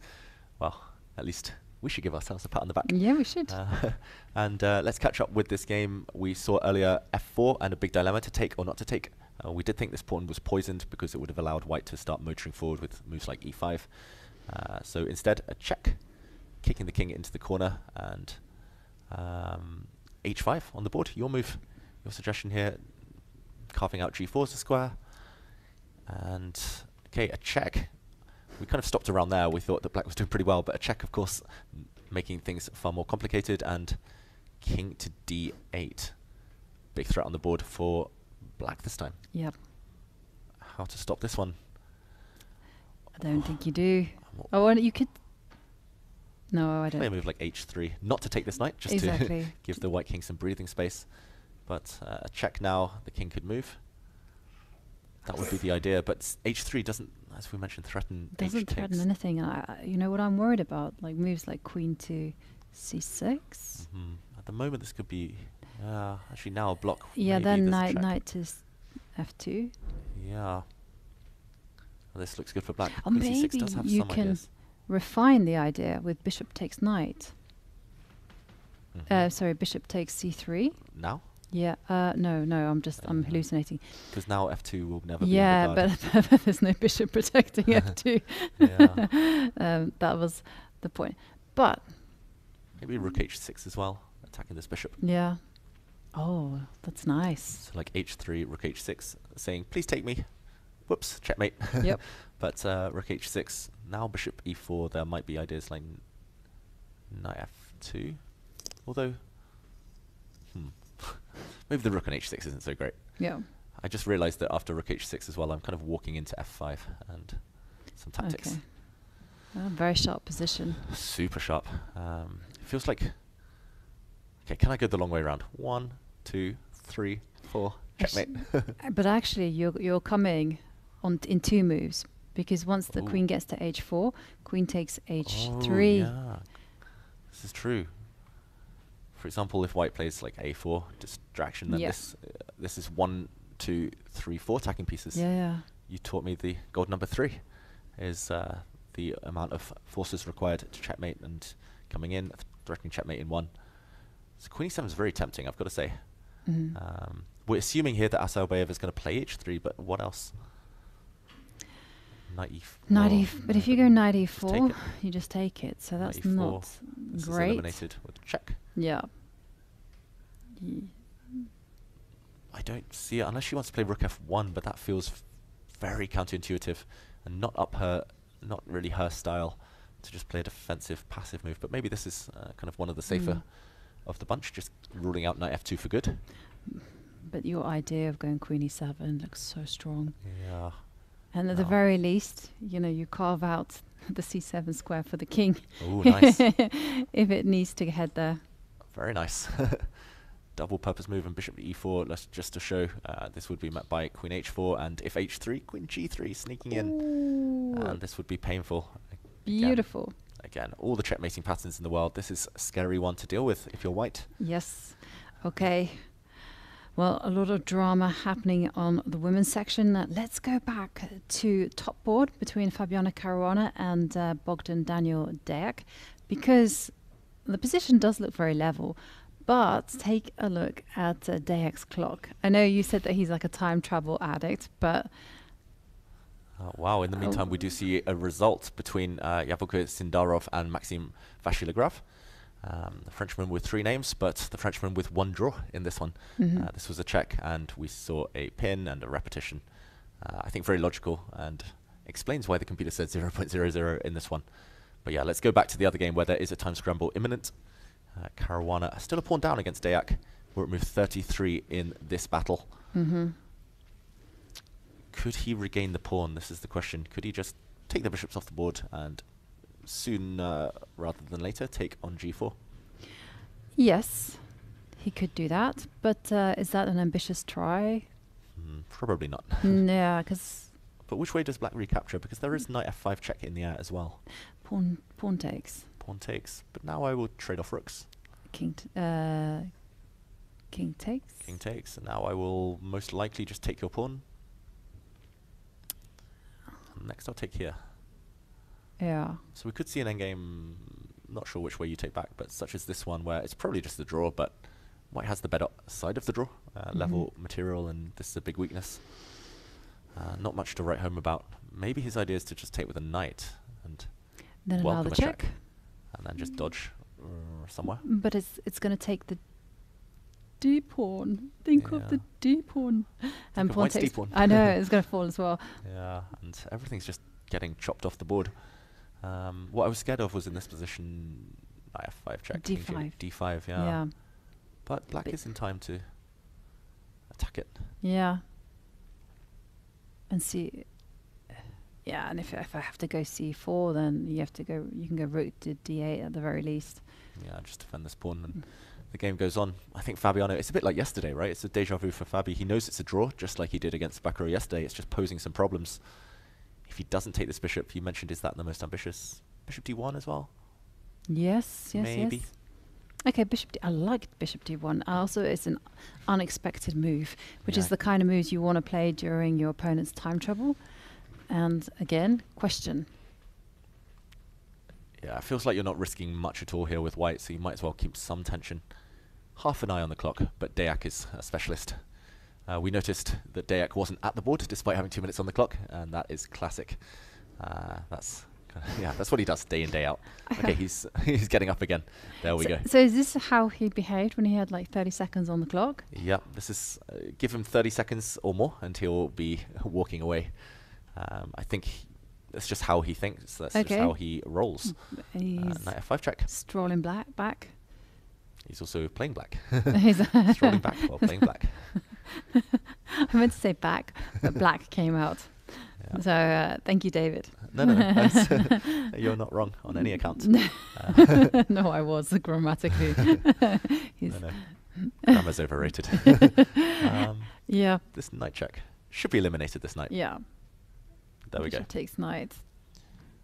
And that's the thing with uh, Bogdan Daniel Deac. He, might look like he's wandering off into the distance, but he's calculating at the same time. And now there's a big threat on his knight, but he's going to uh, allow white to regain the pawn. Um, you didn't want to retreat there because, firstly, no good squares. Knight e7 Mm. would have been met by a check. Yeah. And uh, you definitely don't want to land up in a corner uh, anytime with any piece. That would be a Hans Niemann. he had that against Caruana earlier in the tournament. But uh, knight f4, of course, always forward, even at the cost of a pawn, because here, He can jump in with the king. yeah, just reduce material. Yeah. And black's knight's a bit passive, so white's symbolically better, but don't think it's anything sig- significant here. And how many moves have they made? Uh, now 35. 35. Okay, so not s- so serious time trouble there for Deac. And, well, I'm looking at the other games and everything is just equal.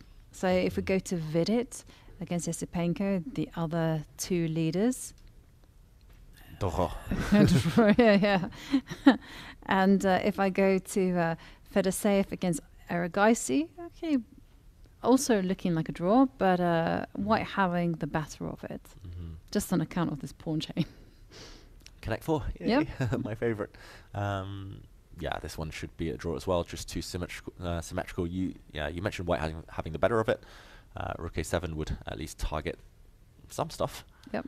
Um, Erigaisi though, I think he might be silently offering a draw right now. Have we had this position before? We have had something very similar. So actually, a couple of moves ago, he played Rook b3, attacking this bishop. White guarded the bishop, a check, and he's continuing to uh, uh, kind of pose this problem. The problem is you can't move the bishop. Mhm. If you move it, then knight takes f4, check would win a pawn due to a pin. So maybe Jovanka, we've jumped in at a moment where uh, where we will about uh, be Yeah, about to see a result. Yes, it uh, looks that way, as you say. Yeah, there's no, there's no other move, right? Yeah, if you play a move like Rook f1, you're never really going to win the game anyway. It's a bit of a sad move to play. Yeah. So it feels like the logical conclusion would be King g2, Rook b2 check, followed by a repetition. Hmm Okay. There have been some uh, going ons in the game Wojciech against Levon Aronian. Okay, wow, this one's really changed. Yeah. Um, let's go back to recap this because we left it uh, where White was facing a di- uh, dilemma. We thought maybe King d4 survives, attacking this knight, maybe knight e2 as well, but he went for the much more active knight to b5. And after this little tic tac, this little tactic that we mentioned, knight takes e4, um, just mentioned pawn takes knight, met by rook takes, favouring white. Mhm. Uh, knight takes e4 instead. Knight c7 was his devilish trick.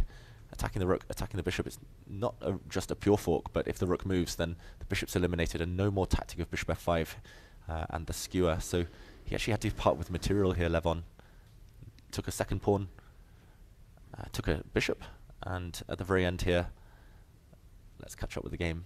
Bishop and two pawns for the rook. Who do you think is playing for the win? If anyone. I don't think anyone's playing for the win. Mhm. I mean, actually, White Okay. might be playing for the win. Um, so, for instance, so White could be playing King to D4 and then Rook up to C5, grab the A5 pawn. So, in light of that, you have to hold the dark squares. So, you have to go C5 yourself. Looks very, very logical here. And a check can always be Uh, met by a block if necessary. Yeah. And may- maybe Wojciech will be tormented by the ideas of A A5, A4, just like happened in his game against Fabiano Caruana. Yeah, and we actually see another move. Uh, it is c5 from Levon, as Mhm. predicted, avoiding any trouble. Yeah, it's definitely not off the cards. Uh, a4. And uh, black at the right moment might aim to create a second pass pawn. Yeah. Or another pass pawn. Meanwhile, a handshake, we said it just a few moments ago, uh, on board two between Vidit and Esipenko. Very, very stodgy game there. Yeah. Uh, def- definitely felt like a morning round. Neither side taking too many risks.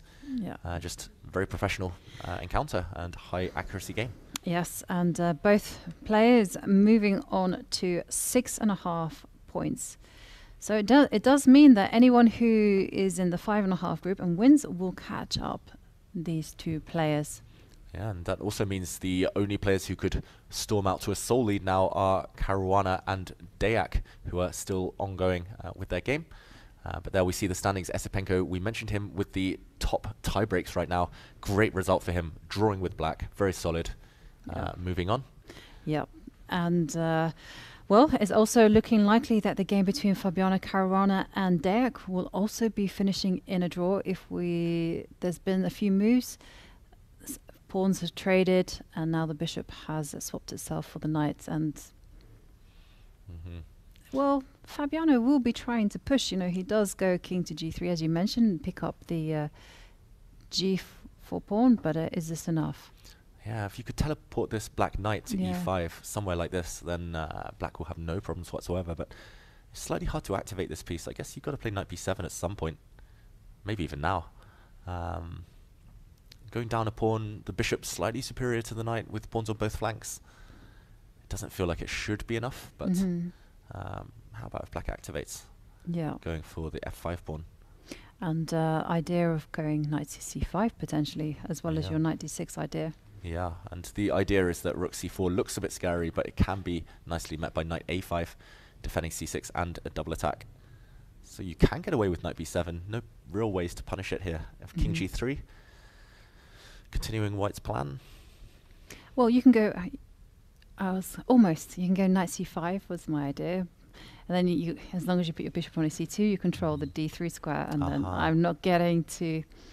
c5. Yeah. Although, having said that, I mean, black could still activate. yeah, Still looks very active for black. Ni- now the nice is nicely placed. yeah, you can sit with the the rook on e5 as well. Yeah, even down a pawn, I don't think it's the end of the world. I'm not sure even white if white can win a pawn. King takes will be met, by uh, a double attack. This one looks easily holdable for black. Knight b7. Also, I like the idea of just parking up on d6, Mhm. eyeing up this pawn, and uh, even in a position like this, just saying, okay, I'll centralize knight on e4, rook coming to g8. Activity over anything. Yeah. One and a half minutes for Deac in the meantime. Yeah. What are your predictions now, Jovanka? Uh, just looking over the top few boards, do you think we'll see a bunch of leaders still? Yeah, I, I think uh, Hikaru has a, a fantastic winning chances. He's pawn up. Although Cheparinov did put his knight on h6 when it was attacked, and now it's found its way to g5. But this is Hikaru's type of position, and the white rook is so well placed on d4. It can go to a4 to attack the a7 pawn. Yeah, it looks really nice. It's, again, I'm getting flashbacks of that win he had against Sarana, where it's very, very similar actually. Um, in that one, though, White's extra pawn was kind of uh, much more central, but there were a pawns on that board as well. He was a pawn Mhm. up in a knight endgame. Um, the added spice of rooks definitely increases Black's drawing chances. Um, so I'm expecting, yeah, maybe King G2, although Black's knight's coming around. White's king is awkwardly placed. If you could push the pawn back to G3, Yeah. suddenly you would. But Okay, Nakamura was visibly slightly anxious on the camera. Um, he's down to three minutes, still got five moves to make. Cheparinov with a bit more time. It's nice on this, this camera angle, uh, Jovanka, you see Cheparinov and then his partner Antoaneta Stefanova on, uh, Ah, on board one in the women's section. Uh, side by side here, literally. Um, Together. Yeah, their child must be so proud, the parents, just crushing it in the Isle of Man. hmm Absolutely. And yeah, moment for Hikaru. But what's uh, what's stopping Hikaru from just making some non-moves like King to G- G2? Yeah, when in doubt, you usually want to play a move like King to G2. Um, I guess the king might be slightly vulnerable there. For example, after knight to E6, if black gets time to play G5, knight F4, it could come in with a nasty check. But, okay, at least white now can go uh, looking for pawns. I think he might be calculating something really concrete here. Uh, that's Nakamura's face. His eyes are darting literally right to left here, right to left. That means it's normally a race. Uh, so one side playing on the queen side, one on the king side. But Mhm. nothing found to his liking yet. Here's the head bobbing. Yeah, yeah, yeah. And I'm beginning to understand how it's how it's working, but how to do this race. Like I said, the only moves I can think of is A4 is what he wants. A4 for the score. Yeah. Push the pawn. Yeah, if the rooks ever come off, A4 is going to be a really useful move with the A pawn as far down the board as possible. But, yeah, are there any downsides? Say I give a check. And the king doesn't run up, it runs to F1. hmm That's annoying. I was hoping you'd walk forward because then uh, you're closer to yeah, being checked on but F4. you you were very kind and you told me that you were going to play. G5 and knight F4, so I was like, no. And when in doubt, shuffle your king, especially if there's a hole on g2. I think that's good general wisdom if you've been fianchettoed or if you've got a pawn on g3. Here, pawn on g4 maybe less so, but king g2 played. Yep. The evaluation bar sunk after that move. I do wonder whether knight e6 now is a bit of a clincher in terms of the draw. Yeah, could be. Rook a4, what's the intention? Knight c5 is also available to take this pawn. And how is that rook and pawn ending? Yeah, this if if uh, white actually exchanges knights, I think this is a, just a dead draw. Yeah. Um, I or I say dead draw. No, no positions are uh, kind of possible to write off like that. But black it's essentially will be so active, we'll be able to swap off uh, some more pawns. White's king is just so far away. Mhm. Um, I think this is a draw. But the thing is, you don't need to trade. Play knight e4. Still with an active knight, threatening knight takes f6, threatening the rook, forcing Yeah. rook c6, and then you could start pushing and hoping. Still a lot of life left in this game. Yeah. Okay, Hikaru, just over two minutes on the clock. Cheparinov considering what to play. What other moves? Okay, what do you think? Should I'm we st- struggling. Yeah, I, shall we stick to this? Yeah. Um, incidentally, uh, the game between Vladimir Fedoseev and Arjun Erigaisi carried on because Fedoseev turned down a proposed Mm-hmm. repetition by moving the rook to f1. Okay, I said it was a bit of a sad move, but uh, it keeps the game going. And actually, both of these players always reluctant to agree a draw, just great fighters in general. Um, but ultimately, it's just very balanced this position, so it's hard to imagine any other result. And okay, Fedoseev keeping the game going. I'm expecting him Mhm. to play the move bishop to f3 here. Yeah. You normally want to keep your bishop as on as long a diagonal as possible. And kind of this knight now slightly stuck, slightly marooned. It might have to come back via d5. Yeah. But yeah, I think maybe we'll stick with. Uh, It's quite exciting in Alireza Firouzja against Aravindh let's jump there. We checked on the, in on this one a bit earlier, board 12. because uh, Whoa. Firouzja's missing a rook. He's got a bunch of pawns though. One, t- oh wow, Blinken, you missed it. There was a couple of moves there. Mhm. Uh, this was the position he attacked the black queen, queen back to c1. Now big threat, and this was ignored. Maybe there was nothing else. Rook takes knight, rook check. He's missing a rook. He's going to miss two rooks soon, but he will have a queen. And from this angle, it looked like the arbiter was making that move. It looked like the arbiter's hand was out there. Just uh, Actually, you're right. It does look like the arbiter. for a second, Firouzja was literally hidden behind the arbiter, and there was just a hand outstretched. Um, okay, Arno the arbiter uh, walking away now. But Mhm. Firouzja, he's won the black queen, but this is a weird material imbalance, Jovanka. Mhm. Two rooks and a knight make uh, for a lot of points, 13 points. 13. A queen only worth 9. But white has a bunch of pawns, and black's king not entirely safe. These pawns are especially strong. What do you think? Queen b7, queen yeah. c1, queen c3. a lot of choice. Um, Knowing Firouzja, he's going to play queen c1, but I think actually, I when you suggested Queen C1, I kind of like that one a lot yeah, because I'm a little bit afraid if like Queen B7 looks really active, but it does encourage Black to go Rook to B8 and then go B4. Okay, so he drops it back to C3. Mhm, Queen c3. So he's got a big threat to win a pawn. Uh, queen b4 check would win b5. And if black now defends, I mean rook b6 now, at least he has the option to push. And Yeah. as soon as these pawns start rolling, it looks terrifying for black. Uh, So rook b8 is the big question. Yeah, and after B8, I wonder whether first you can jam up the B pawn by th- throwing a. Yeah, that Oh, that move is okay. nice. I thought you meant- yeah, Yeah, uh, I was, well, and and then once the king moves, now you can go F4, Ah, and then push for. nice. I should never doubt you when it comes to pushing pawns, Jovanka. you always, uh, always I'll find a way. on the yeah, this looks powerful. No way to stop d5 now without losing the b5 pawn. Mhm. Yeah, just here, it, it's one of those scenarios, rare cases where the queen uh, actually beating the massive pieces uh, because the pieces don't coordinate that well. They're not active, and the queen has so many targets. Yeah. Uh, meanwhile, a draw on board one between Caruana and Okay. Deac. And uh, shall we look at uh, how that one fizzled out? Yeah, it wasn't far beyond the place we left, left it, actually. Uh, just four moves as we see Alex Holozak, the arbiter, standing with authority over the players. Knight b7 was played as we predicted, and this was Caruana basically offering a draw. He just took the pawn off the board. No more winning attempts here. Black's piece is just too active. And, uh, okay, an attack on the c-pawn, easily defended. And essentially not much to play for here. Draw offer. I Mhm. think king e5 wasn't actually played. Uh, Ah. Normally, when they put the kings in the center of the board to mark the result, uh, it often says king e5, king e4, king d4, but uh, I think he would have actually played king back to g6 to defend his f pawn. And then the black knight will come uh, to d6 or c5, and just no material left to really work with. So, in the end, a fair result, Jovanka. A bit of an up and down game. It was a very topsy turvy game. I mean, we did see Fabiano Caruana in trouble with the white pieces, but he n- successfully negotiated any danger. And I almost felt at the end that he was turning it around, but okay, great effort from both these players. Yep, and they will therefore join the lead. Nobody now can surpass six and a half points out of nine. Uh, so we've got the four that started the day in the lead, plus maybe a few others, including maybe Hikaru Nakamura, if he can convert his extra pawn.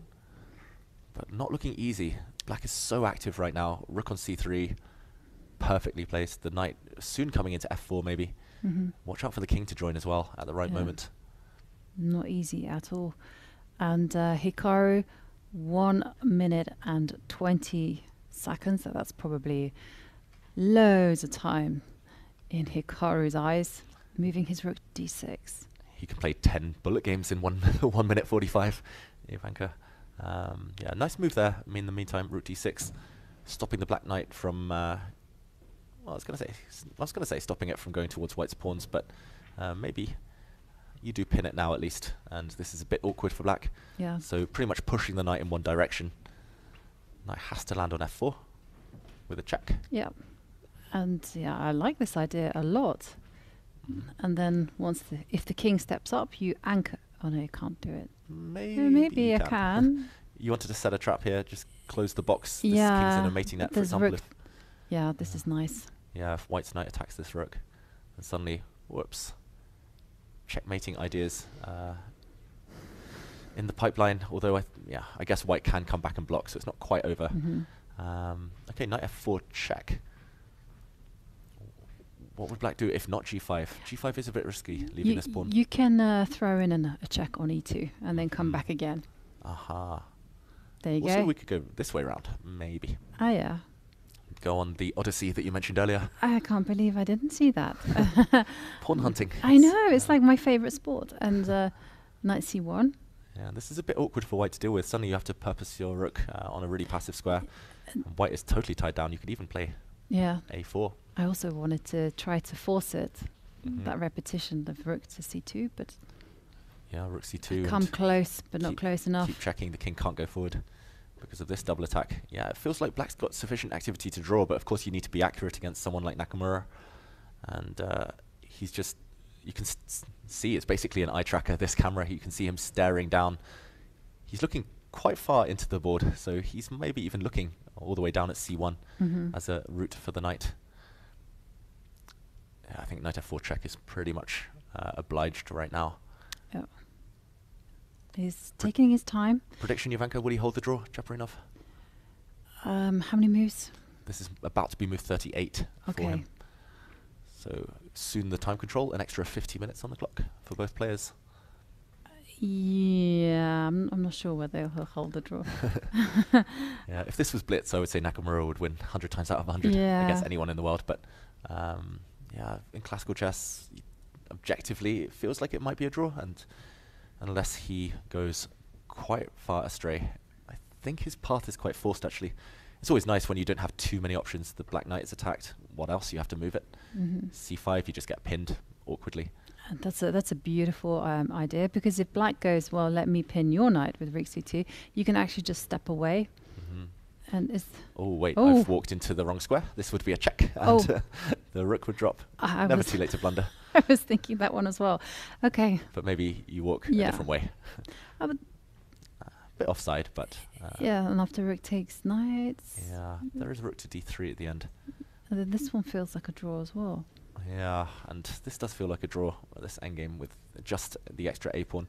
So actually, maybe it's not forced, but this one's relying on tricks and also relying on holding a bit of a difficult uh, rook and pawn endgame, whereas the other one looked just very active and no real downside. Mhm. So I still advocate knight f4 check into e2. Yeah. Yeah, I agr- I agree. It makes a lot of sense. And The beautiful thing about this uh, late start for the women relative to the men is that the time scrambles there will be happening a bit later. So uh, we'll soon reach move 40 everywhere in the open section. And then, uh, okay, he does give a check, as expected. Yeah, and then we'll focus maybe more on the women's games. As Yes. These ones take a slower turn. Yeah. Nakamura, instant reply, king f1. Okay, this is clever. He saw that the knight was actually coming into e2 and round to c1, picking off this pawn, so he's stopped that path. Looks very passive king f1. I think that's why we didn't consider it, but Mhm. uh, logical. Yeah, it is. It is very logical. Can you? Hmm. I What to do next? It's not easy. no, it's, not, it's certainly not easy. Um, One move that springs to mind is a4, but I th- I thought about that, but I thought you could actually go uh, pawn hunting. Rook d4. Rook d4, yeah. yeah, double attack. And after pawn takes pawn, the knight on the d2 just covers everything. You can grab the knight. Yeah, the knight covers the square, so you've got time to go rook b4, and you've won a piece. So a4 not possible. Normally you would want to simplify things. It's better to be facing one clear pass pawn rather than having two potential pass pawns. So black's pawn weak. You'd love to trade off, just unfortunately not possible now. hmm What else? I'm actually struggling to come up with uh, any ideas whatsoever. Move the king. Maybe just king g6. yeah. Yes. We're not aiming to come forward yet because there will be a knight check, but yeah, just passing the move back to the opponent makes some sense. Look at him. He's trying to calculate though. He's trying to force his way to a draw. Is it Hikaru's idea just to go king to e1? Shuffle, shuffle, Exactly. and then maybe and go then hunting. go for the attack. Yeah, I think that might be the plan. He's reaching towards something. It's knight into d3. He's adamant about getting to c1 and going for this pawn. Mm-hmm. Okay, this is the last move before the time control. I don't think Nakamura expected that one, judging by the facial expression. Although we shouldn't read too much into Naka's No, uh, no. facial expressions. Okay, big threat to come round and gobble up. Yeah, that can be dealt with by going rook to b6. Rook b6. Okay, now maybe a4 might be an issue Yeah. though. Because uh, actually here, f- by force, you'd lose the a pawn as well. No way to defend it. Yeah, Um, uh, and the king back. on f1 King on f1. some checks. Yeah, allows some big checks. And we have a move. A4. It's got a4. stopping that idea. Um, these players, they're so quick, they're so strong. Uh, we have to talk our way through these variations. We were saying, oh, maybe black's threatening a4. He sees it instantly. That's the opponent's idea. Shut it down. Yep. And black is fixed with a weakness. On the on the downside, white's b pawn is also somewhat backward now. But it's not such of a big deal because what I was trying to get at with rook, rook b6 is that you just put your rook now, and uh, the white knight is untouchable now that the king has moved to f1. You can just go to e1 and then slowly, slowly. Catchy a pawn. Yeah. Yeah. I like it from Nakamura. And one last move to make before the time control for Cheparinov. And then I think we'll do a scout around on some of the other boards. He's got two minutes to make this last move. Yep. And then we'll take a breather. But uh, a4. Yeah, if the rook gets to b5, I think actually big winning chances for Nakamura. Black, therefore, is in a bit of a rush. Maybe. Hmm. Knight c5, knight c1. What else? Got to move the knight. Yeah, if you go knight c5, you allow white to pin. So Yeah, that's the one I'm, I will reject. This is true. This is an annoying pin. And he goes forward, judging by his hand movements there. He did knight c1. Therefore, knight c1. And we've reached move 40. We're expecting rook to b6, clinging onto the pawn, and this one's going to go on for a long, long time. Yep, and I'm just maybe we can just do uh, like a, a status update on uh, the other games. It's not 2008 anymore, Jovanka. Status sta- updates. Yeah, I know. I was thinking that sounded a bit familiar. Yeah, that was a Facebook, right? It was. Good times. Um, but yeah, let's go around and Yeah. check out what's happening. We, we will see Rook b6 actually very quickly from Nakamura, despite the extra 50 minutes he's about to be granted. And uh, we'll catch up later on this one. Fedoseev against Erigaisi. Current position has progressed somewhat, but not much changing other than the rooks leaving the board. Mhm. All pawns on one side. Connect four. Surely a draw. Yep. And uh, what about Alexei Sarana against Parham Maghsoodloo? Because, well, it looks looking good for Parham, and if he wins, he actually joins the leaders with six and a half points, which means that there would be now a five-way tie. Yeah, he's stealthily made his way up towards the top, Parham. Um, yeah, this position, uh, we talked about hanging pawns earlier. Are they strength? Are they a weakness? They survived. And they're clearly superior here to Black's pawn structure. It's two pawn islands each. White with the pawn island in the center and the pawn island on the king side. Black with the somewhat inflexible pawn island on the king side and the very weak isolated b pawn.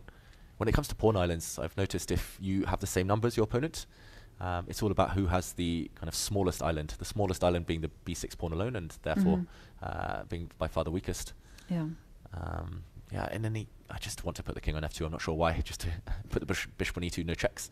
But uh, if the queens ever come off as well, Jovanka, even that doesn't bring any solace to black. No, it doesn't. The bishops will, yeah, gain in power. Yeah, we saw it in action yesterday at in the game at Tan Zhongyi against Alexandra Goryachkina. The bishops were just reigned supreme, just dominated the board. And yeah, I completely agree with you. You can just imagine, in, if the queens are off, you know, White can uh, put a bishop on c7, walk the king round to b4, and yeah, um, I'm not Sooner or later. optim- I'm not optimistic about Black's chances. Yeah, I think this is almost uh, just lost, just to show your plan. I love the bishop on c7, meaning that the black knight can never move. It's frozen. If the black knight can't move, the black king cannot switch sides of the board.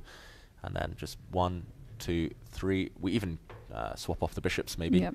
Uh, bishop d3 to e4. And then once the king gets to b4, it comes in, picks off the b pawn. It's like step by step, but literally nothing black can do. Yeah. Um, so queens coming off would end this game uh, pretty much strategically. Therefore, white, great winning chances. Yep. Maghsoodloo. Great winning chances there for Parham Maghsoodloo. And uh, we are going to take a short break. But in the meantime, please enjoy this interview with, with Vincent Keymer, who just uh, won against uh, Nihal Sa. Vincent, congratulations. You just beat Nihal Sarin.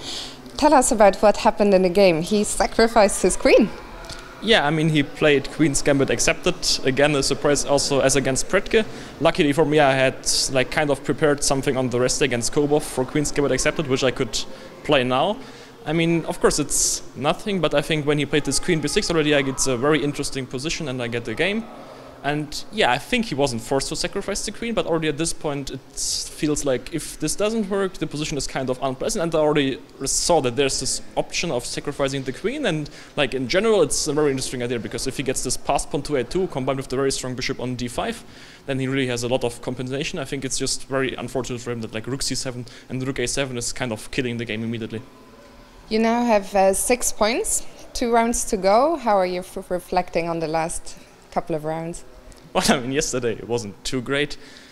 Uh, I think it was. I mean, he, first of all, I would say he played a great game, but also, yeah, of course, I like after the opening, it's a kind of equal end game, but very sharp, and I made quite a few inaccuracies in the first two moves, and afterwards it was a very tough position already.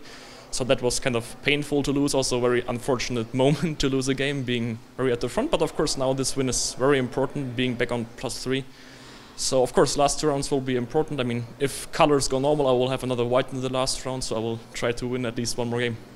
Do you have a, a secret recipe for how to deal with these kind of painful losses? Of course, today you bounced back in the best possible way. I think just try to not change anything basically. I mean, of course, if you feel like you're in a, suddenly in a bad shape or you're not playing as well as you normally do, then you have to change something. But this wasn't my feeling from yesterday.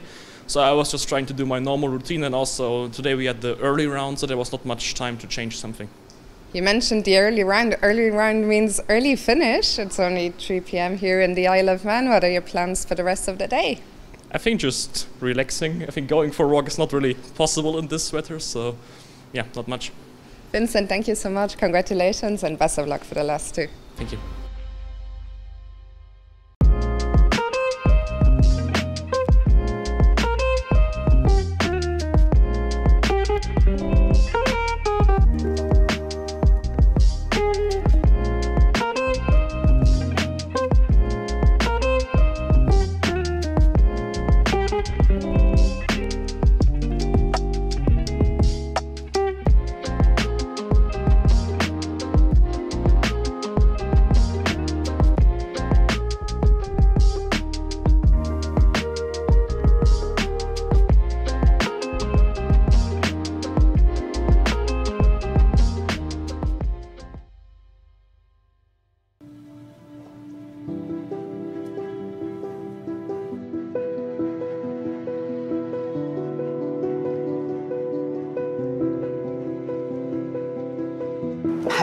Chess, that's just an essential part of uh, the uh, uh, chess world being round and harmonic. women in chess, is, it is the beauty of the game. So we want to increase the number of the girls, women who go in for chess, who use it uh, or choose it as, a, as their profession, as their career path. Lots of things has to be done, but uh, as an organizer of a top level event, what we want to do is to have more top level events also for females. Even though Norway Chess is an event that includes both men and women, in practical terms, it's only men. So what we want to do is to have a women's tournament uh, that actually has the same prize money that we give for Norway Chess, the, the players that play there. The top chess players are extreme out outliers of the bell curve, and there is simply not enough women in chess to create these extreme outliers. But the more numbers of women playing chess and comfortably growing in chess uh, will create these outliers, and we will have the women competing for the biggest title in the world. I want to wish all girls who is interested to play chess, who likes chess, who is still thinking, is it game for me or not? Yes, it is. It's game for everyone. You can learn a lot of interesting new things uh, apart of chess, you know, like logical skills, uh, uh, meeting friends, meeting new people, going in different countries. And also, yes, we are all one family, Gens Una Sumus. Thank you. Um, I believe that um, there should be should not be any difference between men's and women's uh, chess because it's sport and uh, should be contested by them equally. But traditionally, men uh, have had and still have mm, more freedom, let's say, to focus only on chess, whereas uh, women have to split their focus for chess and for family or kids' responsibilities. What I clearly know about chess that um, when I was a kid and I played, started to play chess, we had many, many boys in, in the group. I was the only girl, but I never thought that it's important. We were just playing chess and beating each other every day, uh, trying to improve. Uh, so that what that what was important at that moment. Um, I truly believe that chess is a very fair sport. Girls and boys, men and women, young or adult people just can play together and what matters is how good you are in chess. Um, let's say the rules are the same for everybody.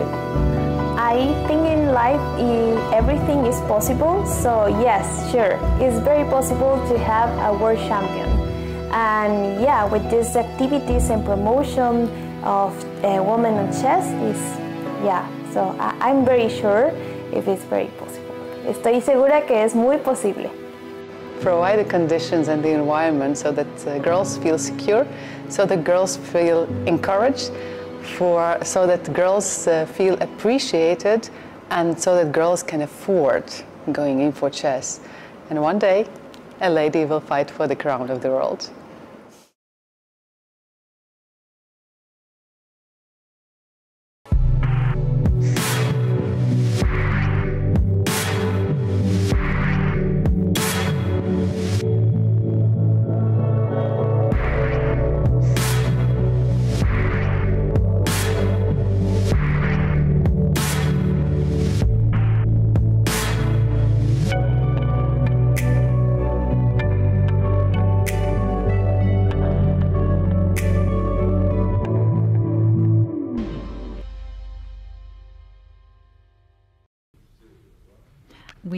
Are back and uh, ready for the coverage of round nine of the FIDE Grand Swiss and the Women's Grand Swiss. And uh, there we can see the top board in the women's section. Antoaneta Stefanova facing off against Vaishali. And uh, well, we left them. And uh, let's revisit a lot of the games because we can track the evaluation bar and see that things are not going so well for some of our GM non hunters. Yeah, let's uh, dive into some of the games on top board. I think we'll start with uh, board Yep. one just to update what's happened there. Not too many uh, developments, but um, yeah, worth keeping a track of those. And um, once we pull up the games, uh, we'll delve a bit deeper. But as you say, Tan Zhongyi looks like she's wrapping things up against Sophie Milliet. Just unfortunately in a must-win situation. Uh, Sophie's burnt some bridges and no way back there.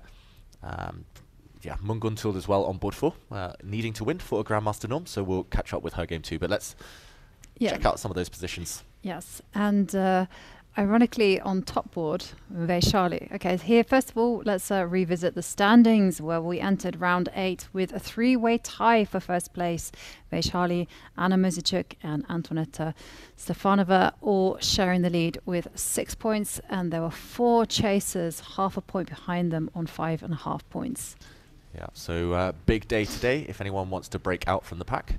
And uh, okay, this is the position we're left with. Uh, Jovanka, we were here not that long ago, actually, just three or four moves, and the players have spent quite a lot of time uh, in this position, as pr- we did predict. The uh, bishop was snapped off the board, so White's knight took five moves to Mhm. trade off for a piece that just uh, moved once.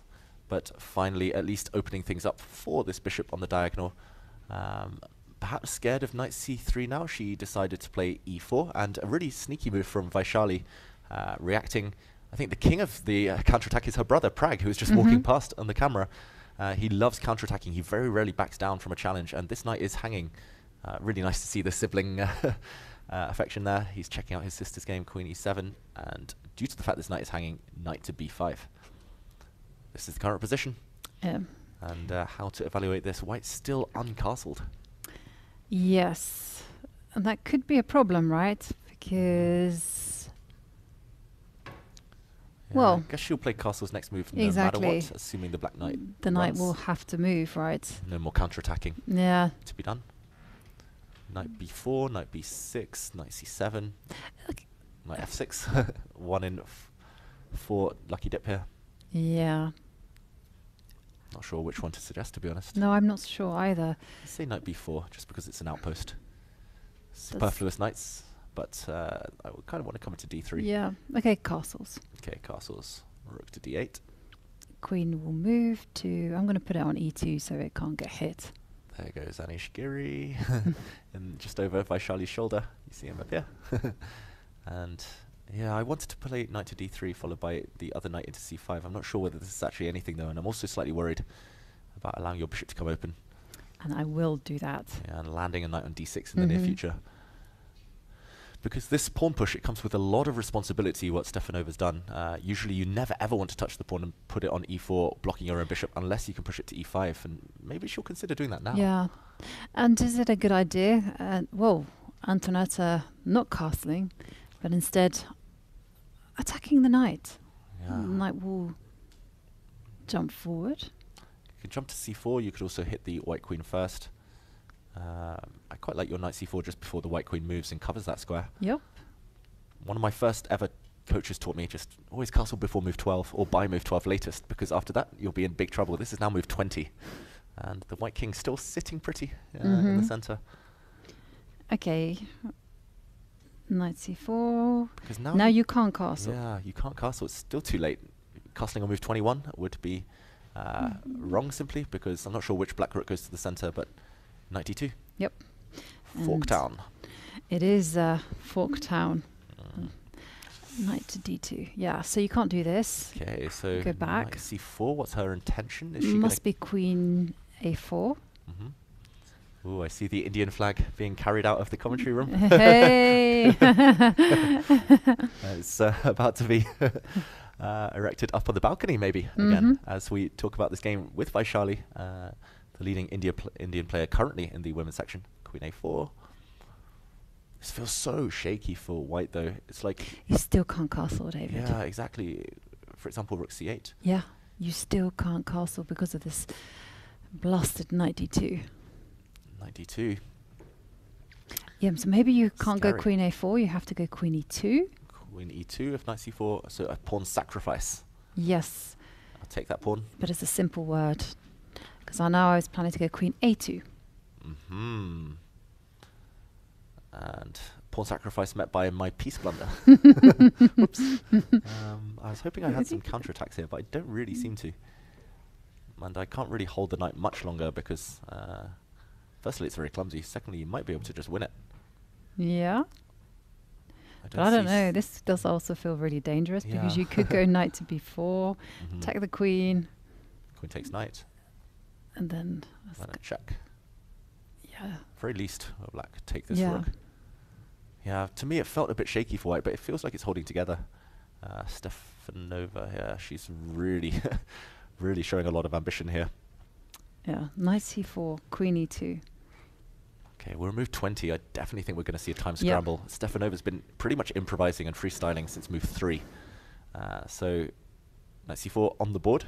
I think this might be the key moment. If she doesn't play queen e2, we everything else we come up with, white's actually in big trouble.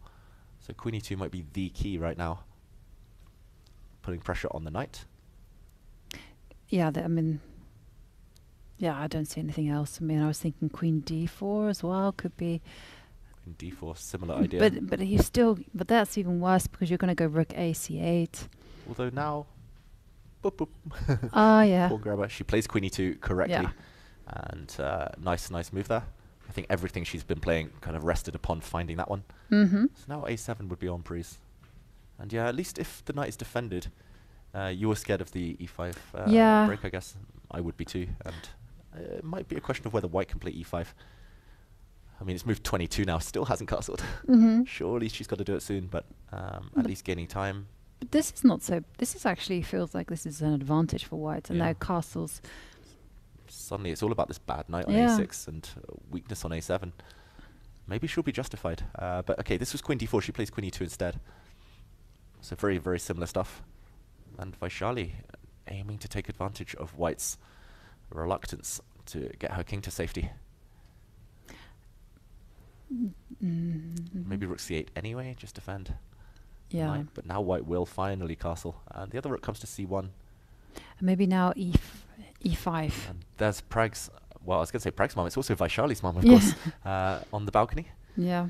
Um, I remember when I lost to Vaishali's brother, Pragg, when he was 12 years old here in the Isle of Man, and uh, the mum was sitting on the balcony that time too. So Mm. Uh, clearly a habit that works well for her. Um, she became a bit of a celebrity, right, at the, ro- at the World Cup. Yes, I know she, she's absolutely phenomenal. She waits for her children, Yeah. and uh, she, you know, she, she doesn't read a book or anything like that.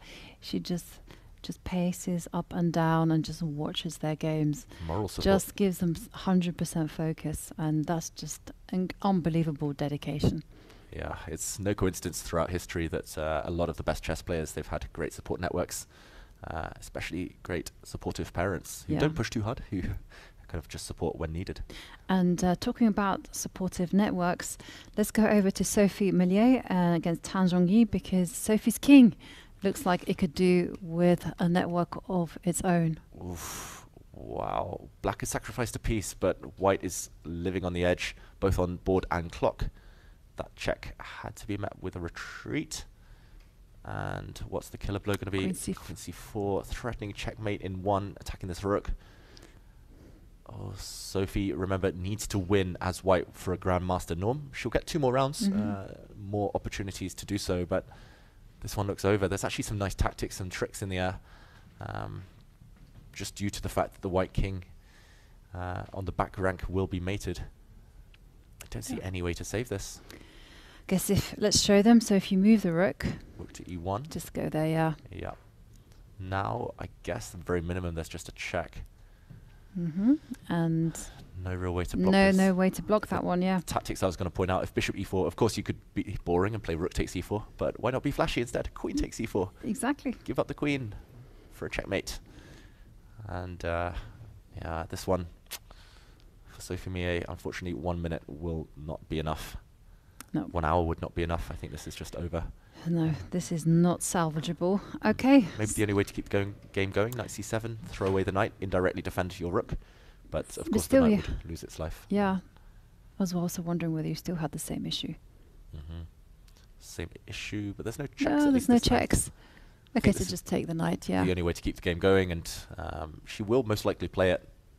But at least now she could come back with her queen, and the game goes on. But she's a pawn down with a weak king, and it should be a matter of technique, as they say. hmm And she's now under a minute on the clock. And, well, we had three Norm Hunters in the women's section. And let's go over to Leya Garifullina. Okay, as uh, knight c7 did happen, Mhm. so Tan Zhongyi likely to win this game. But uh, on board two, Garifalina also needed to win. Yep, she needs to win. And, well, I'm just looking at the space. Mhm. Look at those triplets there in the middle, Yeah, controlling all the squares. Those are some strong pawns. Also, the pawn on h4, clamping down on the king side. That's a real bone in the throat. That is not pleasant at all. There are already very tempting moves like rook to g5, attacking the white queen, asking for queen takes h4, whereupon she would get trapped on h4. Mm, nice trick there. Yeah, maybe even you just push forward more space, Mm. Even at the cost of one of the triplets Yeah, uh, yeah. getting traded off. Okay, I would say it's decisive. I don't think even it's that significant, but definitely more pleasant for black. It Yeah. looks easier to play. And uh, white needs to win, remember, so she might be taking some big risks along the way. Maybe she Mhm. already has done, uh, just to provoke this position. And uh, Anna Maz- Muzychuk, one of the tournament leaders, with uh, six points. So if she wins, she will move up to seven points, and she might even take the sole lead if it is a draw between uh, Stefanova and Vaishali on top board. And uh, let's go over to the crazy game that is Bibisara Assaubayeva against our final Grandmaster Norm Hunter, Batkhuyag Munguntuul. Yeah, and Munguntuul needs to win with black. Mhm. Uh, no easy feat, and she's had a fantastic tournament so far. She does have the type of position where uh, it's kind of easy to play for a decisive result. I think out of the three, maybe with the best chances uh, for the Grandmaster norm with black, she's the exchange up. Uh, that being said, her king on b8 makes a bit of an odd impression. She hasn't castled, she hasn't castled queenside. She's just slowly walked over with her king uh, to b8. And there is a big knight on d6 on an outpost. That being said, some attacking chances against the white king, uh, especially if, as we showed a bit earlier, uh, in certain other variations, the black queen can line up on this diagonal and land a check, or if the black queen ever sneaks around into g3. Mhm. Uh, but okay, it's black's move. What could she try? Of course, frustratingly, the computer says 0.0, despite it being a wild position. Yeah, the computer's just nuts, though, right? so, It's yeah, nuts and bolts. Yeah. So the first thing I, I would be thinking about, because I feel that Black's king is in danger. You know, you can imagine the, bishop coming to d2, or rook coming to c1, and then I don't know, or maybe even a4 is in the air just to Yeah. make some sense of the white pieces. So I would be just looking at queen to b six. I like this as well because in some scenarios, actually, in maybe even in the current position, if we do nothing with black, I don't know, then maybe white can get away with taking the knight. It looks scary, but uh, at least now the white king has somewhere to run and th- any checks can be blocked. Uh, you've got to think twice before dropping a piece like this. So uh, I like your queen b6 because at least now taking the knight would lead to another checkmate. No Yeah. way to escape for the king. Queen And- b6 also sets up some checks. Knight f2 check. Yeah, And looks uh, very natural. Yeah, and then you can take the bishop, and like one nice way to coordinate the forces, if possible, is like rook a7, rook c7. But Mhm. That's another yeah, nice that's a nice, nice way in. Yeah, exactly. And what if white ignores everything and just plays bishop d2? Does black have a winning blow? Is knight f2 strong? Is queen f2 maybe a threat? Queen f2 is definitely a threat. Queen f2, wow, threatening some, well, checkmate, bishop takes Yeah. g2, and the queen, of course, poisoned to your fork. So actually queen b6 really, and queen c5 therefore as well, uh, really scary for white. Okay, Big how to defend that one? Not easy. I think this would be a bit scary for Asalbayev to deal with. Uh, does she have to trade off this monster bishop? She plays queen c5, so a very similar idea, similar move, queen Mm-hmm. c5. I like this one as well, just kind of keeping an eye on the c file, uh, keeping an eye on this bishop. If case there are any tactics. Yep. Process of elimination, it feels like it must be something to do with the e4 square, but I don't really see it. There's always knight checks. C- could it be something to do with the knight to f7? Ooh, attacking this piece in the corner. Yeah, but then queen, queen f2 Queen f2 anyway. anyway. take, take. The white king moves, take the bishop, take Yeah. the rook. Level material, apart from white being a pawn up at the end. And also the the f coming. Yeah. Maybe Also, king somewhere. And and also you can go like. N- I wanted to go knight e1, but that- maybe that's too much. 91, just a pawn. I'll let you take that one. Um, Yeah. But yeah, it looks very scary for white. And knight f7 is not an intuitive move either. I'm also wondering whether black just says, take it, take me, just defense. Yeah. Uh, I don't think this is uh, actually playable, but uh, slightly tempting. Hmm. Mhm. But okay, knight f7, that would be very creative, just trying to kick the rook by force off the h-file. Meanwhile, in the open section, we do have a result between Fedoseev and Erigaisi. In the end, Um, nothing much changed. They passed the time control, tested each other a bit, but a draw agreed. Yep. Simply uh, almost symmetrical pawn structure, all on one flank, and no tactics in the air. And both players uh, ending today with six points, just half a point behind the leaders. Hmm So uh, fantastic score. They're poised. They both need to maybe win a game uh, out of the final two if they want a candidate spot. Maybe even win two out of two to get Mhm. that candidate spot now. But uh, they're in position. And uh, a fair result in the end. Lots of draws we've seen. Top 10 boards, only one decisive result with Vincent Keymer in the open section. And uh, of the remaining games, maybe we just quickly do a recap. Yep. Uh, we saw Nakamura in this position earlier. There have been a few moves. Let's catch up. Uh, okay, not too much has changed other than the fact that the f pawn is dropping for the a pawn, and that's big news for Nakamura's winning chances. Mm-hmm. So I say noth- nothing much has changed. Actually, everything has changed. Um, still feels holdable with best play as black, just because pawns are reduced, and at the right moment you might be able to give up the black knight for both of white's queenside pawns and kind of eliminate the kingside pawns with black's rook. Yeah, I was going to say, rook would be are we going to see a race? Okay, so first up, like rook takes f3. Yeah, what could be more natural? Um, which way do I go? I just want to toss a coin here. yeah, just just pick begin. one. Let's go. Okay, now slight to the now I'm going to go rook to g3, Okay, now I'll take a pawn. and now I have to throw in a check. Which one? Um, Probably f4. or- f4 was what I was considering. White's pawns are faster than Mm. black's. For example, something like this, it's just two versus two, but a cl- maybe I go to c6 even. But uh, Mm. two versus two and a clear path. One, two, three, Yeah. four. Touchdown very shortly. Black's pawns take an age to start mobilizing, so he needs to be a bit more uh, subtle than this, perhaps. Cheparinov.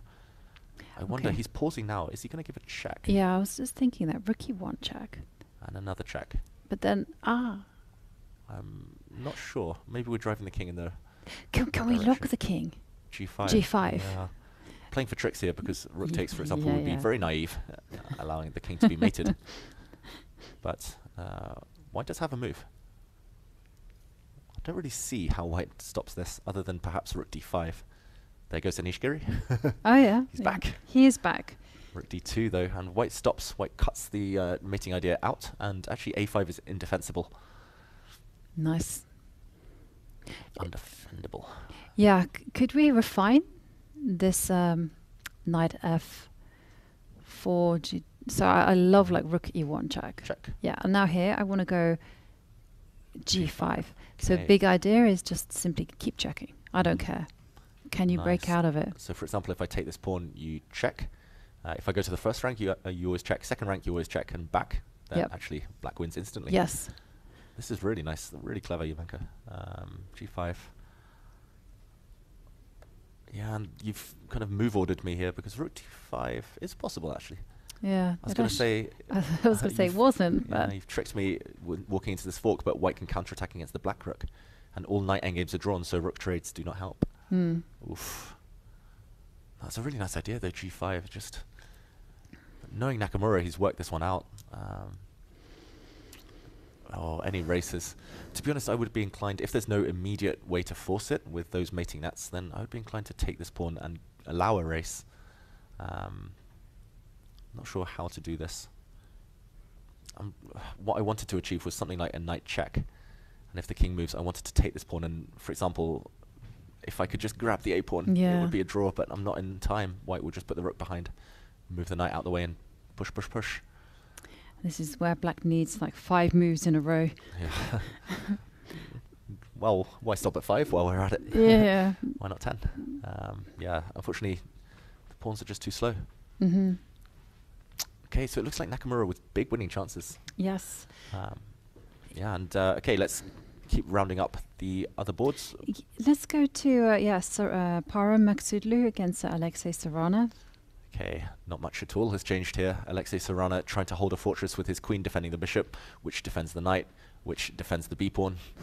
and it's really clumsy, but at the same time, it's not clear what white tries. You could play d5 if you really want to go for it now, but uh, trading does give your position a bit more of a one-dimensional feel. It's pretty much everything banked on the d pawn, and now queen exchanges might not win anymore because Mhm. uh, the black knight is, is actually a great blockader, and black does have some counterplay with the b pawn. Um, I think he'll be reluctant to, any good grinder will be reluctant to commit the pawn structure when you've got full control until really necessary. Yeah. Well, he's also made like H2, H4 as well. Maybe Yuri he in the can. background, sorry. Oh, yeah, yeah, yeah. Well, okay, we'll have to check in on him. Um, but uh, what about uh, Kuzubov against Sevian? Yep. Kuzubov still a pawn up. Ooh, he's got the bishops off. Did he? Wait, how did? Oh no, no, no. no. That was my analysis from earlier. I suddenly had a heart attack. I was like, wait, he's winning. okay, this is the live position. Yeah, yeah. the bishops are still on the board, and therefore should be a draw. Yeah, that's Opposite color bishops. Um, does he have to be careful at all? Um, Can he? for example, yeah, Can he take the this pawn right now? Counterattacking against the white bishop, and the Hmm. idea is to throw the bishop away for as much material as possible before taking the black bishop. Yeah, So you can do that. takes, queen takes, bishop. This, I think this is probably a draw, but I don't think you should risk it. Okay, maybe queen e4 check actually. Mhm.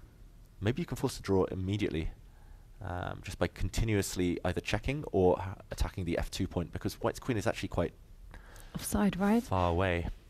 Okay, and if you hide your king On on H2, H2, then you come into F3. Yeah, actually, maybe I'll use no. f5. I quite like the idea of using Okay, this yeah. Um, just because on f3, um, here I would force you to check from a different angle. And then I might maybe be able to play f3 myself. Although queen d2 check, take the pawn. Mm-hmm. Yeah, fe- it feels like a draw to me. Okay, but even queen f5, Ooh, as I mentioned in that there- There's also qu- yeah, yeah. Queen F5 is important actually because uh, after Queen F3, you let go of the G5 square. Mm-hmm. Oh, just to wait, go- check, and That's such it's an back. unusual check. Yeah. Yeah, actually, yeah, white consolidates here. Four versus three, probably still a draw, but why risk it for black? Yeah, but queen f5, um, in the current position, I actually think it's more practical to just move the bishop, but uh, Mhm. queen takes pawn, take, take, take, all forced. Uh, that's not forced, mouse it, sorry. this is uh, forced check. And queen f5, and now it stops queen g5, as you mentioned, Yeah. Timenka.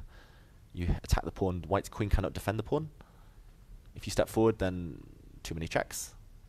And if you step to the side, there's always this check on e4. If you step to the back rank, uh, for example here, there's always this check on b1. So black can actually use b1, e4, and f5 to repeat the position. Yep. So maybe, there we go. He's, it's the young generation, trust me. They Yeah. calculate their way. But we saw it yesterday when he came and showed us his game against Alireza Firouzja. I mean, it was pure calculation, right? Yeah. So Okay, watch him rattle out all these moves. King takes immediately Yep. uh, on the board. Queen takes pawn. Instantly, king takes g6. Gets up from the board. Yeah, these young players, they train. I mean, I've been fortunate enough to sit in on some training sessions with Pragg and some others. It's literally calculation, calculation, just non-stop. They don't look at anything else. And uh, old generation like me, or, or even further beyond that, would be saying, okay, queen and pawn endgame is harder to defend than opposite color bishops. Let's keep the queens on. Let's Yeah. general, uh, make general considerations. But no, why? you know the younger generation very well. Just, he just rattled out Queen E4. I, I bet you he's going to also blitz out Queen F5. Yeah, it might be the only drawing move Queen F5, but of course he's spotted it all. Yeah. Worked it all out. Yeah. It's much it's kind of very influenced by computers which have a concrete, firm, definitive answer to everything rather than working on principles. Yeah. working on assumptions as we do, as Yes. humans do. But uh, I was talking, t- or rather, a, a top grandmaster was telling me that, uh, like Magnus is so good because he's able to combine the two. He's able Yeah. to combine those old, that old knowledge, the principles with this calculation, and that's why the youngsters, okay, they're they're making inroads, but they're not quite at his level. And uh, I, I'm not sure I believe this story, but they they said that uh, the young, some of the younger generation don't even study basic endings. I, th- I think it's true. Uh, I think it's definitely true. and you know, they said that they showed them like the Lucena position, which everyone, most people know actually, Yeah. and they were looking at it, going, hmm, hmm, really? Yeah, I've I've actually given some classes to grandmasters uh, who are in their teens, and uh, I showed them positions and said, "Okay, you know the winning method here, right?" And they're like, "No, but I'll work it out." I was like, "I'll calculate it. Why would I study this beforehand? I can work it out at the board." It's like, Wow. "Yeah, but you you just need to recognize one pattern, and you don't need to calculate." But uh, that's just how they do things. Um, and you're you're right about uh, Magnus, for example. Like he gave a lecture at this training camp with Praggnanandhaa, with Sadhwani, who's also in the tournament, and others. And he- pretty much he said, "Yeah, I calculate only when necessary." And uh, Pragg's coach at the time, Ramesh, um, he was like, "Okay, but surely you have to dig deeper here. Surely you have to be concrete. Every move has to be specific, kind of worked out." And Magnus was like, "But why? Like uh, my opponent has five options. Why would I bother delving deep Yeah. in this position?"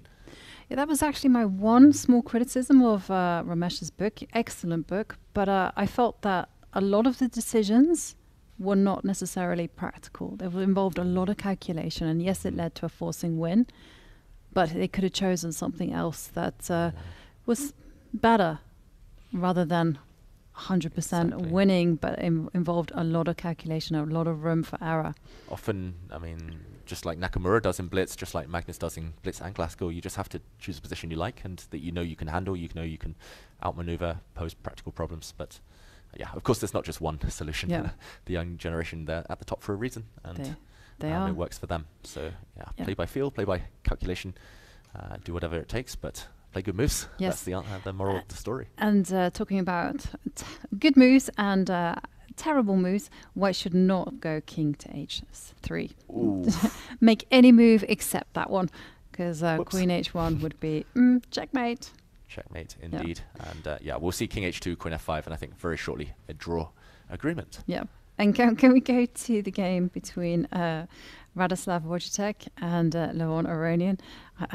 you know, you, you really put the idea in my head about uh, the similarity in pawn structure with uh, Wojciech's game against Caruana. And Deja vu. it is deja vu. Yeah, uh, that one, of course, there were much more pieces on the board. Uh, as Giri walks behind, Mhm. recognizable there. Uh, but yeah, this pawn structure did emerge in that game too, with black having pawns on b4, c5, and uh, white having pawns on a2, b3, and black breaking with a4. And in that game, Wojtaszek, with different pieces on the board, wanted to capture. But here, I think he'll be less inclined to take this pawn unless he can work out that he's definitely stopping the c and b pawns. Mhm. Watch out for the cheap pawn too, as a deflect uh, deflection. White's a pawn. I mean, this would be the winning attempt, right, for white. At least you've got one pass pawn of your own. If you don't take this pawn, you're pretty much resigned to just trying to force a draw. Um, Okay, let's let's work it out. Pawn takes pawn. okay, let's go for it. Yeah. Okay, so bishop takes a2, takes A2.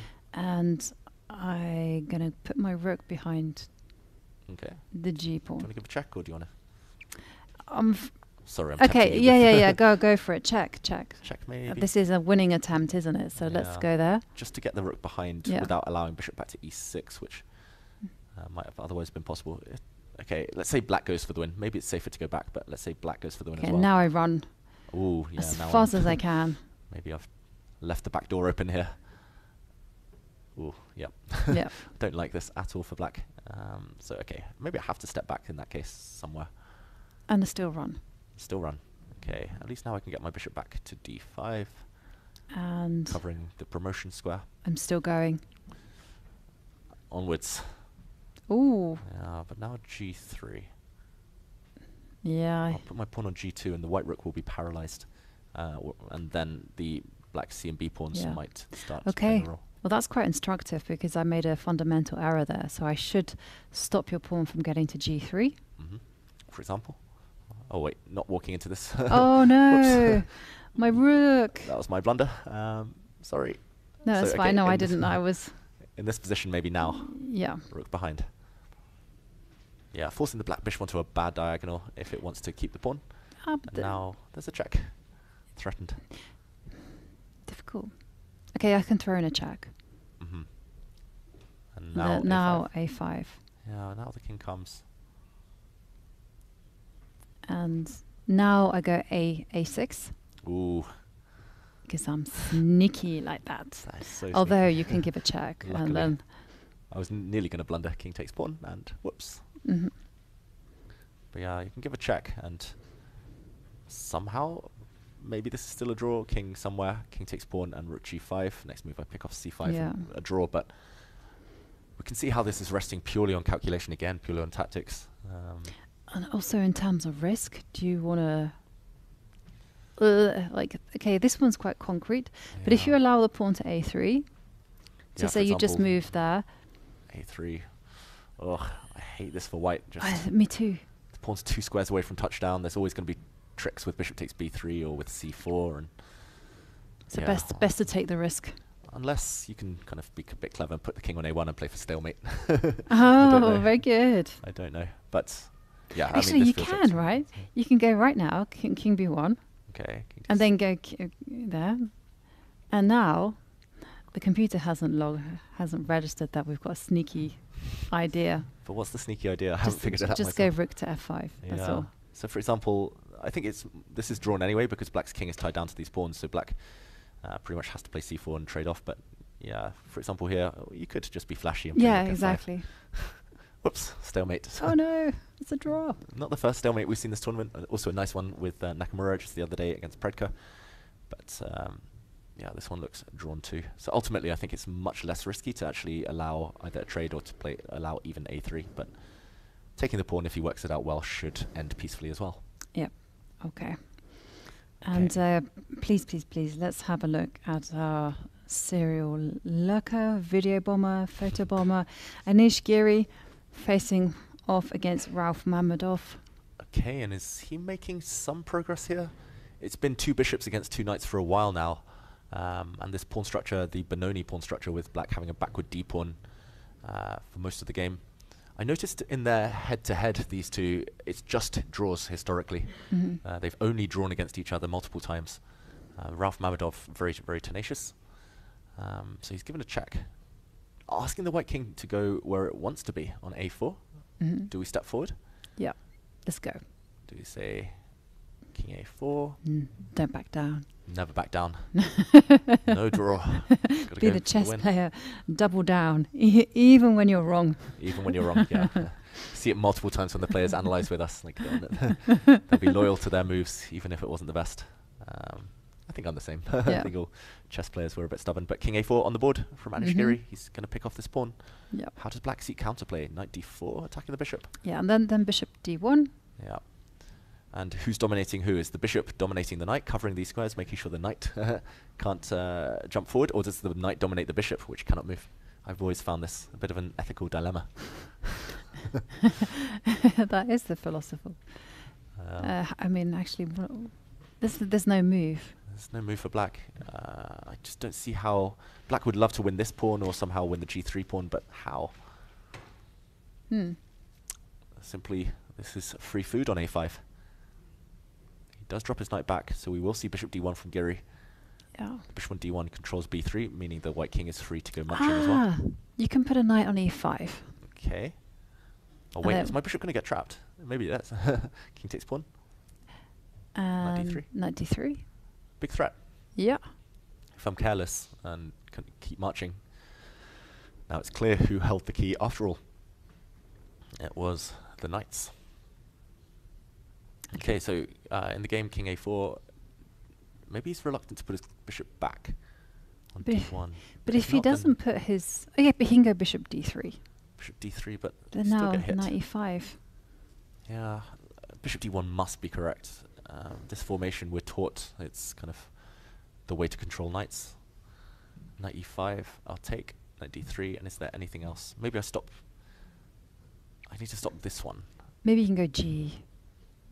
Uh, sorry, b. b4. Four. b4, it's too late. The bishop gets out. Ah, yeah, but knight b2. And look at that, the knight.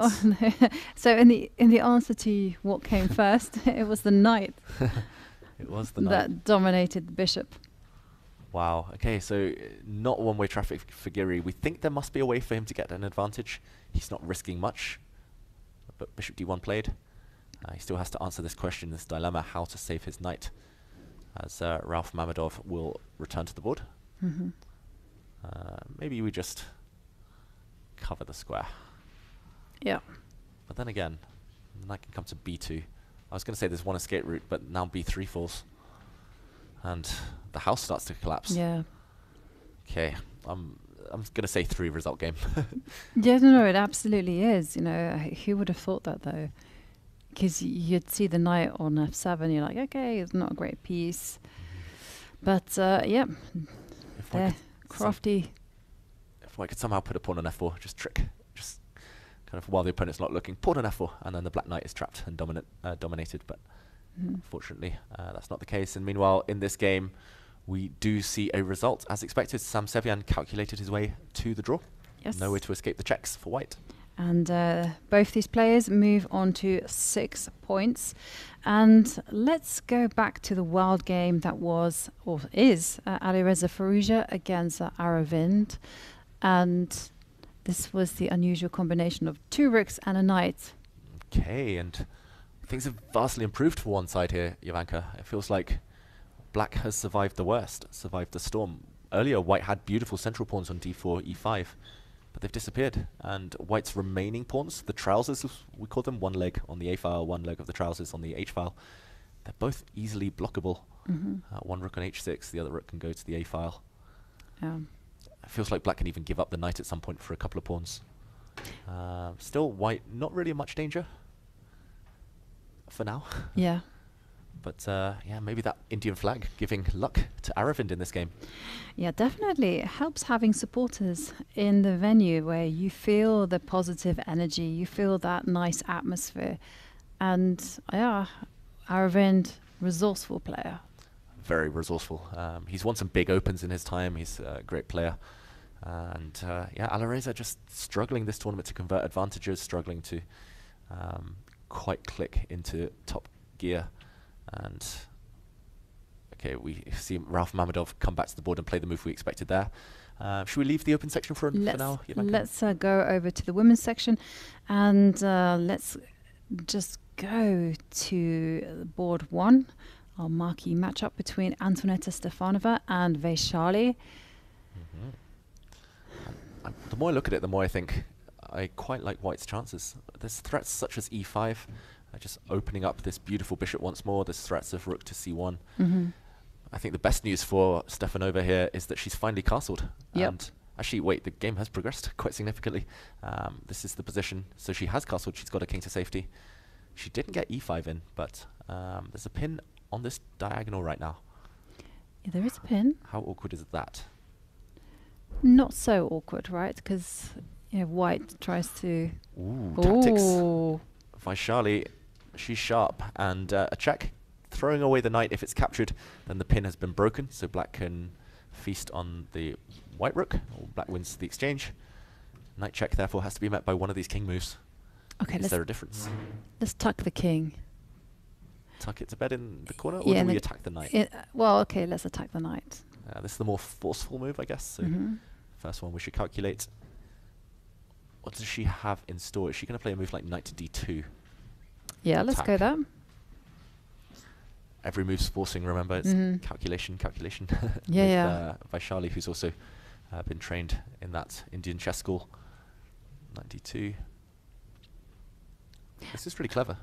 But I guess you can go rook takes rook. Takes rook. And if black just takes back, I'm kind of allowing the self pin, but I don't really want to trade queens as black. Yeah, that then rook to E1, C1. e1. Yeah, rook e1 does defend the pawn. Um, it cannot be captured twice because of this pin again, but black's queen is free. Um, I'm not sure where it goes, d7 maybe. Mm. Yeah. Just could go either way. She does play king g2. Um, Stefanova here. And surely knight d2 now the logical, Yeah. consistent follow-up. Yeah, maybe not rook takes rook. Maybe after knight d2 you have to go. You could be flashy and play rook b2. Yeah, knight takes pawn though. yeah. I was just being flashy for one move. I'm not sure why. why. Um, okay, knight d2 on the board. Mm-hmm. Double attack.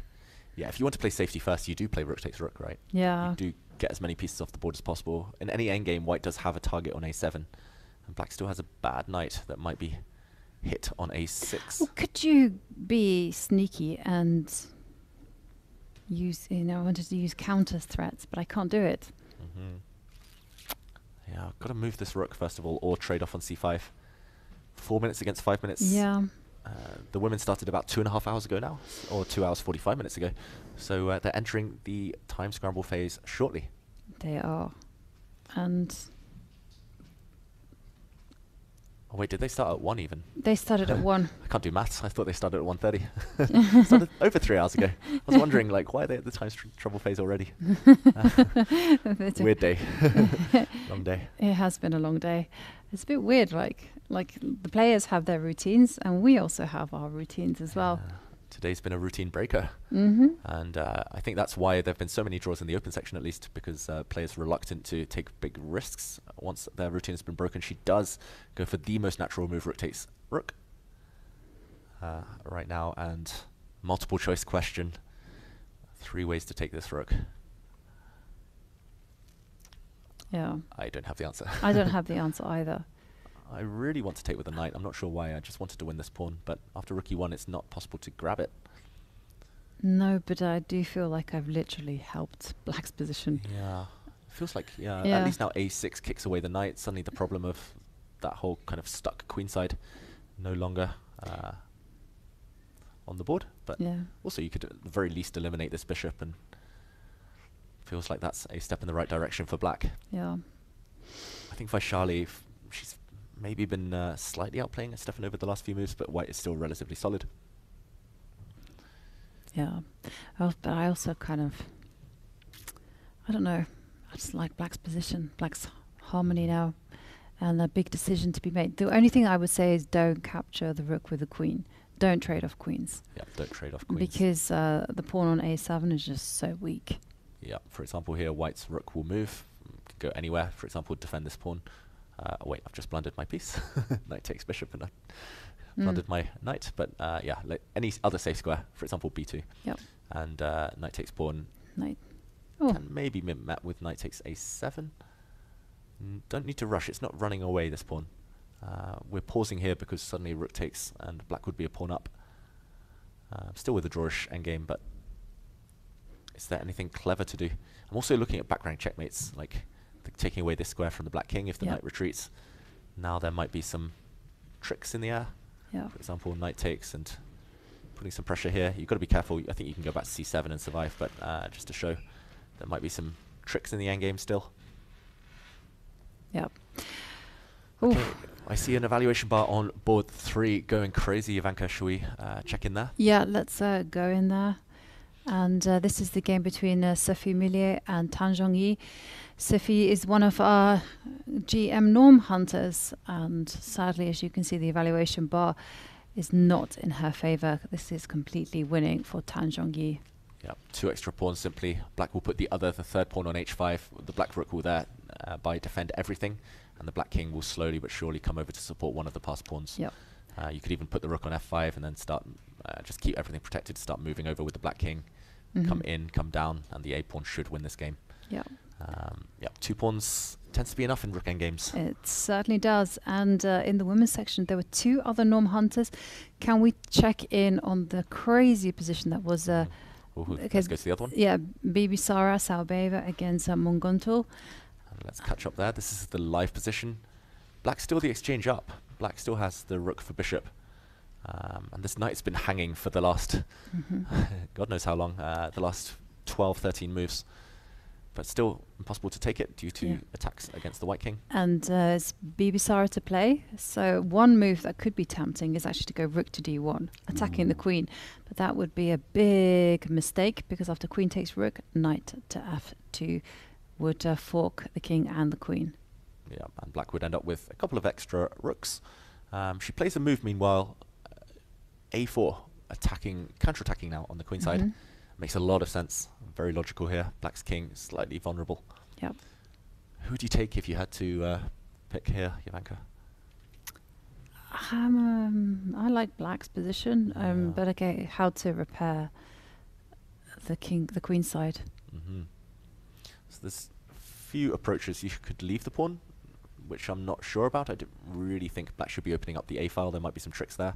You could even throw a pawn away with uh, by play uh, playing b4 and just saying, okay, Yeah. take my pawn, and at least now the queen side is closed for the next uh, few moves, the foreseeable future. I'm not sure what next here. Queen d4 looks a bit tempting, uh, hitting the bishop, hitting this pawn. But um, yeah, the other option would be to just take and say, kind Yeah. of, I'm calling your bluff. Okay, I'm taking. Yeah, and now if rook takes, then of course there's a back rank issues for white. So uh, pawn takes a4 would look a bit kind of provocative, but if there's no punishment, as we've uh, established with the okay, she actually plays it. Yeah, she goes for it. Yeah, I was gonna say with the calculation, if there's no concrete uh, Mhm. refutation of your move, you play it, even if it looks ugly, even if on general grounds it doesn't work, it doesn't look logical. King on a8 is actually pretty safe still. Yeah, it, it is, and, and it's actually a big question. How is White going to coordinate the forces, right? Because where's the target? You c- and uh, Bibisara, she ha- she has just under seven and a half minutes. Because the move I really want to do is I want to go Rook H to C8, but the knight's in the way. Yeah, the knight covers this square, otherwise the black rook could activate. Bishop c3, a very healthy move though, cutting the c file, closing it down, making rook takes a4 possible. But it actually is Rook takes A4 possible because of the trick, Queen to D1. Uh-huh, but endgames, it's only the exchange for a pawn. So for example, if black, Goes Rooks. I was thinking rook, black doesn't have many waiting moves. maybe I have to go back. That's annoying. No, I don't want to go back with the knight. The knight's looking good. hmm You could go back and then uh, land on f5. Yeah, I can Does feel that. wrong though, I agree. Um, because white could at the very least kind of take and then maybe even take. Mhm. But okay, she doesn't have much time on the clock. 11 seconds now. And uh, we're on move. We're on move 32. This will be her 32nd move. Queen c5 played. Oh. Again, hinting at some knight f2 checks, but that looks like a shot in the dark. hmm Rook takes a4. What's the downside? Um, is there Queen F2? Queen f2, so desperately trying to trade queens. Makes sense. Yep. Yeah, if the queens come off, it's nice that the knight lands on f2 because at the very end you might even come into d1. Yep. And uh, something similar you mentioned earlier, Jovanka. Yeah. Um, okay, big, big moments in this game. I still think she's got winning chances. She still could get that Grandmaster norm as black. But the last couple of moves have maybe gone in white's favour. Some real counterplay now. And this is also the, the other big problem, you know, how to make good moves in a sharp position with just 37 seconds on the clock. This is where it's intuition, not calculation. Mhm. This is uh, yeah something that's hard to train. You just have to play as much as possible uh, in these high pressure situations. It's a knight F7 still Knight a F7, yeah. possibility? Just trying to kick the rook off the h file, and if I uh, just move, to keep Uh, harassing me. Yeah, I'm going to keep harassing you. Yeah, very logical. And okay, she doesn't play a move yet. She still has a bit of time left, six minutes. What would be the most natural move? Uh, I think I would just take this. Yeah, pawn. take the pawn. Okay, take the pawn. And we've talked about a queen trade, and it's not clear who that benefits. Actually, endgame's white's maybe doing fine uh, because it is just the exchange, and white has a beautiful knight on d6. Mhm. Is there anything more ambitious to play for the attack? Um, well, black does have at least a draw, right? You can bail out whenever by going, oh, maybe I can't. Yeah, maybe Because the king can run to G. I was thinking you could. Uh, Forward. Yeah, the king comes. Actually, maybe I can just take this first. Take it and, then, come forward. Yep. And it was just one check. Uh, one check wonder. One check wonder. And okay, if not knight f2 in that position, uh, I think she should just take and uh, force Munguntuul to calculate right now. She's about to move Assaubayeva. hmm Yeah, queen rook takes pawn. I guess we have to run through the queen f2 line or the. Uh, I like queen f2 better than Queen I F2. do queen E e3. Okay, take, take. King here, Then knight to two squares. d d3. Okay, I'm D3. I'm really worried about putting my knight on d1 Yeah, because if it might get trapped, right? exactly, and then we'll have that question again. It's coming around. It is. Um, okay, so this still looks fine for white, but she's maybe reluctant to allow a queen trade with uh, her opponent so low on time. Again, it's one of those uh, kind of moral decisions. It's like, do you maybe play the best move, uh, but make it easy for your opponent when they have no time on the clock, or do you Mhm. try and hustle them? Do you play a subpar move that they didn't expect just to try and uh, trick them? S- So a subpar move would be like, Bishop e1 or something yeah, like that. bishop e1 exactly. Like something weird and wonderful. Just keeping tension. It's probably not great, but Mhm. uh, now rook takes a4 still in the air, and you kind of hint that you might take this knight. Meanwhile, a result it was a draw in the end between Radoslaw Wojtaszek and Levon Aronian, Yeah. uh, as we expected. Really a lot of draws, right, in the top 10. And uh, both players moving on to five and a half points. Whereas uh, we do have a. Was, was Bishop e1 really played? Um, no, No. she did take on a4 Okay. and queen f2 uh, on the board. So, um, okay, this one will head to an endgame. We're assuming that Munguntuul will uh, kind of keep this game going past move 40. She does have enough time on the clock once the queens Yep. come off. And uh, should we check back in elsewhere? Yeah, uh, um, the game between Leya Garifullina and Anna Muzychuk. Anna doesn't have so much time, but they've passed move 40, so maybe we can just. Uh, just kind of like assess this position. Status update. Yeah, status update. Yeah, and uh, I quite like Black's position. If she gets one more move and a Muzychuk, if she gets time to play g5, Mm. bring the knight to g6, and plant the black knight on f4, then I think it's one-way traffic. Uh, so it might be time for Leya Garifullina, especially in light of the fact that she needs to win for her Grandmaster norm, to play moves like f4. Um, some risk entailed there as well, actually. Um, f4, g5, ways of stopping black from creating a bind. Otherwise, I think she'll just be suffering for free. Yes. Um, so moves like f4, you might have to fine tune it. Yeah. Maybe even d4. And uh, blow open the center. Hope that you get some winning chances. Yes, I like that plan. And can we go to Alexandra Goryachkina against uh, Narva, Mai Narva? And players on move 34, and uh, Mai Narva just has over a minute on the clock. Yeah, Mai Narva as black. She's a pawn up though. Uh, she has the extra a pawn. So it looks like it should be pretty healthy. I'm loving the knight on f4 as well. Some Mhm. pressure on g2. But maybe concretely there's some compensation for Goryachkina. Her clock time is getting on my nerves. no, I can't do it. I tried. Um, Yes. okay. It's making me nervous. She's making me. Oh, that was better. that was better. Um, yeah, it just looks like a clear pawn up. Not too many tactics in the air. We're expecting maybe bishop takes bishop, eliminating that very strong black piece. And I think she might have to grovel in an endgame. Black, uh, black here uh, doing very well, but white's dream scenario to trade off queens, trade off bishops, maybe trade off the c for a pawns and hold four versus three on the king side. But Yep. that's a long way down the road. Yep. And uh, meanwhile, Yep. maybe we move on. Yeah. Meanwhile, uh, going over to the open section. Well, look at that evaluation bar. Parham Maghsoodloo on the verge of uh, winning against Alexei Sarana. I mean, he's not a poor, he's not any material up, but his bishops are just fantastic.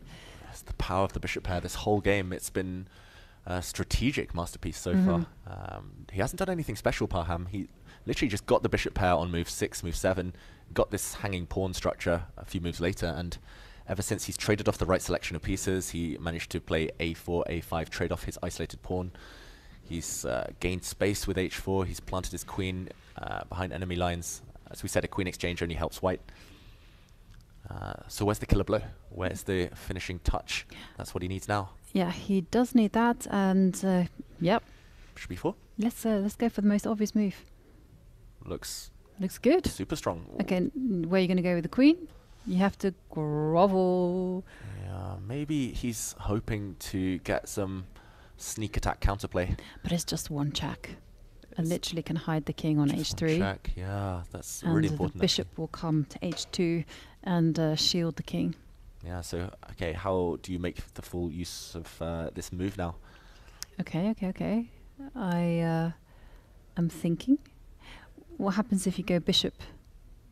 Oh, sorry, in that variation. Uh, Yeah. Bishop b4, queen a5, bishop c6, or Bishop c6 was the move that.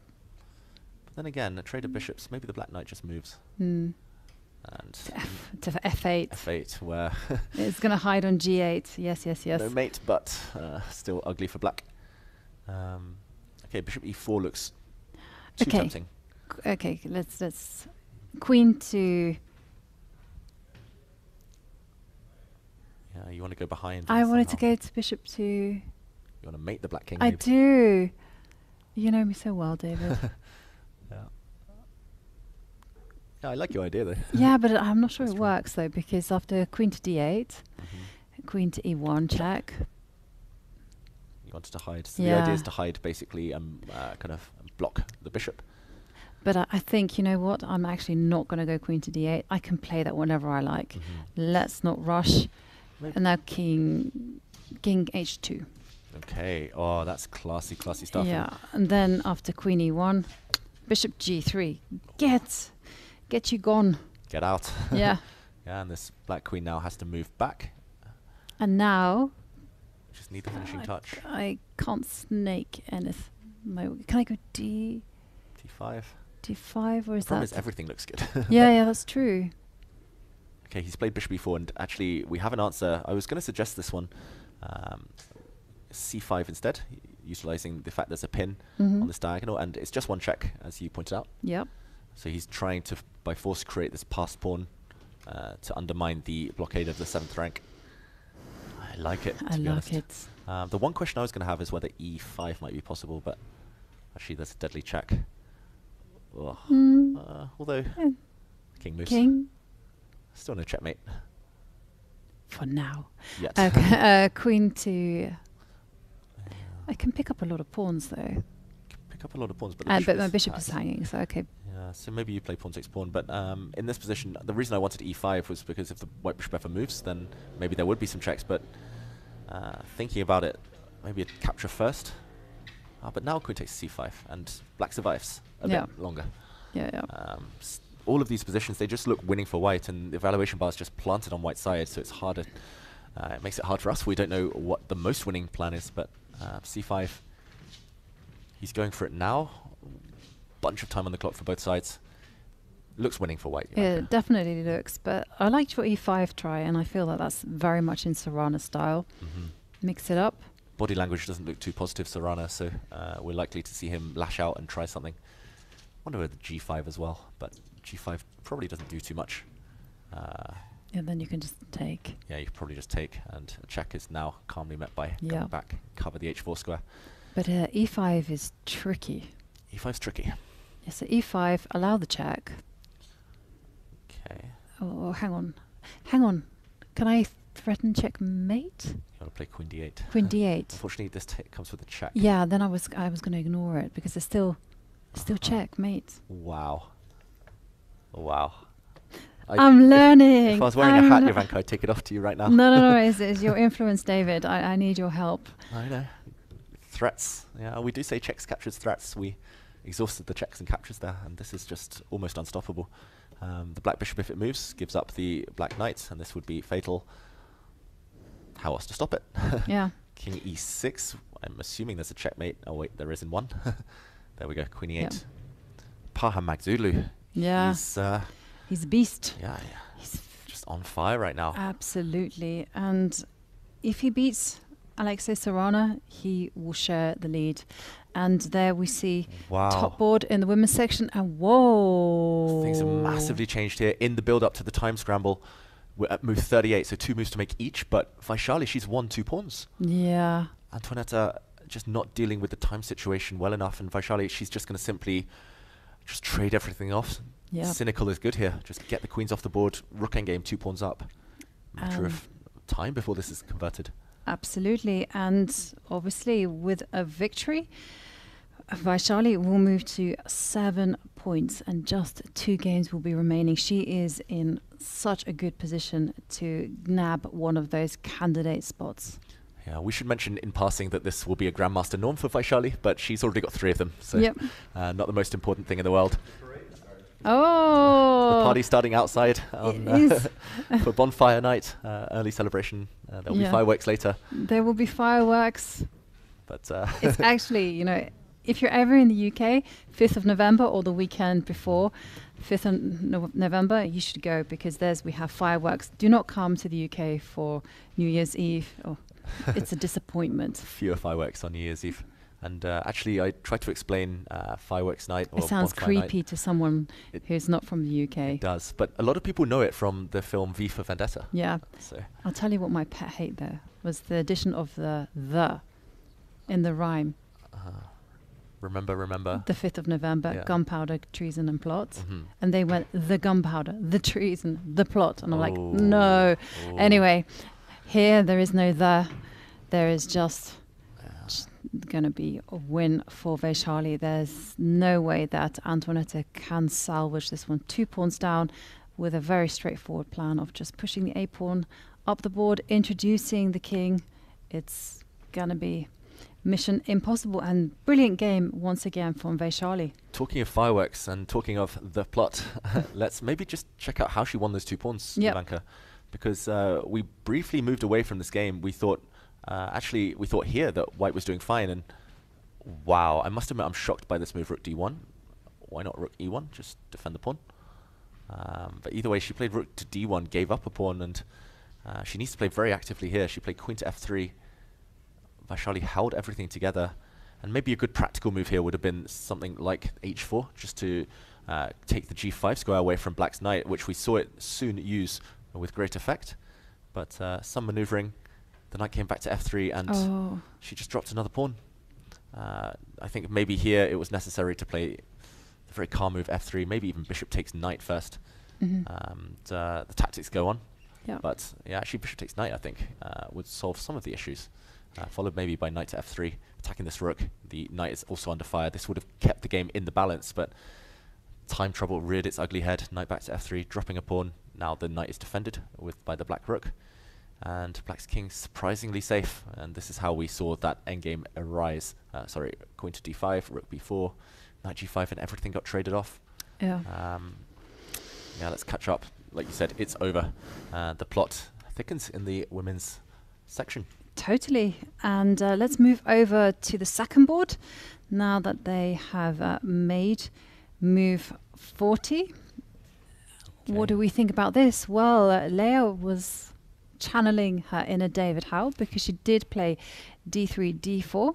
And remember, if Garifullina wants a GM norm, she needs to win. She needs to win, and she's hoping that uh, she's hoping she's hoping that the opening of the center.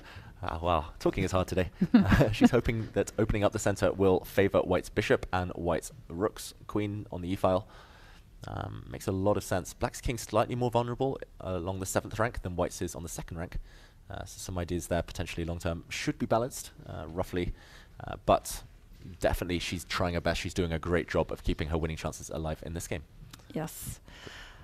Oh, well, all the women's games have uh, reached the time control. Maybe we just briefly look at the other Norm Hunter. Yeah. Um, Munguntuul, her game has really changed. Queens are off the board in this one. It's an endgame now. But if anyone's position's easier to play, maybe it is White's. White will take this pawn and start throwing the F and E pawns forward.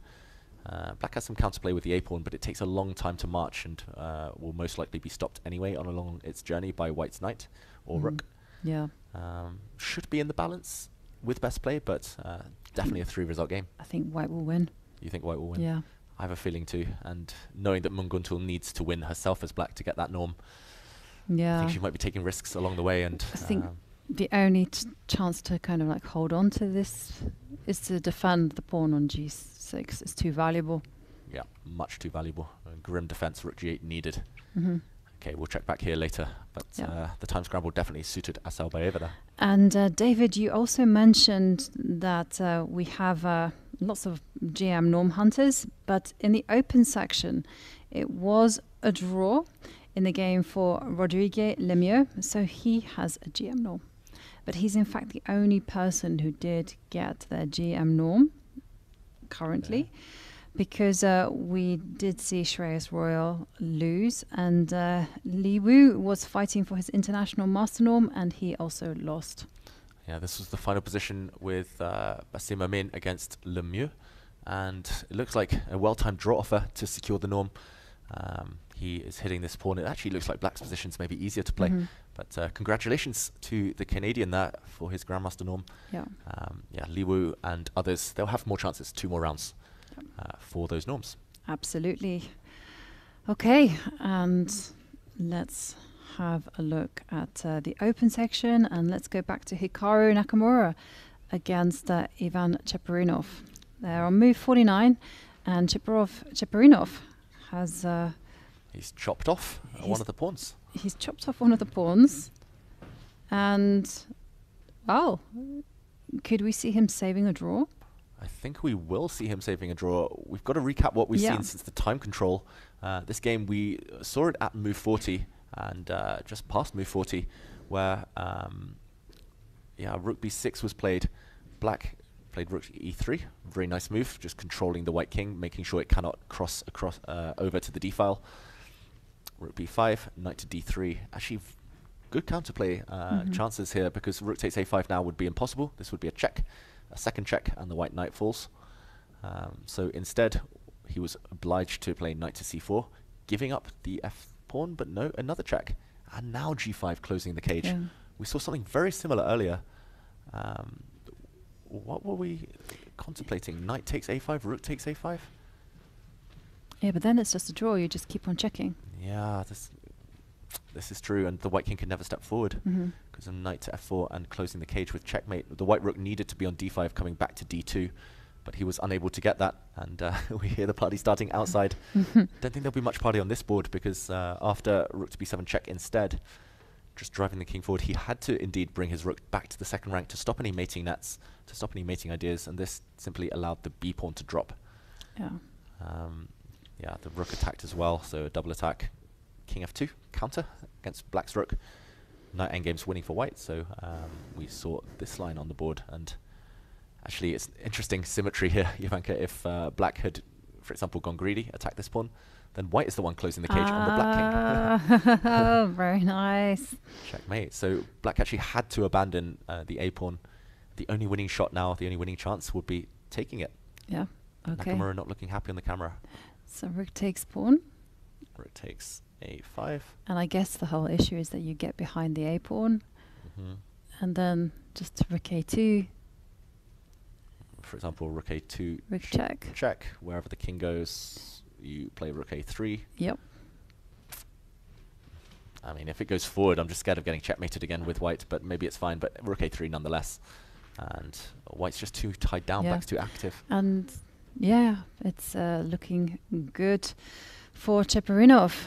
He, was in a spot of bother earlier on, but great defense there from the Bulgarian Grandmaster.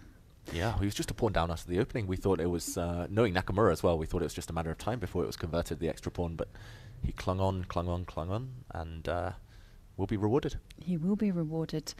And uh, early on, we saw Vladimir Fedoseev face off against Arjun Erigaisi. That game finished in a draw. But uh, let's hear more from Fedoseev about this. Vladimir, you just drew your game against Arjun Erigaisi. Can you tell us a little bit about what happened in the game? Um, uh, we played French defense, and uh, I I get a promising position after opening, in my opinion. But uh, the weather was it uh, a good advantage or not was not clear for many moves.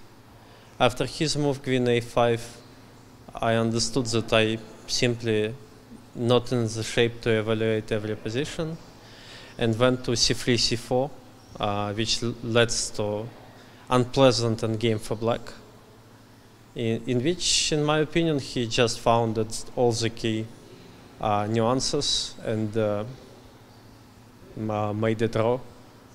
Uh, I don't, I will not say comfortably, but he managed to, to do this.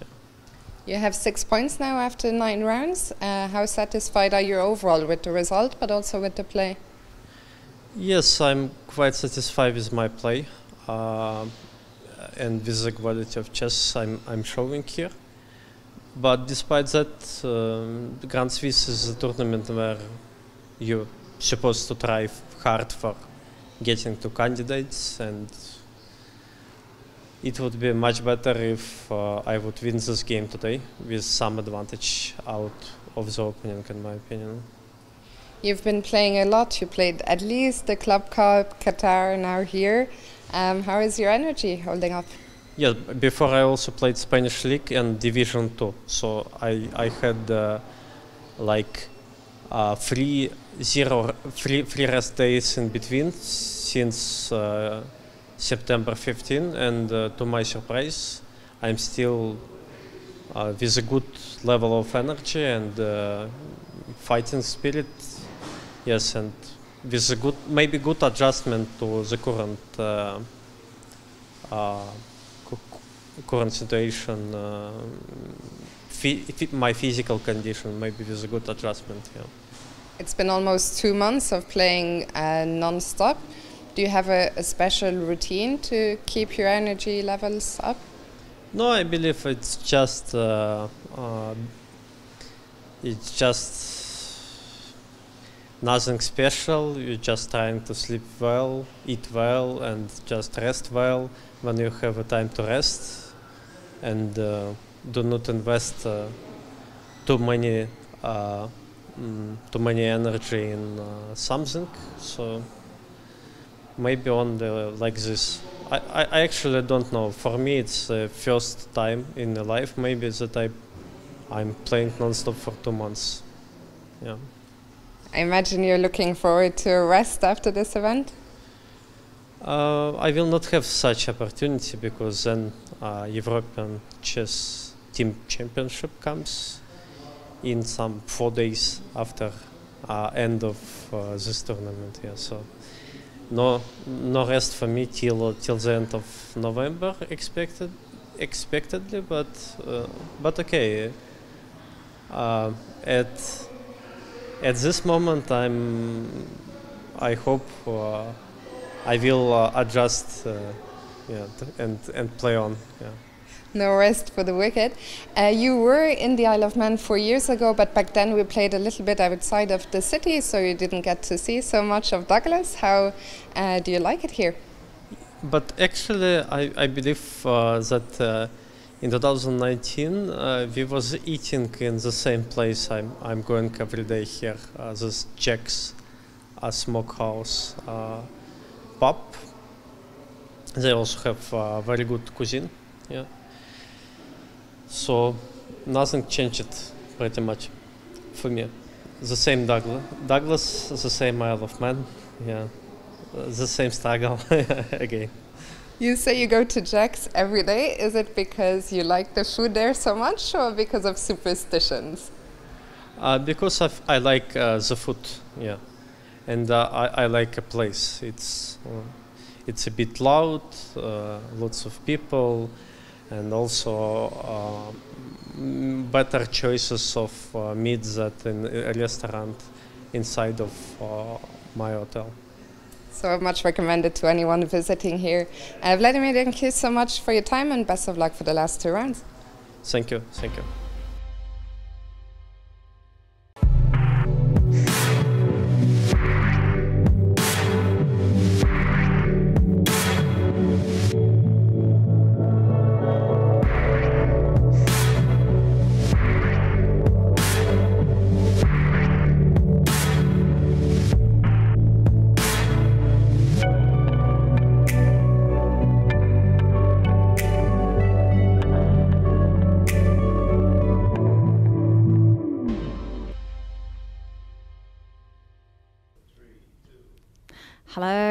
And uh, we are back.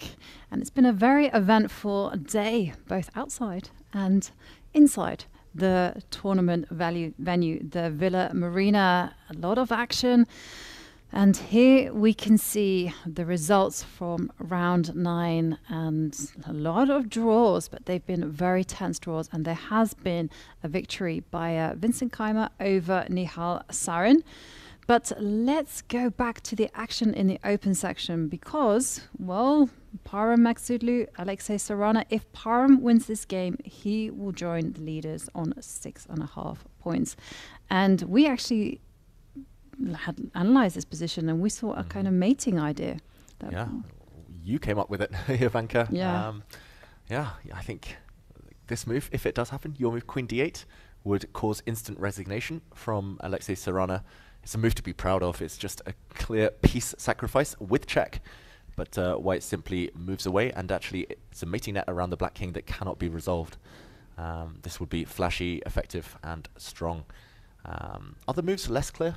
Mhm. Uh, for example, even checking first this Black King would uh, allow some resistance. I'm not sure where the Black King goes, but for example, E8, it's just one more check and the Black King hides. Suddenly, some counterplay uh, with a check incoming on e1. It looks like he's kind of impatient to move. Queen d8 is the type of move you want to make if you see it. Uh, It's a big if because it's not obvious, but um, yeah, you definitely have to calculate carefully. Uh, maybe we show why it's so strong. Yeah, let's go for it. There's a big threat on the board of just simply playing bishop to d5 checkmate. And so if you take the bishop, because after all, why not take a bishop with check, step back with the king, and uh, now black is obliged to defend the d5 square or try to find a way to intercept this uh, bishop coming to d5 with maybe you can go knight to f8. Yep. Coming into e6, but here white would have a very clear path to victory. You Yep. give a check, the black knight blocks, you give another check, and uh, due to the pin, the black knight cannot take the queen. When the black king steps back, no matter where it goes, uh, we'll see checkmate very shortly. Yeah. Queen f7 coming. If you try and stop that one, another beautiful checkmate on d6. Beautiful.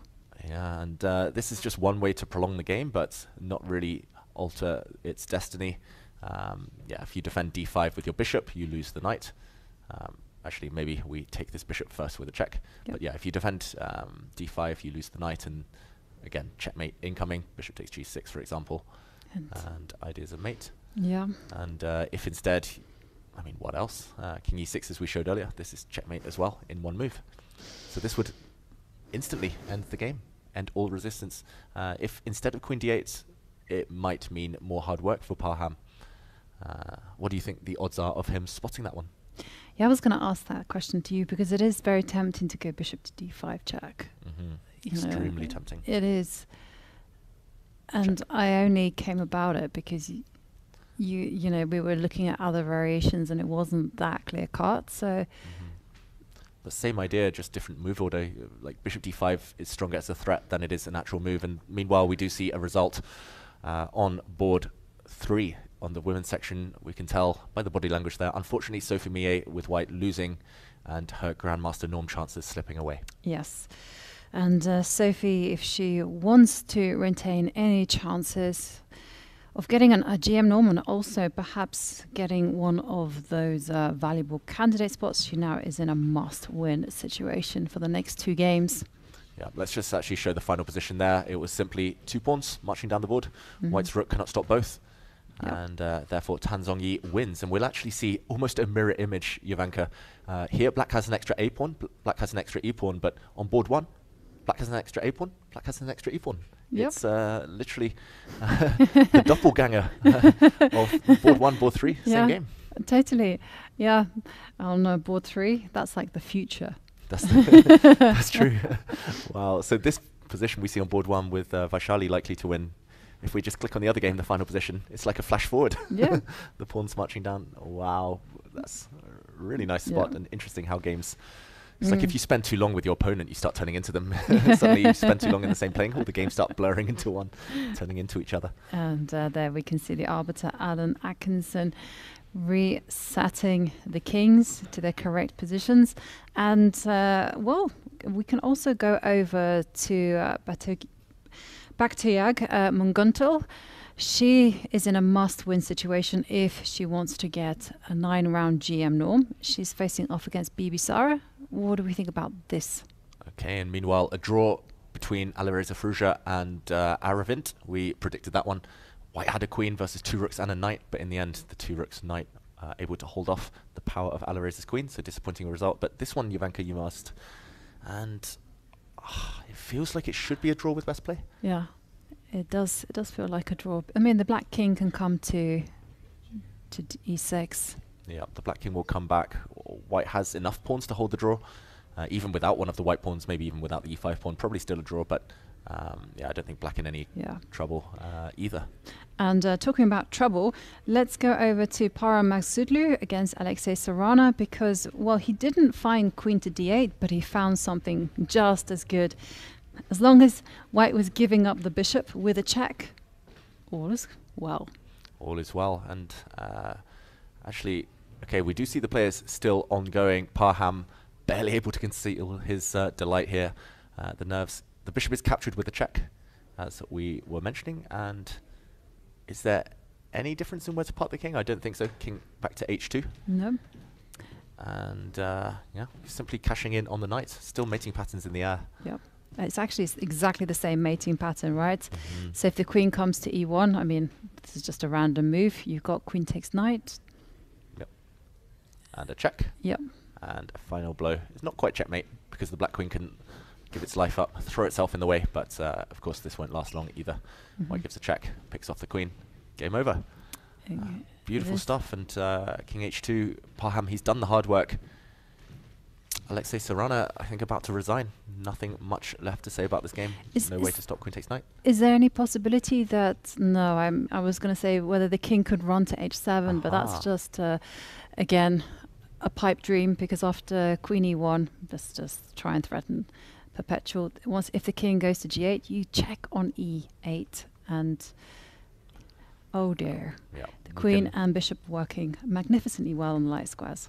Both of these moves win. Bishop takes g6 would win the black queen, but maybe you just give checkmate. Yeah. Queen takes pawn, and uh, very quick way to trap the black king. Uh, so yeah, it looks over. How about one final try, Jovanka? If I go this way around to h5, I just want to stop defend against h uh, that Mhm. uh, kind of check in the g6 square. Okay. Still hitting h4. Okay, so still queen takes, Queen takes. Now I go back. and uh, Ooh. so close. I Could trade queens it. if you want to be really cynical. Yeah, that's what I was thinking about. but there must be other ways. Okay, maybe there's the boring way then.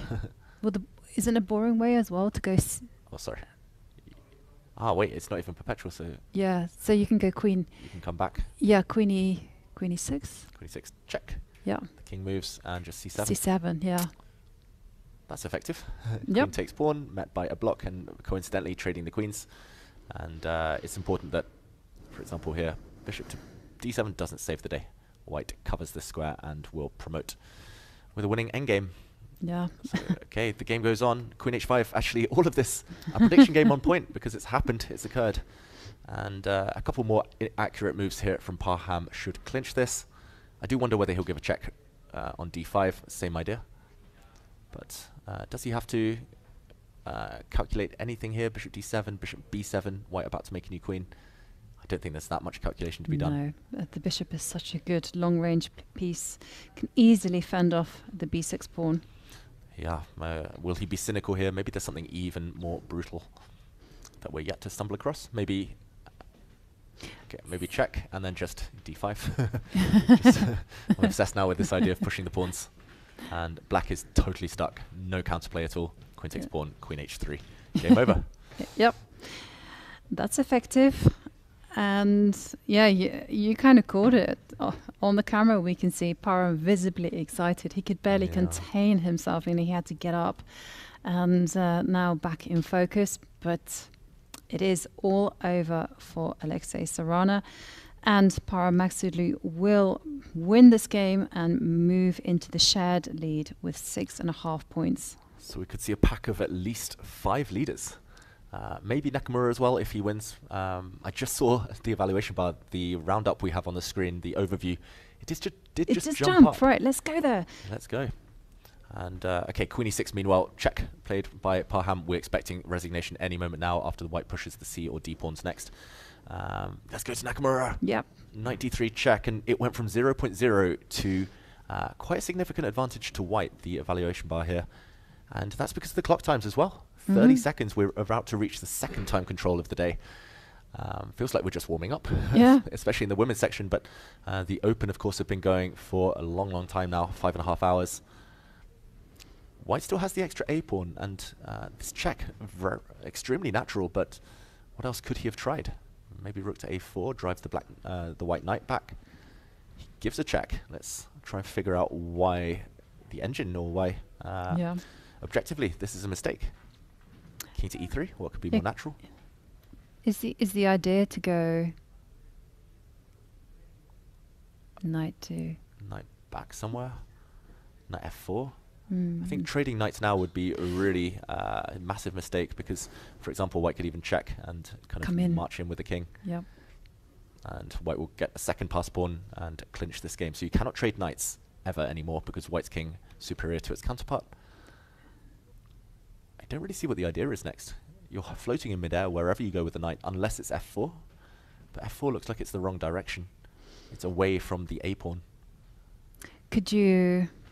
I, gr- I completely agree. Begin, the also white king is not trapped either. Oh, Also, I'm looking at this idea again. Knight f5, rook g7, mate. Yeah, the white king's not trapped. That's the key point, Yeah. right, Jovanka? yeah, totally. The king is out there like a beast, so it needs to be. Let's. Uh, can you guard the um, a pawn Okay, so knight somewhere? one of these two squares, Yeah, maybe w- b4. Mm, Yeah, I, I kind of. He comes forward, and the knight goes back. He plays knight e5. Oh no no no! Knight takes knight, as you showed. Okay, let's I let's mean- work this one through. I'm so confused. This is, I mean, so blatantly lost. Knight takes knight is a check, so there's not even time to go across and check and take it with your rook. Okay, so pawn takes, and so he must be banking off. He, remember, Cheparinov didn't have so much time, so rook a6. Maybe he missed this. Rook Yeah, a6 I mean, check. There's maybe other ways Or of doing it, but I mean, this just looks so clear cut. Uh, what, does he want? Rook e1 check. Yeah, And the king moves. and then he rook to E e3. e3. Okay, but white can probably just go two pawns up in multiple ways. At the very least, you can give a check. You can take this pawn, and you're two pawns up. That is true. I mean, this is me trying to be a minimalist here as white. Th- That's uh, being clinical, David. Yeah. Yeah. I just don't understand. It feels it really reminiscent of that back row game yesterday where under pressure, fine, it's a holdable position, but you try and force the issue prematurely. Mhm. And um, I'm just curious, if we go back, was he holding in any other way? We jumped in after he'd given a knight check. I just want to, for the first time in today, Yep. turn on the engine, turn on the computer. And okay, apparently there's only one move that forces a draw, but uh, F5, creating counterplay. Okay, but that's actually findable. Yeah, I do believe it's findable. Just try and eliminate as many pawns as possible because actually, long term, there's f- maybe just two ways you draw this. One, you get the knights off and it's a dead drawn rook endgame, or secondly, you get as many pawns off, and you give up the black knight for the white pawn and just fight rook and knight versus Mhm. rook. And this one kind of aims towards the latter, but okay, Yeah. he missed this one, and already here when we jumped in, it's tough. Knight and b4 not looking great. Um, looks a bit offside there. Yeah. Knight to e5. Not all rook and pawn endings are drawn, and is I wonder, yeah, if there's other ways to do it other than this check and bring the white king in, which looks pretty straightforward, but maybe there are other ways. yeah. what I other mean- moves come to mind, Jovanka? Uh, A6. Immediate king E e4. But if you go ki- king e4 immediately, then the rook will come to. Check. Yes. Now rook e3 and some counterplay, but Ex- does feel like wow. white's very quick. Exactly, you can go a a6. Six, and- take. And now just to move the rook to. Sure maybe why. take the pawn. You want to take the pawn? Yeah, just in case. No. No. Yeah. Okay, okay, okay. counterplay. Okay, now uh, we move the rook. I'm not sure where. Rook c7, for example. Yep. Okay, so rook behind pass pawn. Okay, I'll maybe You push. can go push and then just walk the king. Yeah, push and walk the king. The other alternative is to give a check. Maybe this is actually the simplest. You just give a check and now just take this pawn. Yeah. And then you walk the king in front. Yeah. No, very. That's very nice. I mean, yeah, you might even go take this pawn if you need to be uh, cynical about it. But yeah, rook endgames, they're tough. Mhm. Uh, Cheparinov, I'm really shocked he's played 95 though because it just smells wrong. It just looks Yeah. wrong. It's a last resort and um, okay, there's no time on his clock. A bit of panic involved, but uh, ultimately looks are not deceiving here. Knight takes knight, just Yeah. wins. And can we show that really clinical line that you came up with because that was just fantastic. And now give a check. Check. Um, king steps. Back somewhere. Let's Where go to we go F. last time? We went to G7 last time. Let's yeah, go to maybe F7. F7. Okay, now you step up with the king. Okay. Rook behind. And now king F5. F5. Yeah, rook e3. And thing is, there's always going to be a check. Like Yep. this check. And wherever you move, I just take the pawn. Yeah. Two Yeah. pawns up. Easy. Yeah, for Nakamura standards at least, uh, quite elementary. hmm Quite straightforward. I'm really surprised the, the self-control involved in not taking this knight off the board, because there's not really an alternative. Yeah. Um, unless he's going to go try and put his knight on f5, try to deliver checkmate. But now you allow a bunch of checks. The f3 pawn might drop. Why calculate this? And also there's uh, your our golden motif for putting the knight on F5 or maybe the knight on E8 at the right time. Yeah. This looks tempting too, but knight takes e5. Yep. First move you calculate. he's got a bunch of time, 16 minutes. Uh, surely he'll come to the same conclusion that we have. Yes.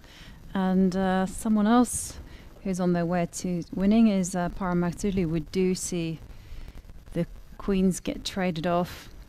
We've predicted all of it. Yeah, we have predicted all of it, but Parham just calming himself before he plays bishop to.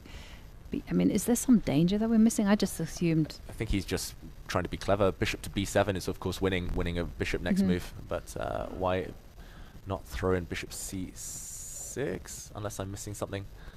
Bishop takes pawn, maybe. Bishop takes pawn. I wanted to play d5, d6, d7. Yeah, looks. I don't know what you, this. What am I missing here? Bishop c8. Looks like ah, but Ah. wait, the king comes to e6. Ah, okay. So king e6 stops the pawn. So no need to be flashy. Just to cash it in now. Bishop to b7. Yeah. And okay, so bishop b7, right? What? Why? Why is he hesitating? Why is he hesitating? Maybe he's going to be a maximalist and just save the g pawn and then play bishop b7. But as we mentioned, no need at all. Uh, bishop b7 just wins on the spot. Yeah. And easy to stop the black b pawn. Um, I'll make a rook, and yeah, you simply come around, and you stop it. Sit on b3, win the game. Yeah, win the game. Parham winning there, and let's still no move from Hikaru.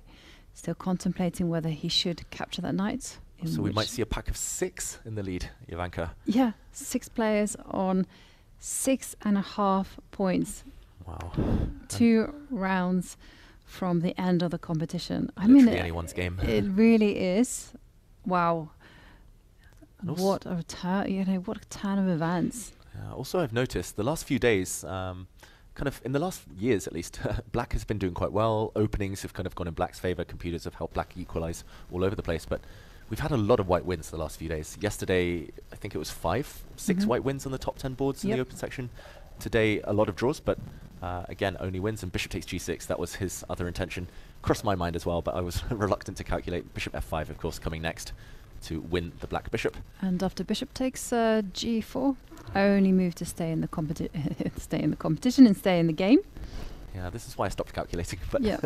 he clearly has an idea in mind. Maybe it's just the uh, prosaic d5, d6, and even if the black king tries to come across, it's not going to path. Uh, path. It's not going to pass even the e file. Um, Yeah, well, we're seeing this. And there we see resignation from Alexei Sarana. And Parham Maghsoodloo wins the game and now moves into the shared lead with six and a half points. And it's currently a five way tie for top place. yeah, no breakaway leader the entire event. There have been a couple of sole leaders. They always get pegged back. So many draws on the top boards that it's opening up the field for everyone. And uh, meanwhile, congratulations to Parham and uh, Nakamura. We see at the bottom of your screens there, still ongoing. Still no moves, but we're expecting knight takes knight and a winning rook and pawn endgame. Okay. And, uh, well, things are very exciting today. Shall we check in on our resident photo bomber, Let's do it. Anish Giri. Anish Giri? And uh, okay, meanwhile, also a result. Uh, we'll go to Giri shortly, but uh, a result in the uh, Grandmaster Norm clash uh, between Assaubayeva and Munguntuul. H4 was accompanied by a draw offer. I think actually uh, a very nice, instructive position. Black's king has no way over the d file. Maybe you have to go the long way around to get to e6. But uh, either way, a draw and Munguntuul, her chances will remain tomorrow. Yes, and uh, she moves into into sixth place. No, not Six sixth points. place. Six points is what I want to say. Yep, and uh, potentially one point behind the leader because we think on board one, Vaishali is about to win. Still two Mhm. pawns up. Yep. And creating a past H pawn in the near future. Yeah. And uh, so as we have it, we Vaishali mm, well on her way to winning, so she's going to move to seven. Uh, Anna, what about Anna Muzychuk against uh, another endgame? Garifullina, um, yeah, another player who needs to win for Grandmaster Norm today, but uh, a draw looks most likely in this one. Mhm. We've seen a lot of rook end games with uh, one side at two pawns up. This one, it's level material. White does have intentions of playing rook b5 and uh, trying to pick off this pawn, but ultimately feels like it should be a draw if you want to keep things safe. Um, Also, you've got to be slightly careful of some checkmates going Yeah. behind. Put a pawn on f4. Yes. I was going to say if you want to keep things safe, you play a move like rook c5. Uh, but then again, slightly worried about this mating pattern. You can get out of it by just planting the king on g5. Yeah, you should be able to get out. Rook b5, I was going to say, uh, can be met by this one until I realised that rook takes a5 and this tension between the rooks actually uh, suits white. Yep. So rook c5 was a bit erroneous anyway. Um, Yeah, but maybe you easy. could also go rook to d2. hmm Counterattack. Yep. Rook takes pawn. Rook And behind. Yeah, rook behind. Defend actively. Go for this pawn. But that being said, rook b4 rook Oh. f4, something along these lines. Not easy still, with two rooks on the board. With one set of rooks, actually, without the d rook and the white f rook, that would be quite a straightforward draw. But Mhm. um, yeah, unfortunately, white's rook defends and attacks at the same time. Yeah. So maybe some work to be done for Anna Muzychuk. I really love what Garifullina's done here, just taking all the risk, all the sting out of the position, really mature play, and at least hinting rook b5, rook b6, rook b7. Uh, she's the first one to create threats. Yeah. It's actually you're right, it's difficult. Could you could you try to be sophisticated about this um, and go rook c8? Rook c8. So now I'm trying to yeah, now I'm going to go rook to yeah, D2. yeah, d2. Nice. Nice. And I could be a bit sneaky and throw in a check. Oh. Try to threaten checkmate, but you can always uh, get out of this. Very least to play rook h8, but uh, you probably just play g4. Yeah. And uh, create luft for your king. Yeah, I like that one, uh, Jovanka. Also, if we're being really cynical, how about rook? I wasn't D7, sure about this one because of rook takes rook Yeah. and now rook to She plays it. b5. Rook d7. Oh no, she plays rook c8. Your move. rook b5. Yeah, I was going to say, talking of endgames, even if you give up a pawn and now go behind, I'm pretty sure this one is a draw just because white's king is tied down so badly. And um, if the white if the white rook ever moves, the black king can drop back, but can also uh, start kind of marching into f4. Mhm. I think this would have been the cleanest or most simple Yeah. draw, but of course, from a human point of view, reluctant to give up pawns. Uh, black's rook here and king both really active, but rook c8, yeah, also looks good, kind of move by move. Yeah. Coming in. do we have a move from Hikaru? Let's jump over to the other section. Hikaru, he's gone for this whole line. Yep. Um, I do believe. Yep, everything we predicted. Uh, let's do an action replay. Knight takes knight. He gives a check, and this is to drive the black king back, and now enters with his king. Not much to be done here. I Mhm. don't see any salvation at all. Is he going to play rook a3? This might Yeah, be his last chance. Just pinning white down to this pawn. Okay, how to win. In some scenarios, you even just march forward. I was going to ask. Let's let's uh, march forward as far as we can. Push, push. Yes. Um, yep, looks good. Yeah. Okay. So black passes, right? Okay, king g7, Okay, ace. a6, A6. king. Okay, I'll put the rook on. Mm, I don't even know how to try and go about saving this one. Uh, Yeah. Push the pawn to a7. And now king takes pawn. King takes pawn. Yeah, the problem for uh, black is no time to take this one. Of course, the white rook just moves and you make a new queen, or you give a check on Yeah. g8 if you want to. But then, ag- but then again, it's very difficult to cross over. So maybe I, I can't actually. Yeah, this one, for example, you can win this pawn, and I just wait. How does white But actually how win does this one? win? 'Cause- Because uh, yeah, it's a g pawn. Yeah, I remember you saying that. Yeah, famously, for example, this position, check and takes. Um, I'm really surprised the evaluation we, uh, bar we have on our screen says it's winning for white, because as far as I know, this is just a dead draw. Um, the problem is you can march your pawn to g6, and black just says, so what? uh, black just waits, and anytime the white king moves, black just continues to wait until the white king gets close enough to protect the b pawn, about to free up the rook, and black starts giving checks. Nowhere to hide suddenly. Um, so actually marching the pawn to a7 has some risk involved. D- didn't you have a really similar position against Hikaru Nakamura when you saved it? I did uh, against Hikaru, except Yeah. the g pawn didn't exist, and that is the Vancura position. Yeah. Um, so that would be, for example, I'm going to make this happen. Yeah. Okay. ignore the next couple of moves. Uh, ignore uh, the fact that white can move the rook away. Uh, it would be something along these lines where actually the best way to defend against a pawn on a6 would be uh, to put the rook from the side and yeah, you check from the side essentially. And uh, yeah, nowhere to hide for the white king. You check and then until the king approaches and then you go behind and draw. Yep. But uh, of course that's a pipe dream right now for Cheparinov. And Hikaru's actually just gone route one. He's gone direct. He's taken the pawn off first, and now he's going to move his rook. Uh, the key thing is not to put your rook passive. I really love this one. I was going to suggest uh, because rook to f4 now, going after the remaining pawn would be nicely met by rook to d4. Oh, and very actually nice. white's rook gets behind and propels the a pawn forward. Yeah.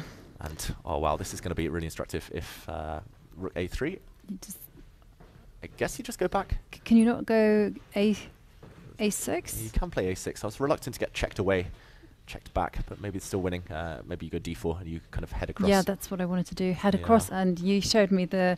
Well, you showed us earlier about how to put the rook on c6, and then you just. Uh, you snake in Yeah. and use the white rook for shelter. This looks winning. Um, you could also, for example, in this position, if you want to maintain full control, play the move rook d5. You can go Yeah. after this pawn first, and only later go in ahead of your uh, in ahead of your rook. And uh, it looks like Hikaru is going to close this out in the near future. In the meantime, another player who's won and joined the lead is Parham Maghsoodloo. Welcome to the studio. Parham, congratulations. A third win in a row to join the leaders. Before we look at the games, how do you feel? I feel very happy and also a bit tired. I can imagine. Yeah, because um, all of my games take so much time, so much energy, and I think in uh, this tournament maybe I calculated over the board more than last 10 tournaments I played. I'm under huge pressure from the opening and I start to calculate from very early on, on the game. So yeah, it's, I'm just so happy. I feel like I, I have to be very happy about the results. I can understand you very tired. Let's quickly look at today's uh, game if you want to talk us through yeah, some of the highlights. I decided to go for Nimzo Indian with Bishop d3. He is also one of the specialists in this line, but he plays this line with knight e2 instead of knight f3. So I decided to go for knight f3. It's good to have a long fighting game, and because white has two bishops and keeps position alive forever. So I had some opportunities to play for a long game and Mhm. uh, slightly try to win. So yeah. Uh, it, okay, he played all the best moves uh, till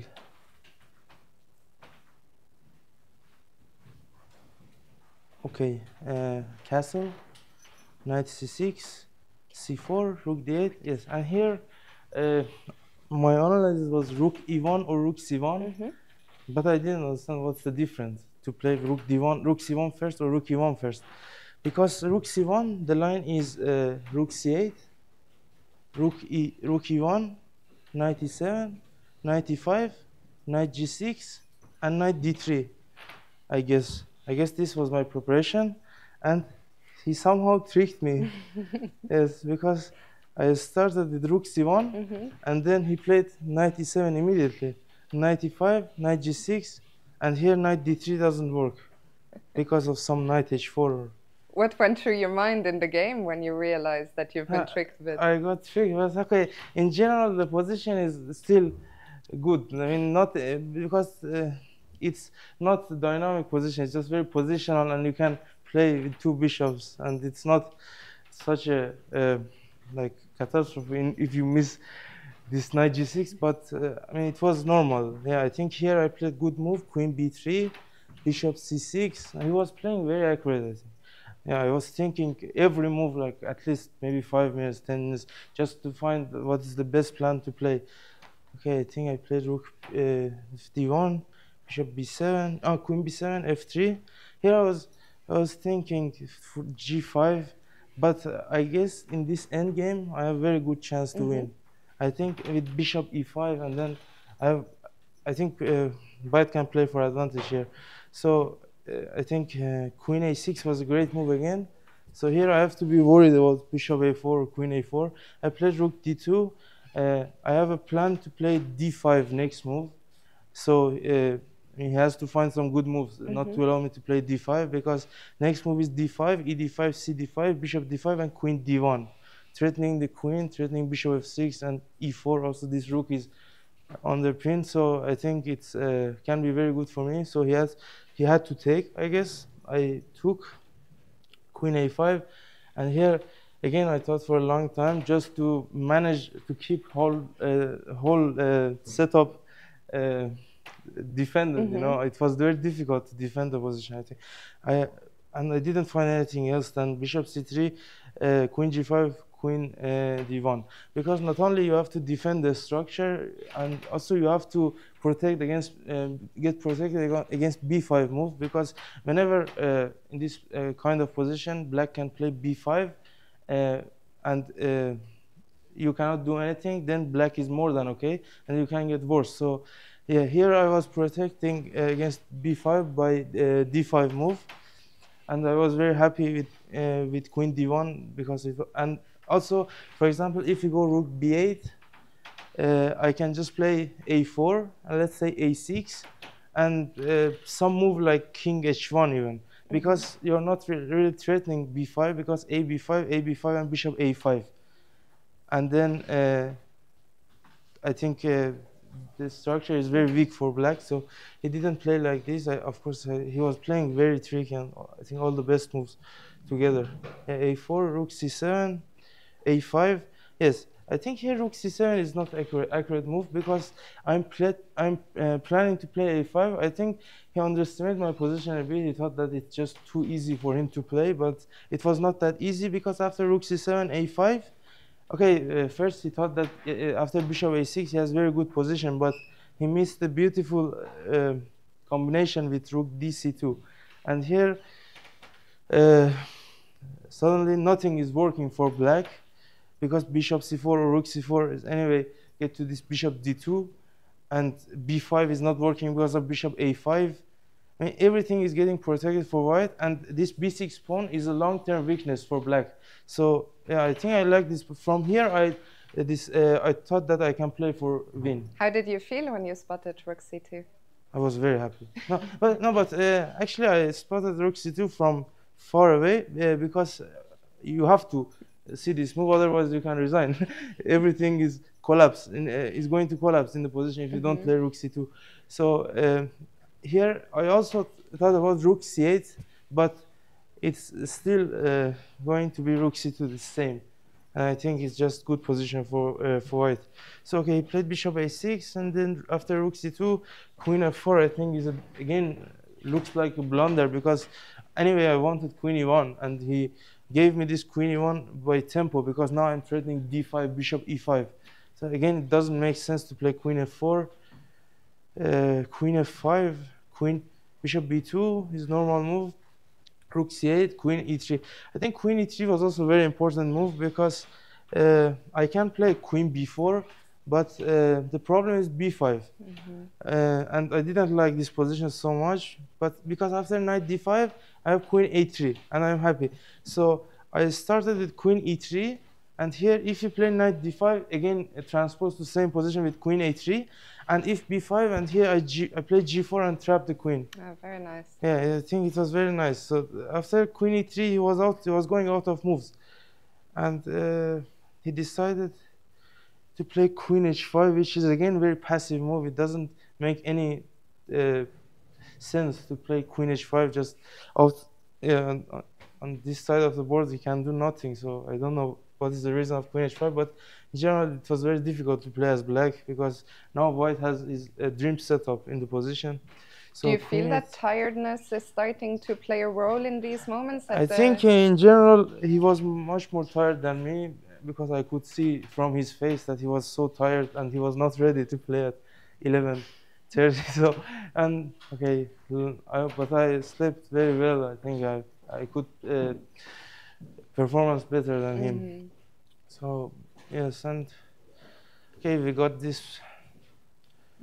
Yeah, okay, let's see. Let's check from this position. After queen d6, I think uh, white is only playing for two results for sure because I have zero weakness in the position. I have two bishops, and I can open up the position. The king is the king can get a bit weak, and this is uh, these po- these pawns are not moving really. So I, like Did my you position. feel it was closer to a win or closer to a draw? What I thought this position uh, is the evaluation should be 0, 0.5, 0.6 because it looks uh, at least uh, white is not risking at all and there are some plans to push pawns and uh, I think two bishops are really good in this position. So and here he was getting out of moves. I'm really uh, threatening to play queen c7 Mhm. and it's a huge threat. I think after queen c7 if I uh, change queens this endgame can be dead lost maybe for uh, for black because I slowly improve my position. This knight on d7 never moves. I can just push the pawns and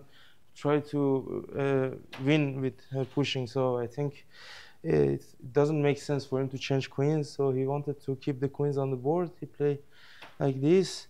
Okay, I, I wanted to bring the king to uh, okay here bishop d2. I think is a prophylactic move because he wanted queen a5 and after queen a5 I was not sure if I'm really better. So I just decided not to give him any chance to get this kind of counterplay. So queen c7, I think uh, if he plays knight f6, queen b6, bishop take f3, I can take, queen take, and here I win by queen b8. It's on, I, I think it's only move, and queen f4. And everything is again protected. in- Nice geometry. yeah, it's everything protected. So, yeah, I played king g3 because uh, whenever I want to move these bishops, he can play queen a2. Let's say bishop d3. He can play queen a2, and I cannot move the uh, d2 bishop because he can take on f3. Mhm. So I just wanted to uh, protect the pawn and also not allow him to take on f3 in this same position. So yeah, bishop g5, and again, uh, he has no moves. Uh, queen d8 is a threat. I don't know how, how should he play. Let's say if he plays some move like queen a4, I play bishop d3, and I'm uh, threatening queen d8 check h5, and his pieces uh, his um, pieces are stuck here. So I think white is doing very good here.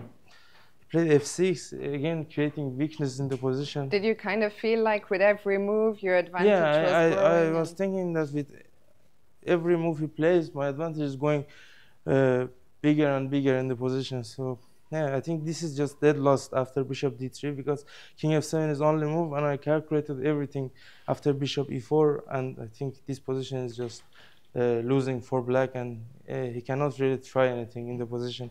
He played e5. I think even bishop take e5 has to be winning like this and uh, c6 but i i had uh, um, low time so i decided to just calculate it force uh, force line to just get the easiest win so i think yeah, i calculated here queen g4 and i thought it was over so yeah that was the story of the game nice story for sure. And suddenly you are in the running for the tournament victory. Two rounds to go. yes Is that on your mind, or do you try to keep it out of your head? No, I just uh, I I don't think so much about being in the lead. I just want to play the best chess I can every round. Uh, this is all I can do. I think even if I lose a game, if, if I make draw or win, it doesn't matter so much. I think if I play good quality, uh, results will happen sooner or later. I think that's a great uh, attitude to have. Parham, the last time we talked, you were just outside the top 20 in the live ratings. Now you have just overtaken Anish Giri. You're, I believe, at this moment, world number 12. You told me your goal was to break into the Yes. top 10. How does it feel to be suddenly so close? Hey, it feels very good. Obviously, it feels great, and I hope I can uh, keep it on and continue to play like this. I'm going to turn to our commentators to see if they have any further questions. for you. Yes, uh, so you played a lot of chess in October. In fact, I can remember meeting you in the midnight bus where you were going off to the Bundesliga. Do you just get better and better with more playing? Yeah, I think because when you play so much, you're uh, calculating every day, so your brain is ready like always to calculate, and also you're preparing every day. Yeah. And uh, okay, so you can find so many ideas for the openings, and I think it helps me a lot. I'm yeah, I think uh, it helps me a lot to give uh, Yeah. to get better results. Yeah. And uh, you said you were feeling a bit tired, so many long games every day. How do you fight against that? Uh, I mean, I- I think uh, honestly today I was tired. I mean, previous days I was not that tired because uh, the round started at 11:30, so I uh, I woke up like two hours earlier than every day. So I didn't, and I slept like same. Uh, at same time, so it was less sleep, of course, and I felt a bit tired. But uh, okay, tomorrow will be another day with good timing, and everything is fine. And just a final question, you are now in that leader group. Is there a player that you would particularly like to play against, or you don't care? I usually like to get the stronger opponents. I think uh, if I play uh, Nakamura or Caruana, it's very good for me. Interesting. How how come? I mean, most people would prefer to play the weakest possible, right, to have a better chance. But I mean, anyway, if I want to get in top, in top level in the world, I have to play them. So why not to play them here? Fantastic. Parham, thank you so much for your time. Congratulations and best of luck. Thank you. Uh, Thank you. Congratulations.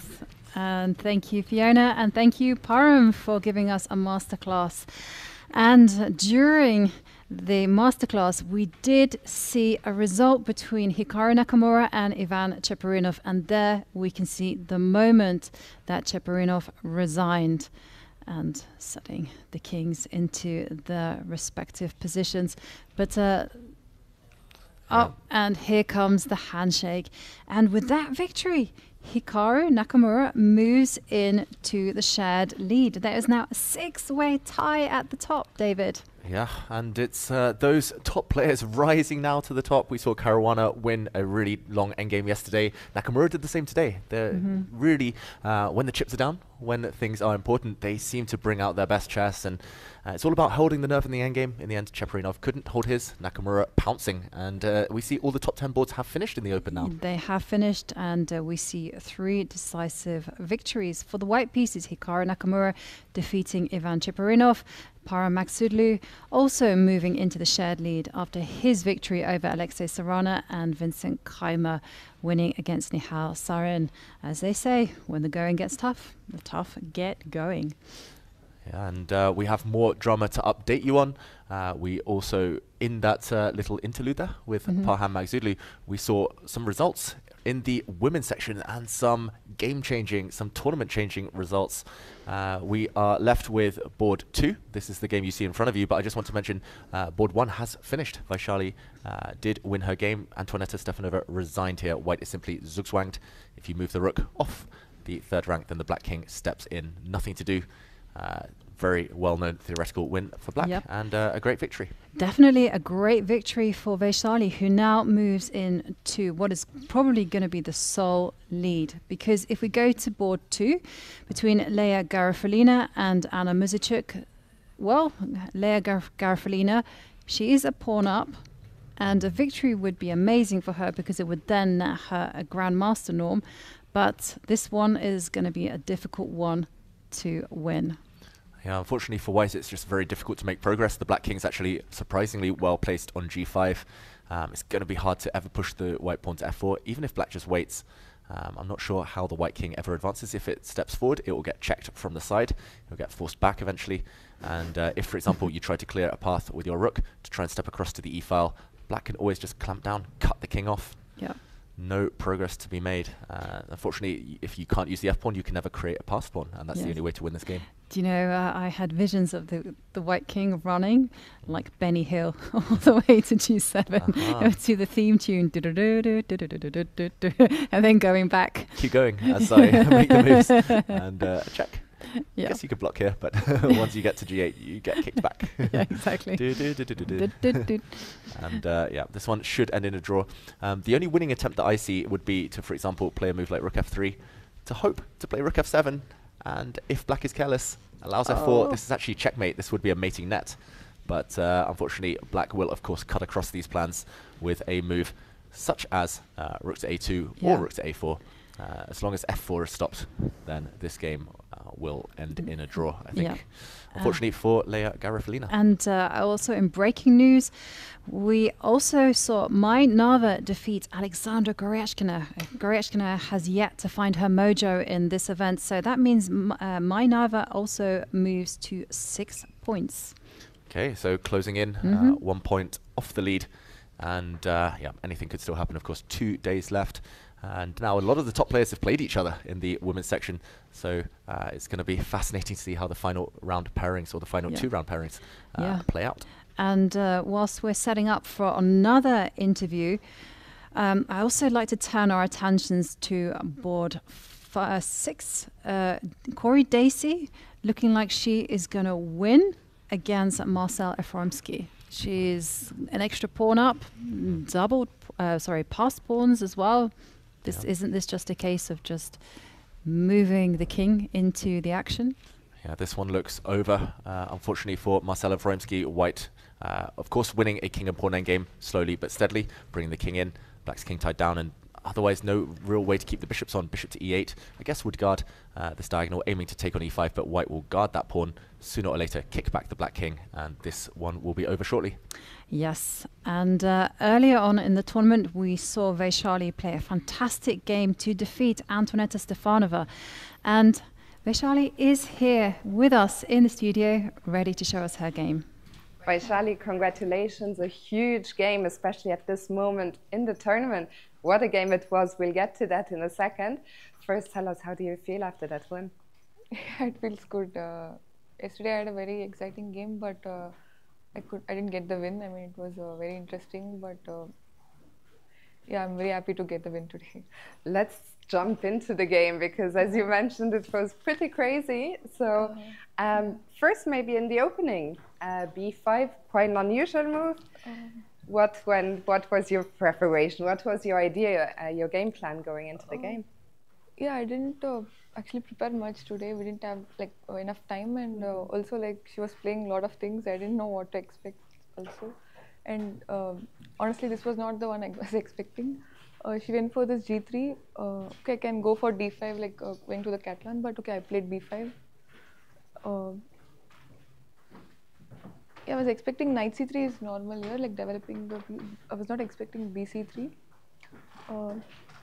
Uh, yeah, one of the main ideas in this line is uh, black will go c5 early on and uh, develop this bishop on f8 with one go. But uh, like with that idea in mind, I didn't develop the bishop. I played bishop a6. Maybe it was not so good. Like she got this knight e5, knight b7. Maybe it's better to start with knight d7 in that case at least. Uh, here she got this knight c6. Uh, I allowed this knight c6. I don't know if it's. Uh, I mean, who's benefiting this? Like. Uh, somehow I didn't feel so comfortable at this point. Oh, c5. Yeah. When did things started turning for yeah, you? uh, we You both you're were spending a lot of time Mhm. around here. Like um I think everything looked natural. Maybe c4 here was another interesting option. Like uh, also this takes take c4 was good enough. Like uh, I think white has like comfortable position with this bishop and uh, I went castle. Maybe she could just go uh, castles here. Uh, no need for this uh, exchange at least for the moment. I, that's what I thought. Uh, okay. Uh, okay, I played this queen e7. Uh, if e d5, I want to take on uh, d5.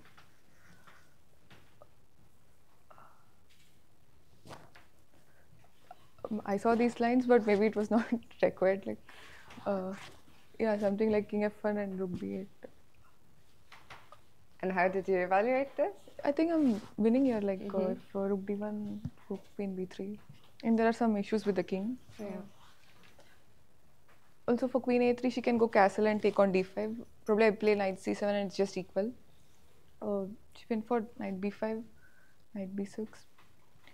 Yeah, with this uh, e4, like I got some time to like uh, to to arrange my pieces. Uh, Do you feel a lot of her problems came from the fact that she didn't castle, or Yes, I think like I got a lot of time. Okay, I didn't get any uh, advantage after this, but uh, I think I had some time to equalize basically. Uh, queen e2, rook c8. Okay, this direct castle was not possible uh, because of rook d8 and knight d2. So she had to go queen e2, rook d8, castle. Uh, here, here I was planning to play knight e5 and uh, exchange the rooks. Then, then I, uh, then I saw like she was not threatening much, so I thought I'll just push the pawn. Uh, h5. Uh, just we were already low on clock, like uh, so. I think little we were just playing on. Uh, In general, how do you think you are in time travel? Do you manage to keep your cool or do you get very nervous? Yeah, of course I'll get nervous, but somehow I'll I'm getting away with it. But it's not good for the game. I mean, uh, I mean to improve, yeah, I have to get over this issue. Um, yeah, I don't know what was happening after this point. Like uh, I thought this rookie rookie five was very dubious. Like uh, my pieces are hanging. Like I had to find I think only. Maybe white had some winning options also. Like f6, knight d4. It looked really risky. Like a6 is hanging. She's taking knight f3, knight c6. Everything was in the air. We were so low on clock. I You were so low on the clock. Let me just ask you, how did you feel? Like you mentioned a second ago, the position, uh, the pieces were so loose. What was your evaluation at yeah that here i Did thought maybe she had something uh, something winning I, I don't know uh, i could not find it uh, uh, maybe there was something better to play for her uh, And when did you feel you were out of trouble? it was after 43 uh, yeah you're already like um, i was sure like i'm not losing any piece as such yeah. I mean uh, this rook b8 queen d5 here i was already two clear two pawns up and she has trouble with this diagonal also. So here we got into this end game uh, where i'm clear two pawns up and uh, i converted this one. Very nice, Vaishali. I mean, it, must feel especially nice, I imagine, to win after such a, a game where you felt under such pressure and the time travel and all that. Yeah, yeah, definitely. Uh, like in this tournament, somehow I had like uh, very clean games. Like this game, I thought I was really in trouble in the opening, also in the game, in the time trouble. So I'm very happy to get this win today. You are now, uh, depending on, on what's going to happen on board two, uh, you will for sure be at least a shared leader going into the last two rounds. You're also inching closer and closer to that 2500 mark when you will get uh, the GM title. How do you manage to keep those thoughts out of your mind? Maybe the candidates, maybe the GM title. Uh, yeah, it's so difficult. It keeps uh, coming into my head, but uh, I'm trying to focus more on the preparation and game. So I'm trying. yeah, let's see. And I'm going to turn to our commentators to see if they have any more questions. Yeah, I just wanted to find out uh, how much you work with your brother on chess because, of course, he's uh, in the candidates as well, waiting in Toronto. It would be cool if you can join him there. Yeah, that would be great to join him in Canada. Uh, I mean, he's a big support for me, as I said earlier. Like he helps in the preparation, and also otherwise we discuss a lot about the game. Uh, Okay. Yeah, I'm grateful for this. Yeah. Uh, so at the tournament two here, you're preparing a bit together, or? Uh, Oh yes, we do discuss. I mean, once pairings comes out, like we discuss what to do. And so. Nice. Yeah. And uh, how do you relax after a chess game? Uh, I mean, we, we are going by walk to the room, and uh, I mean, just nothing special. Yeah, just normally. hmm Yeah. And uh, was it easy for you to change your routines because today you, you started one hour Yeah, and a it was half tricky earlier? actually. Uh, also, like Pragg had a really long game yesterday night. We had a late dinner also. Mhm. uh, yeah, it was tricky, but uh, somehow I think Pragg also won today, so we somehow managed to. Yeah. A perfect day for you guys. Vaishali, congratulations once again. Thank you so much for stopping by and best of luck for the last two Thank games. you very much. Thank you. Congratulations. Congratulations to Vaishali, who is looking like she will be in the sole lead.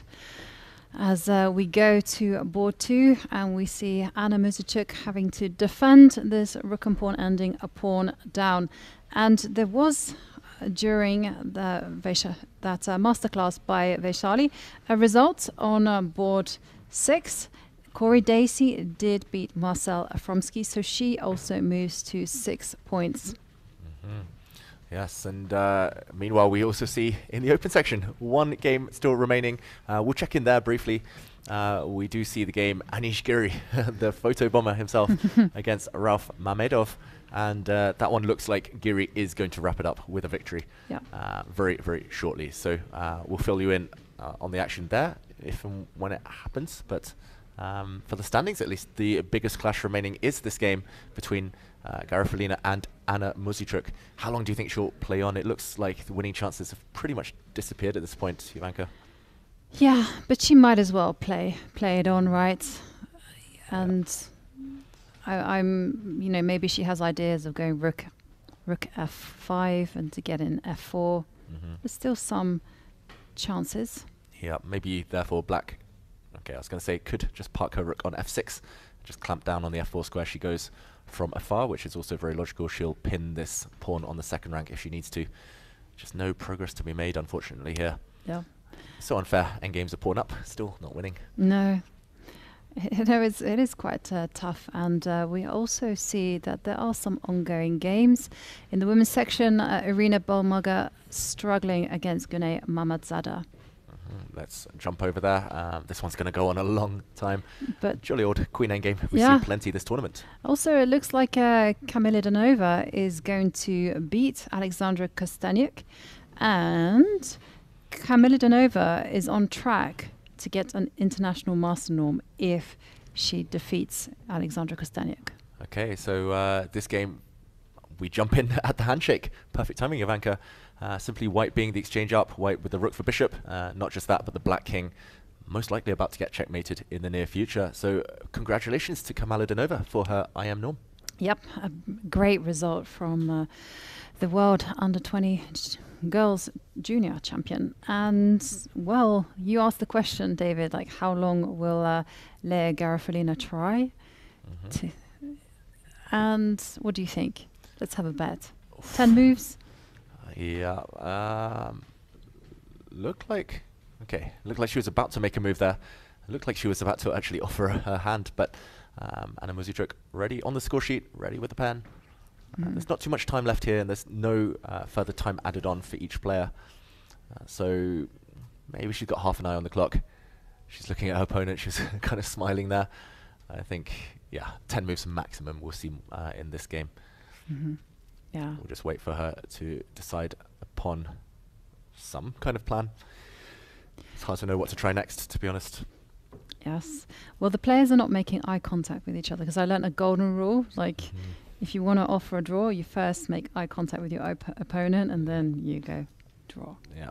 Especially if you're on the attacking side, in which case uh, Garifullina here, a pawn up. She's the one on the offensive side of this endgame. It's up Mhm. to her. It's pretty much her uh, prerogative to offer the draw. But uh, as long as she doesn't make eye contact, then uh, Mhm. we'll see this game continue. Anna Muzychuk, though, she's defended really well from what was a slightly difficult endgame. And uh, three versus two, worth studying. I recommend for everyone at home in terms of pawn, uh, rook and pawn endgames. As long as you don't allow your opponent a pass pawn, you minimize their chances. And do you think Anna will be disappointed with this draw, you know, especially when you consider that she did have a very promising middle game? Possibly. Uh, we loved her position earlier. Anna Mhm. Muzychuk, uh, big space advantage, superior pieces, but uh, in the end, it looks like Garifullina has played really well. Sometimes even a promising position if your opponent defends well and uh, they kind of maneuver well in the middle game, it's hard to win. So I think maybe more in the standings, Anna Muzychuk, Mhm. where now she'll have been surpassed, leapfrogged by uh, Vaishali, and she'll be aware she will most likely need to win at least one of her last two games if she wants to win the tournament. She's Yeah. qualified for the candidates. It's clearly about tournament victory for her. Yes. Uh, but uh, that also gives her a freedom, right? She doesn't have to stress too much about the final results. Whereas for Vaishali, you know, she said it herself, you know, she has thoughts about getting getting that uh, candidate spot, but also crossing the 2500 mark so that she can grab her final. Well, she can uh, pass that and become a grandmaster. Yeah, she's so close. I think she's uh, only half a dozen points away now, Vaishali, Mhm. roughly, um, on the brink. And what a cool story that would be in Toronto next year. The siblings Yeah. fighting for uh, their chance at the World Championship. have- We've never had a situation like that. I don't think so, unless I mean, it's uh, the Polgars. Polgar sisters, um, Susan in the women's, uh, and Judith in the open. Possibly. Possibly, yeah. I don't think that was uh, simultaneous. I don't think there was any overlap there. Uh, I think they were maybe uh, slightly different. Yeah, I, I do think because she Judith played in the candidates in 2005, I think it was yeah, and uh, and uh, Susan was world women's world champion in the 90s. yeah, the late '90s, early uh, noughties, the early 2000s. Mhm. Um, but yeah, either way, it will be a cool story and Yeah. uh, a lot of fun to watch. We'll see many more Indian flags being waved, not just here in Isle of Man, but uh, maybe in Toronto next uh, next April. Yeah, and uh, Vaishali will get a hero's welcome if she manages to get a candidate spots and she manages to cross the 2500 mark. Wow, yeah. I mean, every, everyone saw the hero's welcome for Pragg, right? Yeah, when yeah. Uh, he got to the final of the World Cup, uh, he was literally greeted like a national celebrity. Uh, congratulated by Premier. Bunch of accolades there. Um, that was fantastic to watch. Nice to see chess get its moment in the sun and might do again uh, Yeah. in that family. Yeah, you have some classical moments in chess. I know when the Armenian team won gold as well, they were also greeted by crowds of people, and the president came and met them. When when you won gold, probably. when I won- won gold, none of my teammates even turned up to the closing ceremony. So, um, yeah, it's Ooh. very different. And uh, meanwhile, Anish Giri What's happening here? looks like someone's calling for the arbiter. Uh, neither player looking at the board right now. Okay, the game goes on. for a moment, it- I was uh, dreading flashbacks to that touch piece, move piece incident from a Mhm. few days ago involving Vincent Keymer and Andrei Volokitin. But uh, no, this game goes on. Rauf Mamedov leaves. Should we check out what's going on that board? Yeah, let's. Uh, well, not that much though, but uh, let's have a look. Okay, not that much. Anish Giri, can he break through this black fortress? Black is almost paralyzed. This knight is totally frozen on f7. Mhm. No legal moves. But how do you step past this black king? Oh, do you have to play bishop d8? Yeah. but then the black knight is free. Hmm. I was saying bishop d8 because if it is captured, this is a beautiful. But n- not for next. long, David, because you go after the d6 pawn. Aha, bishop, uh, knight e5, bishop c7. Yeah. And then you just wait. Yes. Not sure how. Uh, king a4. Yeah, and then then the king has to give ground. Yeah, if knight takes pawn, the bishop takes this pawn, and two connected passes will win. The king gives ground. Okay. Step yeah. forward. And then you've got to give ground. Step forward. yeah, and now it is decision time. You have to move the knight. I have to take this pawn, Yeah. but unfortunately now the pawn just rolls through. Yeah. So that was uh, well, We we made it look easy, right? yeah, it helps that uh, we can move the pieces around on the board, of course. But bishop d8 would be a really sneaky ploy, and um, I think you might need to find this because how else to win? If c7, the black king just sneaks back, grabs the pawn. do, do you have to be sneaky there? I mean, can you not just go bishop d7? Eh, Bishop e7, sorry. Seven, then the king moves, Ah. and the black king will just yeah, yeah, yeah, sidestep, yeah. rotate between a6 and b6. Okay, so we, yeah, you absolutely need to find. So it's almost a fortress, but it can be broken. Yeah. Only, maybe you can maneuver around, maybe there are other ways, but at least I'm going to say it's the only one because Mhm. we found it. Yep. Bishop to d8. Uh, this is just a beautiful technique to remember. Um, the c7 pawn push would not have worked if the knight were on f back on f7 because the black king could come back and stop. But it's got two potential promotion squares. Black can't cover both. Um, so this would be poisoned the bishop. Uh, yeah, if the black king moves back, the white king comes in and wins. So black's knight has to wait. And I love this square. Just uh, keeping b6 under watchful gaze as well, and therefore meaning the black king is forced driven back. And the only question that Vidit, uh, not Vidit, uh, Giri even, Vidit, one of the leaders, Giri in this case, uh, might be asking himself is, uh, are these pawns definitely running through? If black's able to sacrifice knight for both, then it's a draw. Yeah, But that's. I don't think it's possible. Knight e4, for example, going for a check, but this can be stopped by Yep. bishop back to Okay, e5. yeah, maybe you can run.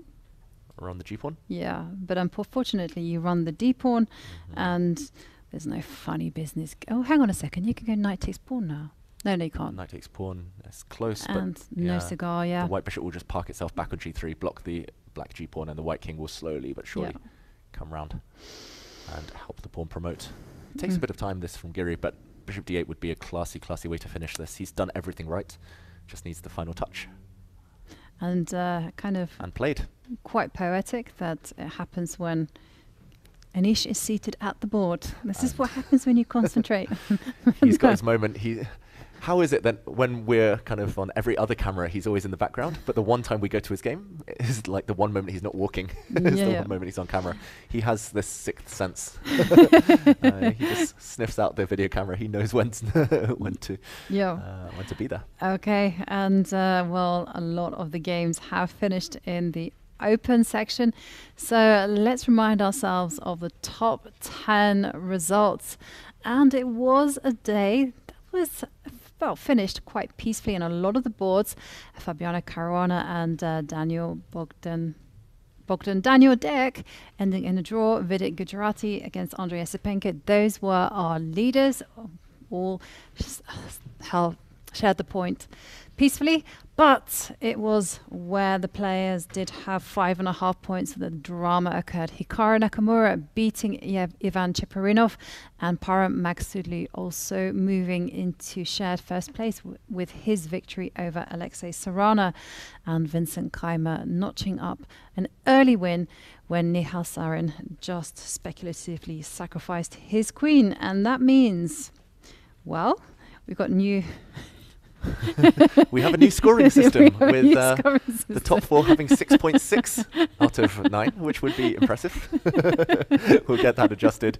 Um, the top six there, they're not on 6.6, they're on uh, 6.5 even. Uh, out of nine, and they are in the lead right now. They are in the lead. And uh, well, they can't rest on their laurels because we do have five, sorry, six players chasing them on six points. Uh, anything can happen.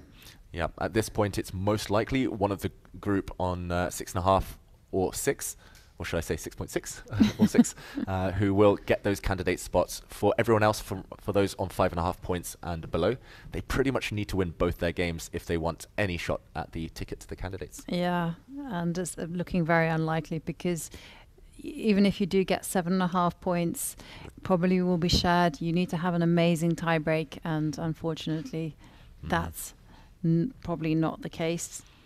And uh, for those on six and a half, they'll be facing off against each other tomorrow, knowing that at this point a win is like gold dust. It would be priceless.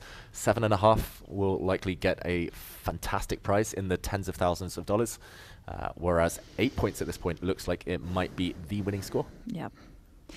Eight points indeed. And, well, there we can see one game remaining in the top 10 between the women, but Anish Giri finding a way to set up a net against the Black King, and uh, Rauf Ma- Mamedov now in big trouble. What, I mean, it is beautiful, very picturesque. Yeah, stalemate. He pretty much uh, went. I mean, he had this in his mind long, long time ago. I would like to say, actually, maybe 20, 30 moves ago, he was the one, Anish Giri, who kind of brought his king all the way over to f4, pushed the pawn to g5, fixed the pawn there with his bishop on f6, then walked the king back to the other side of the board, then found this bishop maneuver at the right moment. And everything is just so methodical, so well prepared. Um, I think Giri is actually going to call this a bit of a masterpiece, which it has been, just Mhm. uh, in terms of focus, determination, and uh, in the end, a creative way to break the blockade. Yes, and uh, talking about breaking the blockade, Anish Giri, uh, despite having won in game two, after that had been just a catalogue of draws. So he will be happy to have uh, broken that trend. Yeah, let's go back to the women's. We're expecting uh, Anish to wrap this one up now. Mhm. And uh, for the women's section, um, does look like nothing's changed. Mm. Still a draw. Um, I'm wondering who will be the first to offer here. Um, if and when we see a handshake. Yeah. Well, you see the you see Leya shuffling the rook. I did wonder whether she could at least try to get an f2, f4. I think it's coming now. hmm But that begs the question: Why not on the last move? Why not f4 here? Yeah, this is. I was thinking rook check. It's just all the checks, right? And Yeah. uh, if the white king steps back, then this is bad news. Um, yeah, you never want your king cut off on the second rank. If you ever step forward, then you just walk into a barrage of checks. And unfortunately, the h3 pawn as well vulnerable. So maybe you're right. Maybe that's why she's waiting rook e4. If black continues to wait, then f4. Yeah. And the idea now would be a rook check can be met by, uh, or a second check can be met by this block, and some small winning chances. Probably still a draw, but Yeah. um, the But question I ask is, uh, what, What happens if rook h2? h2? Yeah. Yeah. And after rook e6, the king will step to f7. And uh, Anna Muzychuk says you're not even allowed now to ask that question because rook a2 pins and prevents any nonsense with f4. hmm Okay, what else to do? King. King f3. I'm, I'm Yeah. struggling here. Yeah, this will just be met by a check. If the white rook ever steps back, we've had this type of position before. Mhm. Uh, at least, not sure if it's a repetition, but pretty Yeah. much this setup with black on the fourth rank. And uh, what do you think? Will we see 100 moves in this game? We're only at move 67. Will we see Leya Garifullina just go around in circles uh, for another 30, 40 moves and then push the pawn to f3 and then play on. No. I'd love to see that. But uh, yeah, it's Uh. hard to get excited about this one. Actually, I don't see too many women doing that. No, they should. They should, yeah. But actually, the time control doesn't lend itself to that, uh, to the long grind, unfortunately. Um, they're just pretty much playing on the time they have left now. One minute, uh, just under two minutes for Muzychuk and four for Garifullina. Mhm. Also, you have to wonder how wise is it, considering that this is a super long event, quite high stress as well, to kind of try to eke out a win from what is objectively a drawn position. If your name's Parham Maghsoodloo, then you enjoy playing chess. Mhm. uh, 31 days out of every month uh, for 10 hours every day, and uh, it gives you energy. Mhm. As uh, he said in, ins- in his interview a bit earlier, he said it helps him calculate, but yeah, in these tournaments, you tend to want to save some energy. I guess they'd finish one hour earlier than normal, having started Yeah. um, one and a half hours earlier than normal, having started the games a bit early. And do you ever get hungry during a game? I get hangry. you know. Hangry. I'm hangry right now. Me too, uh, David. I don't know. I try to take some snacks or. Um, But I never, Yeah. I've never seen you eat at the board. yeah, I never eat at the board. Sometimes I have like a banana or piece of chocolate under the table. I don't believe in putting it on the board like some of the players like to do, and I definitely don't believe in eating at the board, which some uh, some do as well. I believe it distracts the opponent. So if I'm going to have a snack, I'll uh, go kind of as far away as possible from anyone. How about yourself? Yeah, I, I, I did believe in the picnic, but uh, now not so much anymore. I've just started just to have these electrolyte drinks, and I felt that they're satisfactory. But uh, I also remember the feeling of rage I had when uh, I played against a guy. He turned up late. I was winning, and then I wasn't winning, and then he just brings out a burger Mhm. And some chips and eats it From his pocket, no, I mean he he'd obviously gone to the restaurant uh-huh. and you know he'd gone and got it, and he was just eating this burger at the board, and I was just like, how dare you? Yeah, I think we all have cases of being distracted by irritating opponents like that. Yeah, but it was kind of like because I knew it was a draw and I'd been two pawns up. I had I was still two pawns up, but it was just a, still a draw, and I was just like, you make me wait for like 55 minutes. You come at the last minute. Yeah, I had one opponent uh, as well who literally I had 30 seconds on my clock, five moves to make for the time control, complicated position. My opponent's got 20 minutes left. He just brings out a banana, peels it, just stares at me, He makes eye contact while eating it, and bits are dropping all over the Oh, board. I was like, "Come on, mate! I've got 30 seconds. I'm trying to focus here." And he, I said something, and he just laughed and continued. It Oh. was, uh, I, I won't name Oh. names because I once lost to him in this event. but uh, yeah, there's all sorts in the chess world, unfortunately. Um, this one, neither player has a snack. Neither player uh, lacking on energy, at least at the moment. But Yeah. still a dead draw. It is still very much a draw, and actually, chess etiquette deems that the player who has the advantage should be the one offering the draw. hmm But neither player seems willing uh, to make eye contact. Anna Muzychuk, yeah, if I were her, I'd already be kind of maybe acting slightly impatient as the game. I think she's proved that she knows how to draw this one. She's proved she knows all the defensive setups. Game's Mhm. pretty much decided. Rook f6 check will always uh, stop the pawn from marching. Now she can start checking from the side. Sufficient checking distance there. Yeah. Uh, she can check from the front if she really wants to. Absolutely. She can play rook f6. There's um, Anything. Yeah, anything. And even if white were to achieve f4, as long as you're able to check, of course you don't want to allow it as black, but as long as you're able to take and keep checking, um, then it should still be drawn. Uh, Mhm. white does, after all, have a weakness on h3 that black can tie one of the white pieces down to. But okay, game goes on. Mhm. We last had our pawn push on move 61. This is now move 72, so we still have 39 moves to make Yep. before the 50 move rule kicks into effect. Yeah. And uh, the fireworks kick off at uh, what time? 6:30. Ooh, firework display. Definitely not on this board, but outside. the Yeah. venue uh, begins soon. Yeah. So uh, if the players continue, then we might be treated to chess with music and with a light show. Wow, that would be cool. That At some point, cool. we just leave the game on the boards for you and we go outside to enjoy. but uh, in the meantime, King D5, again, not getting too far um, with winning attempts because black can even just play Rook E2 right now. Yep. Yeah, the King's actually cut off on the D file Rook e2, on the board. Rook f3. Yep, Rook F3 most likely. We should be flashy and play f3? Mm, maybe, maybe you can do that. hoping Maybe for rook h2. and then white can play f4. Still a draw, but Oh. at least you come back and I thought you were going to go for the g pawn. I thought that was the big trick. the g. yes, Ah, so, okay. so so here a you go check. give a check, King and now the king runs over to the g pawn, or king e5. Yeah, but this pawn's dropping, unfortunately. Oh god. Yeah, close, but no cigar. Yeah. And even this position, even if black were to drop the h pawn, easy draw. Black Yep. could even go passive against the g pawn. You can just sit on the back rank. This is the only pawn, the g or b pawns, that you can kind of sit passively against. Mhm. And white has no way to Yep. checkmate. So even if everything goes wrong, even the arbiters right now, look at them. they're, they're waiting. They're getting impatient. Uh, they're circling. Rook f3, of course, played.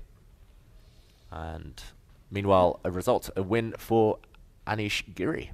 Yeah, who breaks his uh, drawing run. And uh, nice victory there for Anish Giri over Rauf Mamedov.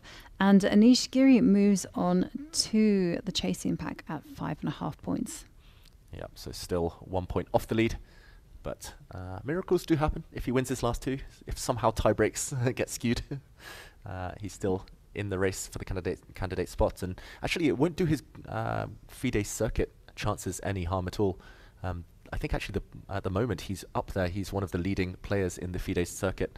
And if he gets a strong placing here, it might boost his chances for the candidates. Mhm. Um, he was up against the likes of uh, Gukesh, who's not done as well this tournament. So Anish Giri definitely not out of the running. We might see him in Toronto next year. Yep. And uh, Anish definitely wants to be back and playing in the candidates. Uh, the last time he played was in 2021, right? This uh, infamous candidates that was stopped halfway through. Yep. And he also took part in, was it 2016, uh, 16, 18? Is this when he drew? No, it wasn't when Uh, he drew all his games. There was one candidate he drew all 14 rounds. I think that's why he unfairly got this uh, reputation. Yeah. I mean, he plays anything but drawish chess. Uh, he fights every game. Very few quick draws, at least. And okay, nice to see him get a win. And he'll be starring for sure on the cameras tomorrow, even if we don't follow his games too much. he'll be there, as we've established by now. and uh, it looks like the open section, which started, wow, a long, long time ago, Jovanka, almost seven hours ago. It's Yeah. wrapped up, and just uh, just a couple of games remaining Think- in the hall. And uh, I think we are seeing what could be a draw offer. Leya playing rook to e3. So rook f1. Rook f1 looks very logical. Attack the pawn. Mm-hmm. Uh, we do see a couple of games occurring at the bottom of your screens there on the lower boards in the open section, uh, but I think anything uh, kind of connected to the top of the standings has been concluded. Uh, yeah, rook f1 looks like a, a good way to start. And in rook f3, the rook goes back. If uh, rook to e2, meanwhile, the rook goes to attack the h pawn, and keeping the white rook honest Yeah. will end in a draw. And there is uh, one, ga- uh, two games ongoing, two other games ongoing in the women's section, and Irina Bulmaga desperately trying to find a perpetual check, but uh, well, she is uh, three pawns down in a queen and pawn endgame. Let's uh, just show that on board 10 of the women.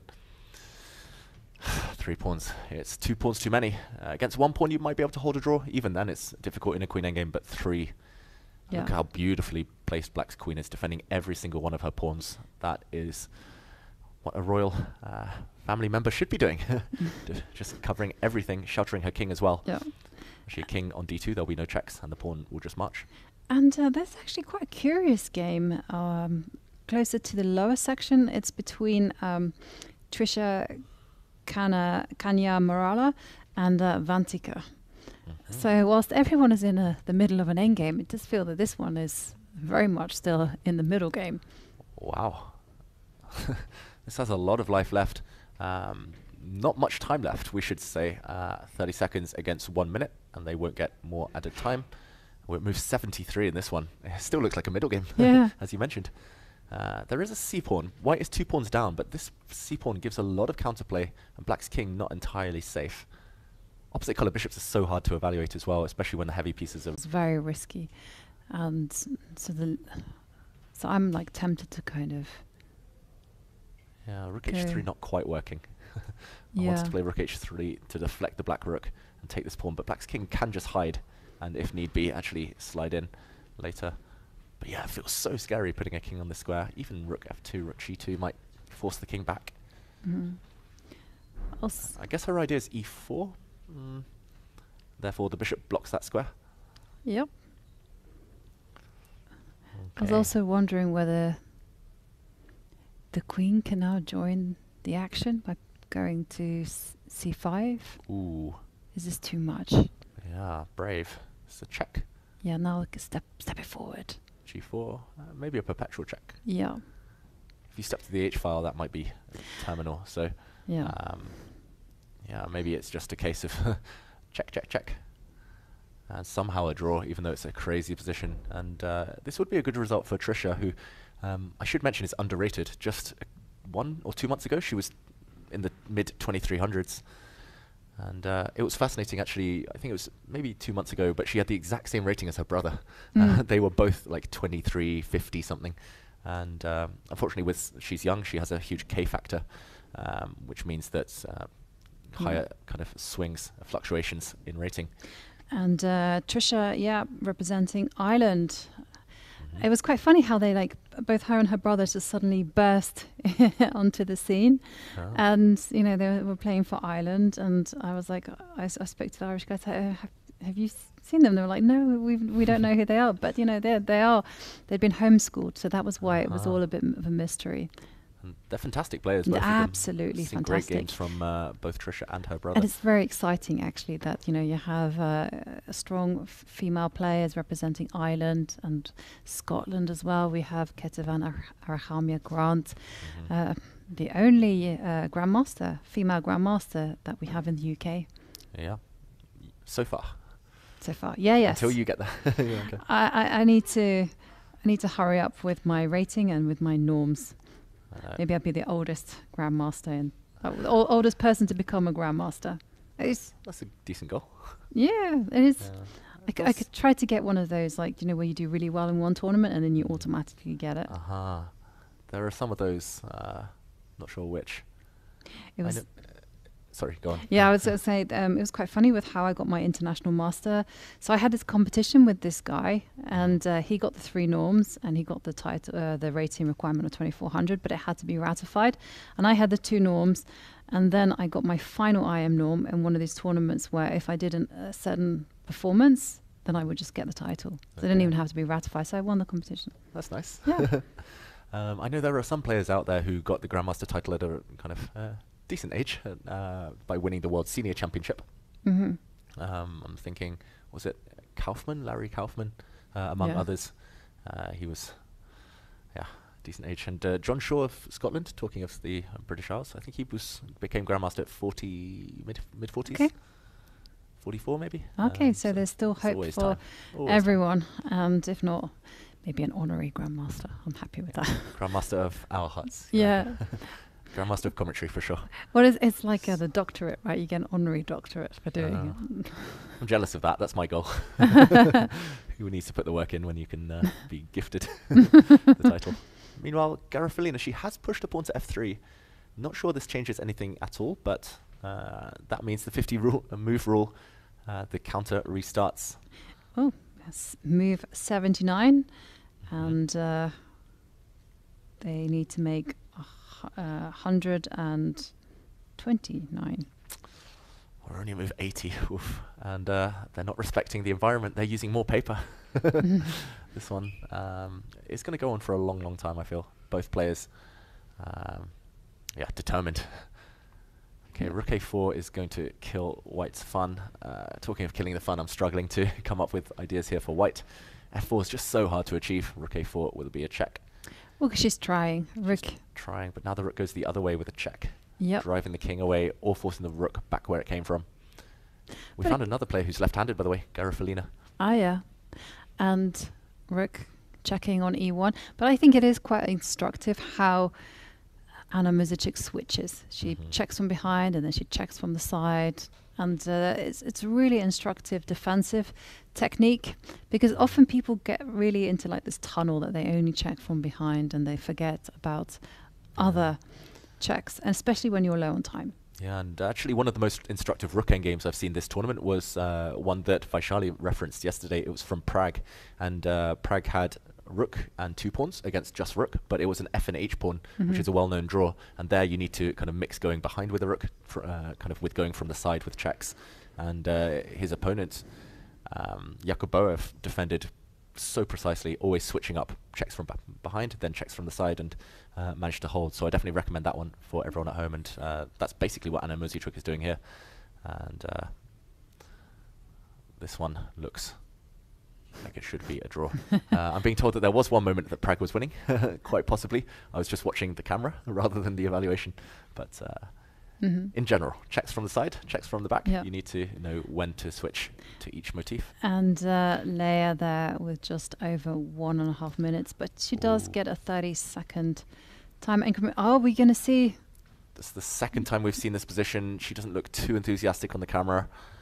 Um, will she force her opponent to claim a draw? Talk to the arbiter. Uh, rook to e3. We will have seen that position three times as well. Mm-hmm.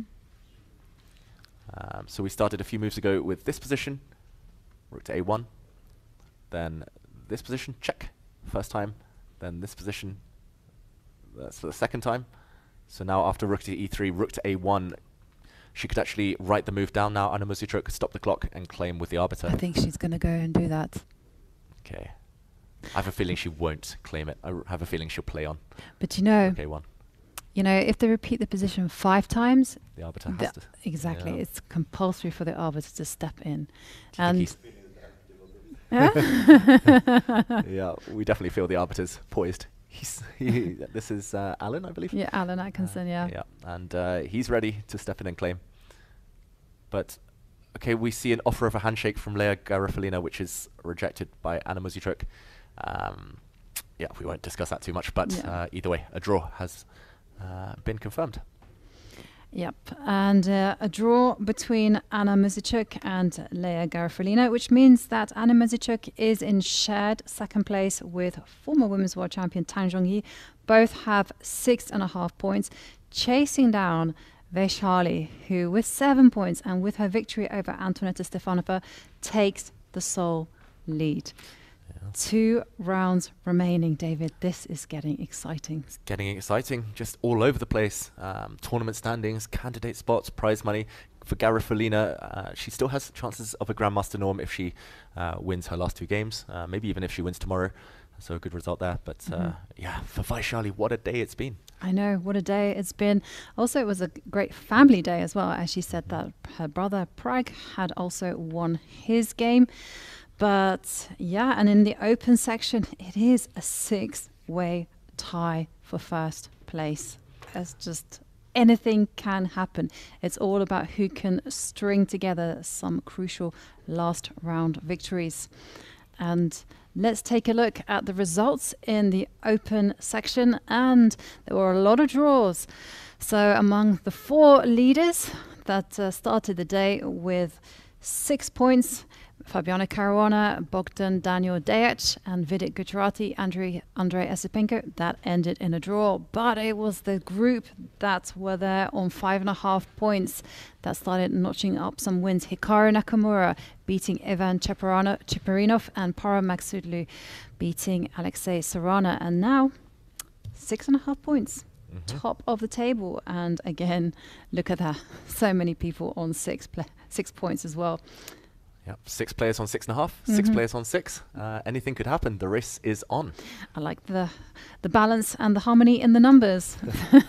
and uh, six and a half points, the leading score. And when it comes to the women's standings, well, we see that there. There, first of all, let's have a look at the results.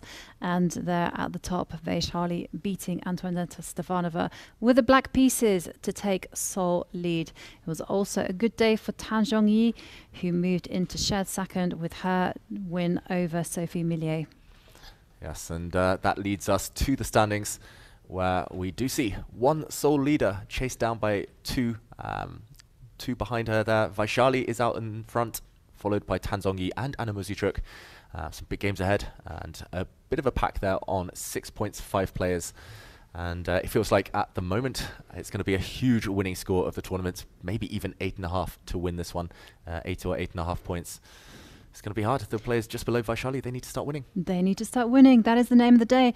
And uh, talking about the name of the day, it is probably the close of our day. But David, it's been great fun. Likewise. To do commentary in the morning and in the afternoon.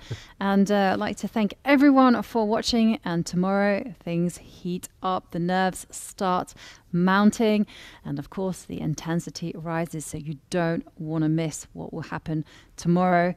And the games kick off same time as well, 2.30 British Standard Time and 3.30 Super Central European Time. So don't go anywhere. Tune in, same time, same place. See you.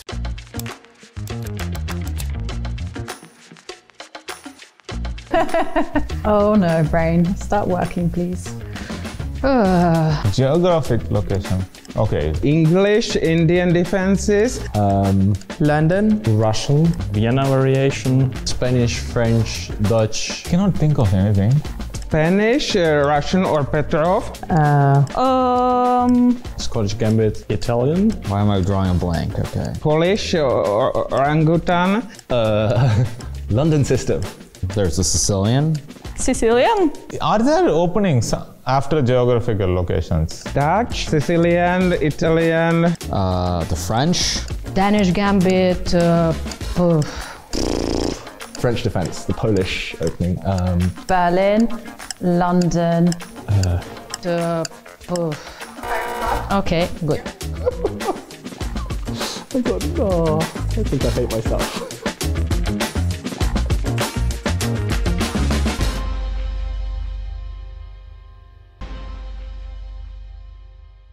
I mean, congratulations. You just won a nice game against Max Ramadan. In the end, there was one final stalemate trick which you avoided. What happened before that? Yeah, I saw it, but um, it, it looked quite funny. It doesn't usually happen, but yeah, of course I saw it in advance. And can you talk us through uh, what happened before that in the game? So um, yeah, my opponent chose a quite risky line, and I was also ready to fight because 50% is not really good. So um, I was hoping to really play for win. I was really I was hoping to, to win today, and also I'm sure my opponent was trying to play for win. So uh, we got an interesting position, and uh, it was quite fighting. Um, and hopefully I managed to, to outplay him. With that, when you moved to plus one, how satisfied are you overall with uh, your play in the first nine rounds? Uh, I'm quite happy with my play, but not with my results. Uh, I had very good positions against some opponents, and I didn't manage to, to convert my advantage. But uh, in general, it's good. I, uh, now it's my second win in a row, so yeah, I'm looking looking forward for the last two rounds. It's a very long event, as you mentioned, two rounds to go. How are you feeling energy-wise? No, I'm feeling fine. Uh, now I'm actually really motivated, you know, to win the next two rounds as well, to end on high, you know. So um, yeah, I'm feeling good. And finally, it's your first time uh, in the Isle of Man. How did you like it here? Yeah, it's quite nice actually. The weather is a bit cold. Also, it's a bit hard to find food after like 12 a.m. So it's a bit difficult. But uh, yeah, I like it. It's a chill place. I like it. Fantastic. I mean, thank you so much. Congrats again and best of luck. Yeah, thank you.